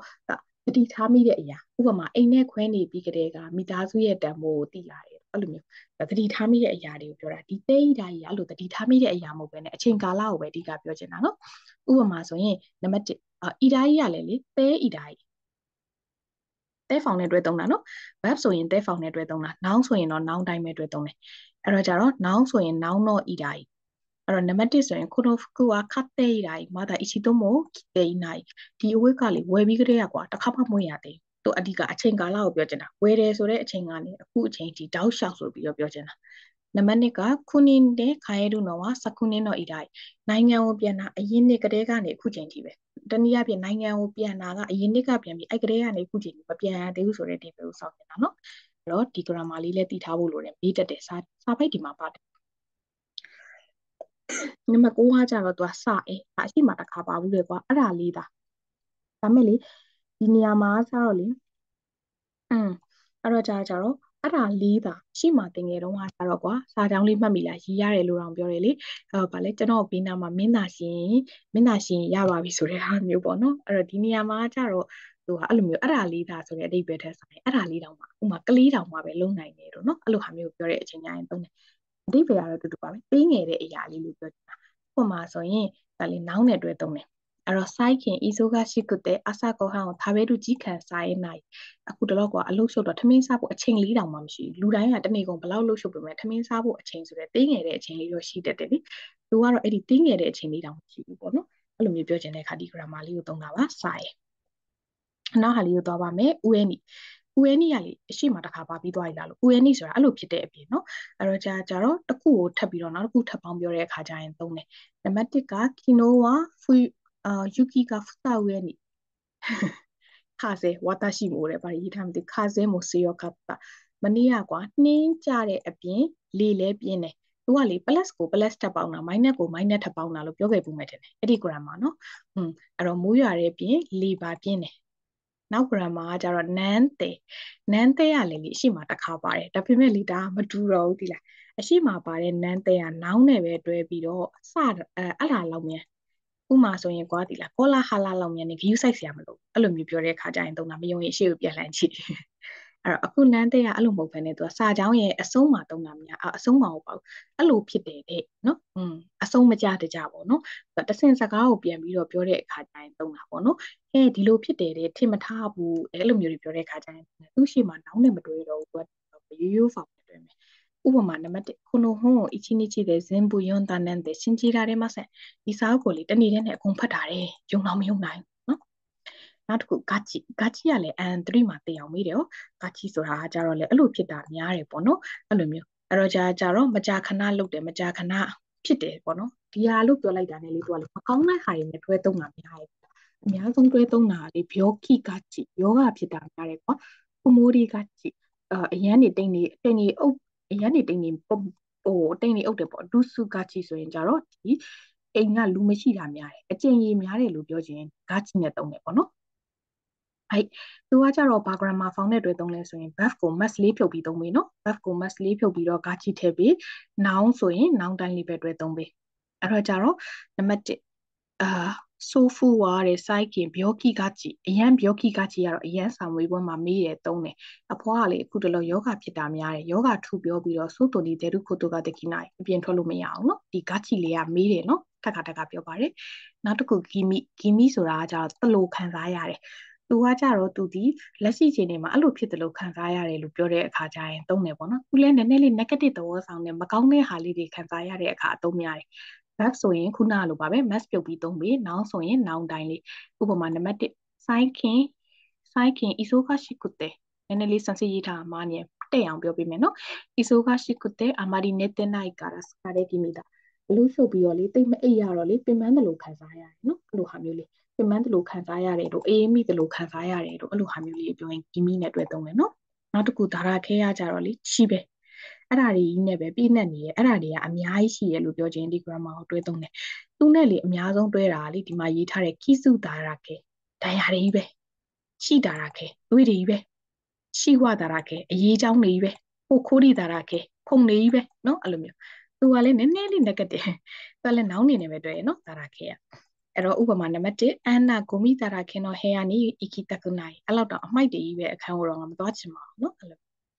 နောက်တစ်ခုကကြတော့ခါခဲခါခဲဆိုတာကကြတော့တစ်ခုခုလှုပ်လက်စမပြီးသေးဘူးတန်လိုင်းဆိုတဲ့အဓိပ္ပာယ်เนาะအဲ့တော့သူဒီရှင်းမှာ buff ကို mass found နဲ့တွဲသုံးတယ် mass လေးဖြုတ်ပြီးအဲ့တော့နံပါတ်1နိုမီခါကင်တော့ဂျူဆူကထေပရူနော်ဝဲနေရတို့တောက်လက်စာအေးစပွဲပေါ်မှာရှိရယ်เนาะအဲ့လိုအဓိပ္ပာယ်လေး နောက်တစ်ခုမိုနိုဒမိုနိုဒဆိုတာစာကြောင်းရဲ့အဆုံးမှာသုံးတယ်ပစ္စည်းပါလို့ဘာသာမပြန်ပါနဲ့နော်အဲ့လိုဖြစ်မှာပါလို့ဘာသာပြန်ရတယ်နော်သူကလေတဘာဝတရားကြီးအလျောက်နောက်ဆုံးတော့လေဒီလိုဖြစ်မှာပါပဲဖြစ်တင်ဖြစ်ထိုက်လို့ဖြစ်မှာပါပဲဆိုတဲ့တဘာဝတရားကြီးကိုပြောချင်မိုနိုဒ dictionary form plus မိုနိုဒဥပမာဆိုရင်ကွာယာစုမှုတိုကီယိုကနန္ဒကုစုရုမိုနိုဒခွင့်ယူရင်အကြောင်းကြားရမှာပဲလေဒါဖြစ်ကိုဖြစ်တင်တာပဲလေနော်အဲ့လိုမျိုးဟာလေးကိုပြောရင်မိုနိုဒနောက် grammar ကကြတော့သူ့ရဲ့စန့်ကျင်မဲ့မိုနိုဒေဝနာယီမိုနိုဒေဝနာယီကြတော့အဲ့လိုမလုပ်တင် အဲ့လိုမလုပ်တင်ဘူးသူဘက်ခီသေးဝနိုင်လို့ဟာမျိုးနော်သူလည်းအရှိမသူအနောက်မှာအငင်းပါနေရောအရှိမအငင်းလိုက်လို့မရဘူးအရှိမ dictionary ဖောင်းမယ်နော်အဲ့တော့နံပါတ်1စတိုနိုဝါဒိုကူချီကို EU မိုနိုသေးဝနိုင်တခြားလူရမကောင်းကြောင်မပြောတင်ဘူးနော်ဟိုက်ပြီးသွားရင်နောက်တစ်ခုခိုတိုတာအဲ့တော့ဒီမိုနိုသားတို့ခိုတိုသားတို့မကွဲဘူးပေါ့နော်အဲ့တော့ခိုတိုသားကကြတော့သူဒီတင့်တယ်လို့ဘာသာပြန်ပြီးတော့သူကကြတော့လေอืมဘယ်လိုပြောရမလဲတစုံတရာရဲ့ အရေးကြီးတဲ့အတွက်ကြောင့်မို့လို့ငါတို့ကဒါကိုလှုပ်တင်တယ်မလှုပ်တင်ဘူးဆိုပြီးပြပြတသားဝေဖန်ပိုင်းခြားတဲ့အခါတိုင်းသုံးတယ်ပေါ့နော်။อืมတဘာဝတရားကြီးဆိုတာအတွက်ထက်လူကလူတယောက်ခုနမိုနိုကကြတော့တဘာဝတရားကြီးအများအမြင်ရကြည့်မယ်ဒါကကြတော့ကိုယ့်ရဲ့တူးတယောက်တည်းရဲ့အတွေးရကြည့်မယ်ဆိုရင်ဒါလုတ်တင်တယ်လို့ပြောတဲ့အခါကျရင် dictionary found plus ကိုတိုတာ night found plus ကိုတိုတာအဲ့တော့နံပါတ်1ဆိုရင်ဂျောဆုနီနာရီတက်ခဲ့တယ်ပါမို့တိုတန်ရှုစုတခုတွန်းကျင်နေတယ်မလားအဲ့ဆိုလေ့ကျင့်ရမှာလीနော်လေ့ကျင့်တင်တယ်လीနော်အဲ့လို နောက်တစ်ခုကကြတော့တိုယူကိုတိုတာအဲ့လိုလို့ဆိုပါတယ်ကိုတီးတဲ့သတင်းချက်လက်ကိုတရရက်ကိုပြန်ပြောတဲ့အခါကျရင်သုံးတယ်ပေါ့နော်အဲအဲ့တော့သူလည်းရိုးရိုးဖောင်လေးနဲ့တွဲပါယာမရှိတဆန်ခါရထေဂမိကယာမရှိတဆန်ကနေပြီးတော့ပေးစာလာတယ်ဆန်ကစ်အရင်လာတော့ကဒီကိုရှိစတာတိုယူကိုတိုဒါအိမ်ပြောင်းခဲ့တယ်လို့ဆိုတယ်နော်အဲ့လိုမျိုးကြားသိခဲ့ရတဲ့အကြောင်းအရာလေးတစ်ခုပြန်ပြောတယ်စာကြောင်းဆုံးမှာဒီ grammar လေးသုံးပြီနော်ရိုးရိုးဖောင်နဲ့တွဲပြီး နံပါတ်7ကကြတော့တိုဝါခါကီရာနိုင်အဲ့လိုလိုတော့ကန့်တက်လို့မရဘူးကွာနော်အဲ့လိုလိုတော့တတ်မှတ်လို့မရဘူးပေချာပေါက်ဒီလိုလိုတော့ပြောလို့မရအောင်ဆိုရင် grammar လေးကိုသုံးတယ်အဲ့တော့ကြတော့ဥပမာဆိုရင်ကွာမင်းသားဆိုင်ရဲ့စာမေးပွဲဖောင်တင်နိုင်မယ်လေဖောင်ရမယ်လို့ပြောလို့တော့မရဘူးလीနော်အဲ့လိုဟာမျိုးပေါ့အဲ့တော့ရိုးရိုးဖောင်ပလက်တိုဝါခါကီရာနိုင်အဲ့တော့နံပါတ်1တိုရှောခံတယ်ဟိုဂျူးဆတ်ဆခါရီတာကဇင်ဘူးယုံတိုဝါခါကီရာနိုင်စာကြည့်တိုင်းမှာစာအုပ်စာစေုံငားခဲ့ပြင်မဲ့လေအကုန်ဖတ်မယ်လို့တော့မဆိုလို့လေနော်အဲ့လိုဟာနော်ဟဲ့ ကဲပြီးသွားရင်နောက်တစ်ခုကကြတော့ ipo ipo ဆိုတဲ့ grammar လေးလည်းအန်တီမှာအရင်မေ့လို့ကောင်းတယ်အဲ့လိုဖြစ်တဲ့ဖြစ်လာတယ်။ကောင်းလေးမှုတစ်ခုကလည်းဆက်ဆက်ပြီးဥမာမင်းသားဆက်နေ့တိုင်းစာကြက်တယ်စာရတဲ့ရလာတယ်ဒီဗီဒီယိုနှစ်ခေါက်သုံးခေါက်နားထောင်တယ် grammar တော့တဲ့တော်လာတယ်နော်အဲ့လိုမျိုးအဲ့လိုမျိုးအဲ့တော့ dictionary found plus ipo တာဥပမာနံပါတ်1 jugyo wa musuka shikunaru ipo တာအတန်းချိန်ကအတစတင်ဟိုသင်ခန်းစာတွေကခက်တဲ့ခက်လာတယ်အဲ့လိုမျိုးပြောင်းလဲမှုကကွာတစ်ဖက်သေးကိုပဲ single single ထပ်ပြီးတော့ဖြစ်သွားတယ်အဲ့လိုဆိုရင်ဒီ grammar လေး dictionary found နဲ့တွဲရဆိုမမေ့နဲ့နော်နောက် grammar လေးကကြတော့ tokoro data data ဆိုတဲ့ဟာလေးရလေးနောင်နာရတဲ့နေရာမှာတုံနောင်နာတော့မဟုတ်ပါဘူးလေအဲ့လိုဖြစ်တော့မလို့တကယ်တမ်းလက်တွေ့မှာအဲ့လိုမဖြစ်ခဲ့ပြင်မဲ့လေအဲအဲ့လိုဖြစ်လူနီးပါဖြစ်ခဲ့တယ်အဲ့လိုမျိုးပြောချင်တဲ့အခါကျရင်တုံးများသောအားဖြင့်ဒီမှာစမ်းစစ်ရေးထားတော့မကောင်းတဲ့ကိစ္စတွေဖြစ်တော့မလို့ဟဲ့ငါလေးသီလားအဖမ်းခံရတော့မလို့အဲ့လိုမျိုးအဲ့လို dictionary found နဲ့တွဲသုံးတယ် အဲ့တော့အတိတ်ကဖြစ်ရတဲ့ခုကူကအဲ့လိုဖြစ်တော့မလို့ဥမာနံပါတ်1အတူ scosh တဲ့ဝါရုတခရိုတတာနော်နိအဲ့တော့နောက်ထပ်နည်းနည်းလောက်ဆိုရင်ပြီးတော့မှာပါဒီလားပြီးတော့မှာဟိုချီကန်ကနက်တဲ့ချီကန်ကချီကန်ကနက်တဲ့ဟမ်ချီကန်ကနက်နာတဲ့ရှိမတာ အချိန်ကုန်သွားခဲ့တယ်။ဥမာဆောင်းပွဲဖြစ်ရင်ကွာဆောင်းပွဲဖြစ်ရတဲ့သူကနောက်ထပ်လေး10မိနစ်2မိနစ်ရှိရင်အကုန်ပြီးတော့မဲ့ဟာကိုအချိန်ကုန်သွားတယ်။အဲ့လိုမျိုးနည်းနည်းလေးတော့ကိုတော့ကောင်းတဲ့အဖြစ်ပြတော့မဟုတ်ခဲ့ဘူးလေနော်။အဲနံပါတ်2ဆိုရင်ကျတော့အာယာဥကုခိုင်တန်ခါရာအိုချီတို့တကူကဟာနောက်ထပ်နည်းနည်းလောက်ဆိုရင်ကွာငါလေကားကနေကြတော့မလို့တကယ်ကြခဲ့လားဆိုတော့လည်းမကြခဲ့ဘူးလေ။ဒါပေမဲ့အဲ့လိုဖြစ်တော့မလို့နော်အဲ့လိုဟာမျိုးလေး။အဲ့ဒါဒီ grammar ပါ။ကဲအဲ့တော့အကုန်ပြီးသွားပါပြီဒီစီဆိုရင်စန်စီတို့ အိုးကန်ပတ်တန်မောင်းကတော့စံစီအတိအကျမရည်ပဲမယ်အခု200လောက်ရှိမယ်လို့ထင်ပါတယ်အဲ့တော့စံစီလည်းကိုလုံးဝမဖြစ်စကားမပြောနိုင်လောက်မောပါတယ်ဒါပေမဲ့လူလုတ်ပေးရတဲ့ရည်ရွယ်ချက်ကကြတော့စံစီကိုယ်တိုင်လှုပ်ထားတဲ့ note တွေကတကယ်တမ်းစံစီအခုချိန်ဒီတုံးတုံးထုတ်မထုတ်မတုံးခဲ့ဘူးပေါ့နော်စံစီတင်တဲ့အတန်းနေရလွယ်လေစစစ်တန်ဖိုးထားပြီးလုပ်ထားတဲ့နှုတ်ကလေးဆိုပေမဲ့လည်းဒါပေမဲ့လည်းမင်းသားဆရာကိုဆောင်မွေးနေရင် revision ကောင်းကောင်းရစေခြင်းနဲ့ဆရာစေခြင်းနဲ့ရည်ရွယ်ချက်နဲ့လုပ်ပေးတာဖြစ်ပါတယ်။အဲ့တော့ live လုပ်ပြီးကိုယ့်အတွက်အကျိုးရှိရဆိုရင်စစစ်ကို လိုက်လို့ဖြစ်တယ်ဆိုတဲ့အကြောင်းလေးပဲပြောပြပေးပါကျန်တာတော့မမျော်လင့်ပါဘူးဘာလို့ပေးပါညာလို့ပေးမှဆိုတဲ့ဆန္ဒမရှိပါဘူးအခုဒီနောက်ဆုံးထိအတူတူလိုက်လို့ပေးတဲ့မျက်နှာဆန်လည်းအရန်တော်တယ်ဘာဖြစ်လို့လဲဆိုရင်ကျတော့ဟိုကဗီဒီယိုတစ်ခုတနားကြောကြည့်ဖို့ဆိုတာလွယ်တာမဟုတ်ဘူးလေနော်အဲ့တော့အရန်စူးစမ်းတာဖြစ်တဲ့အတွက်အောင်မယ်လို့သိကြပါတယ်ဆံမွဲအောင်ပါစေနော်အောင်မယ်လို့လည်းယုံကြည်ပါတယ်ကဲအားဆိုရင်ကျေးဇူးတင်တယ်နော်နောက်ဗီဒီယိုမှာပြန်တွေ့ပါမယ်ရှင်ဘိုင်ဘိုင်နော်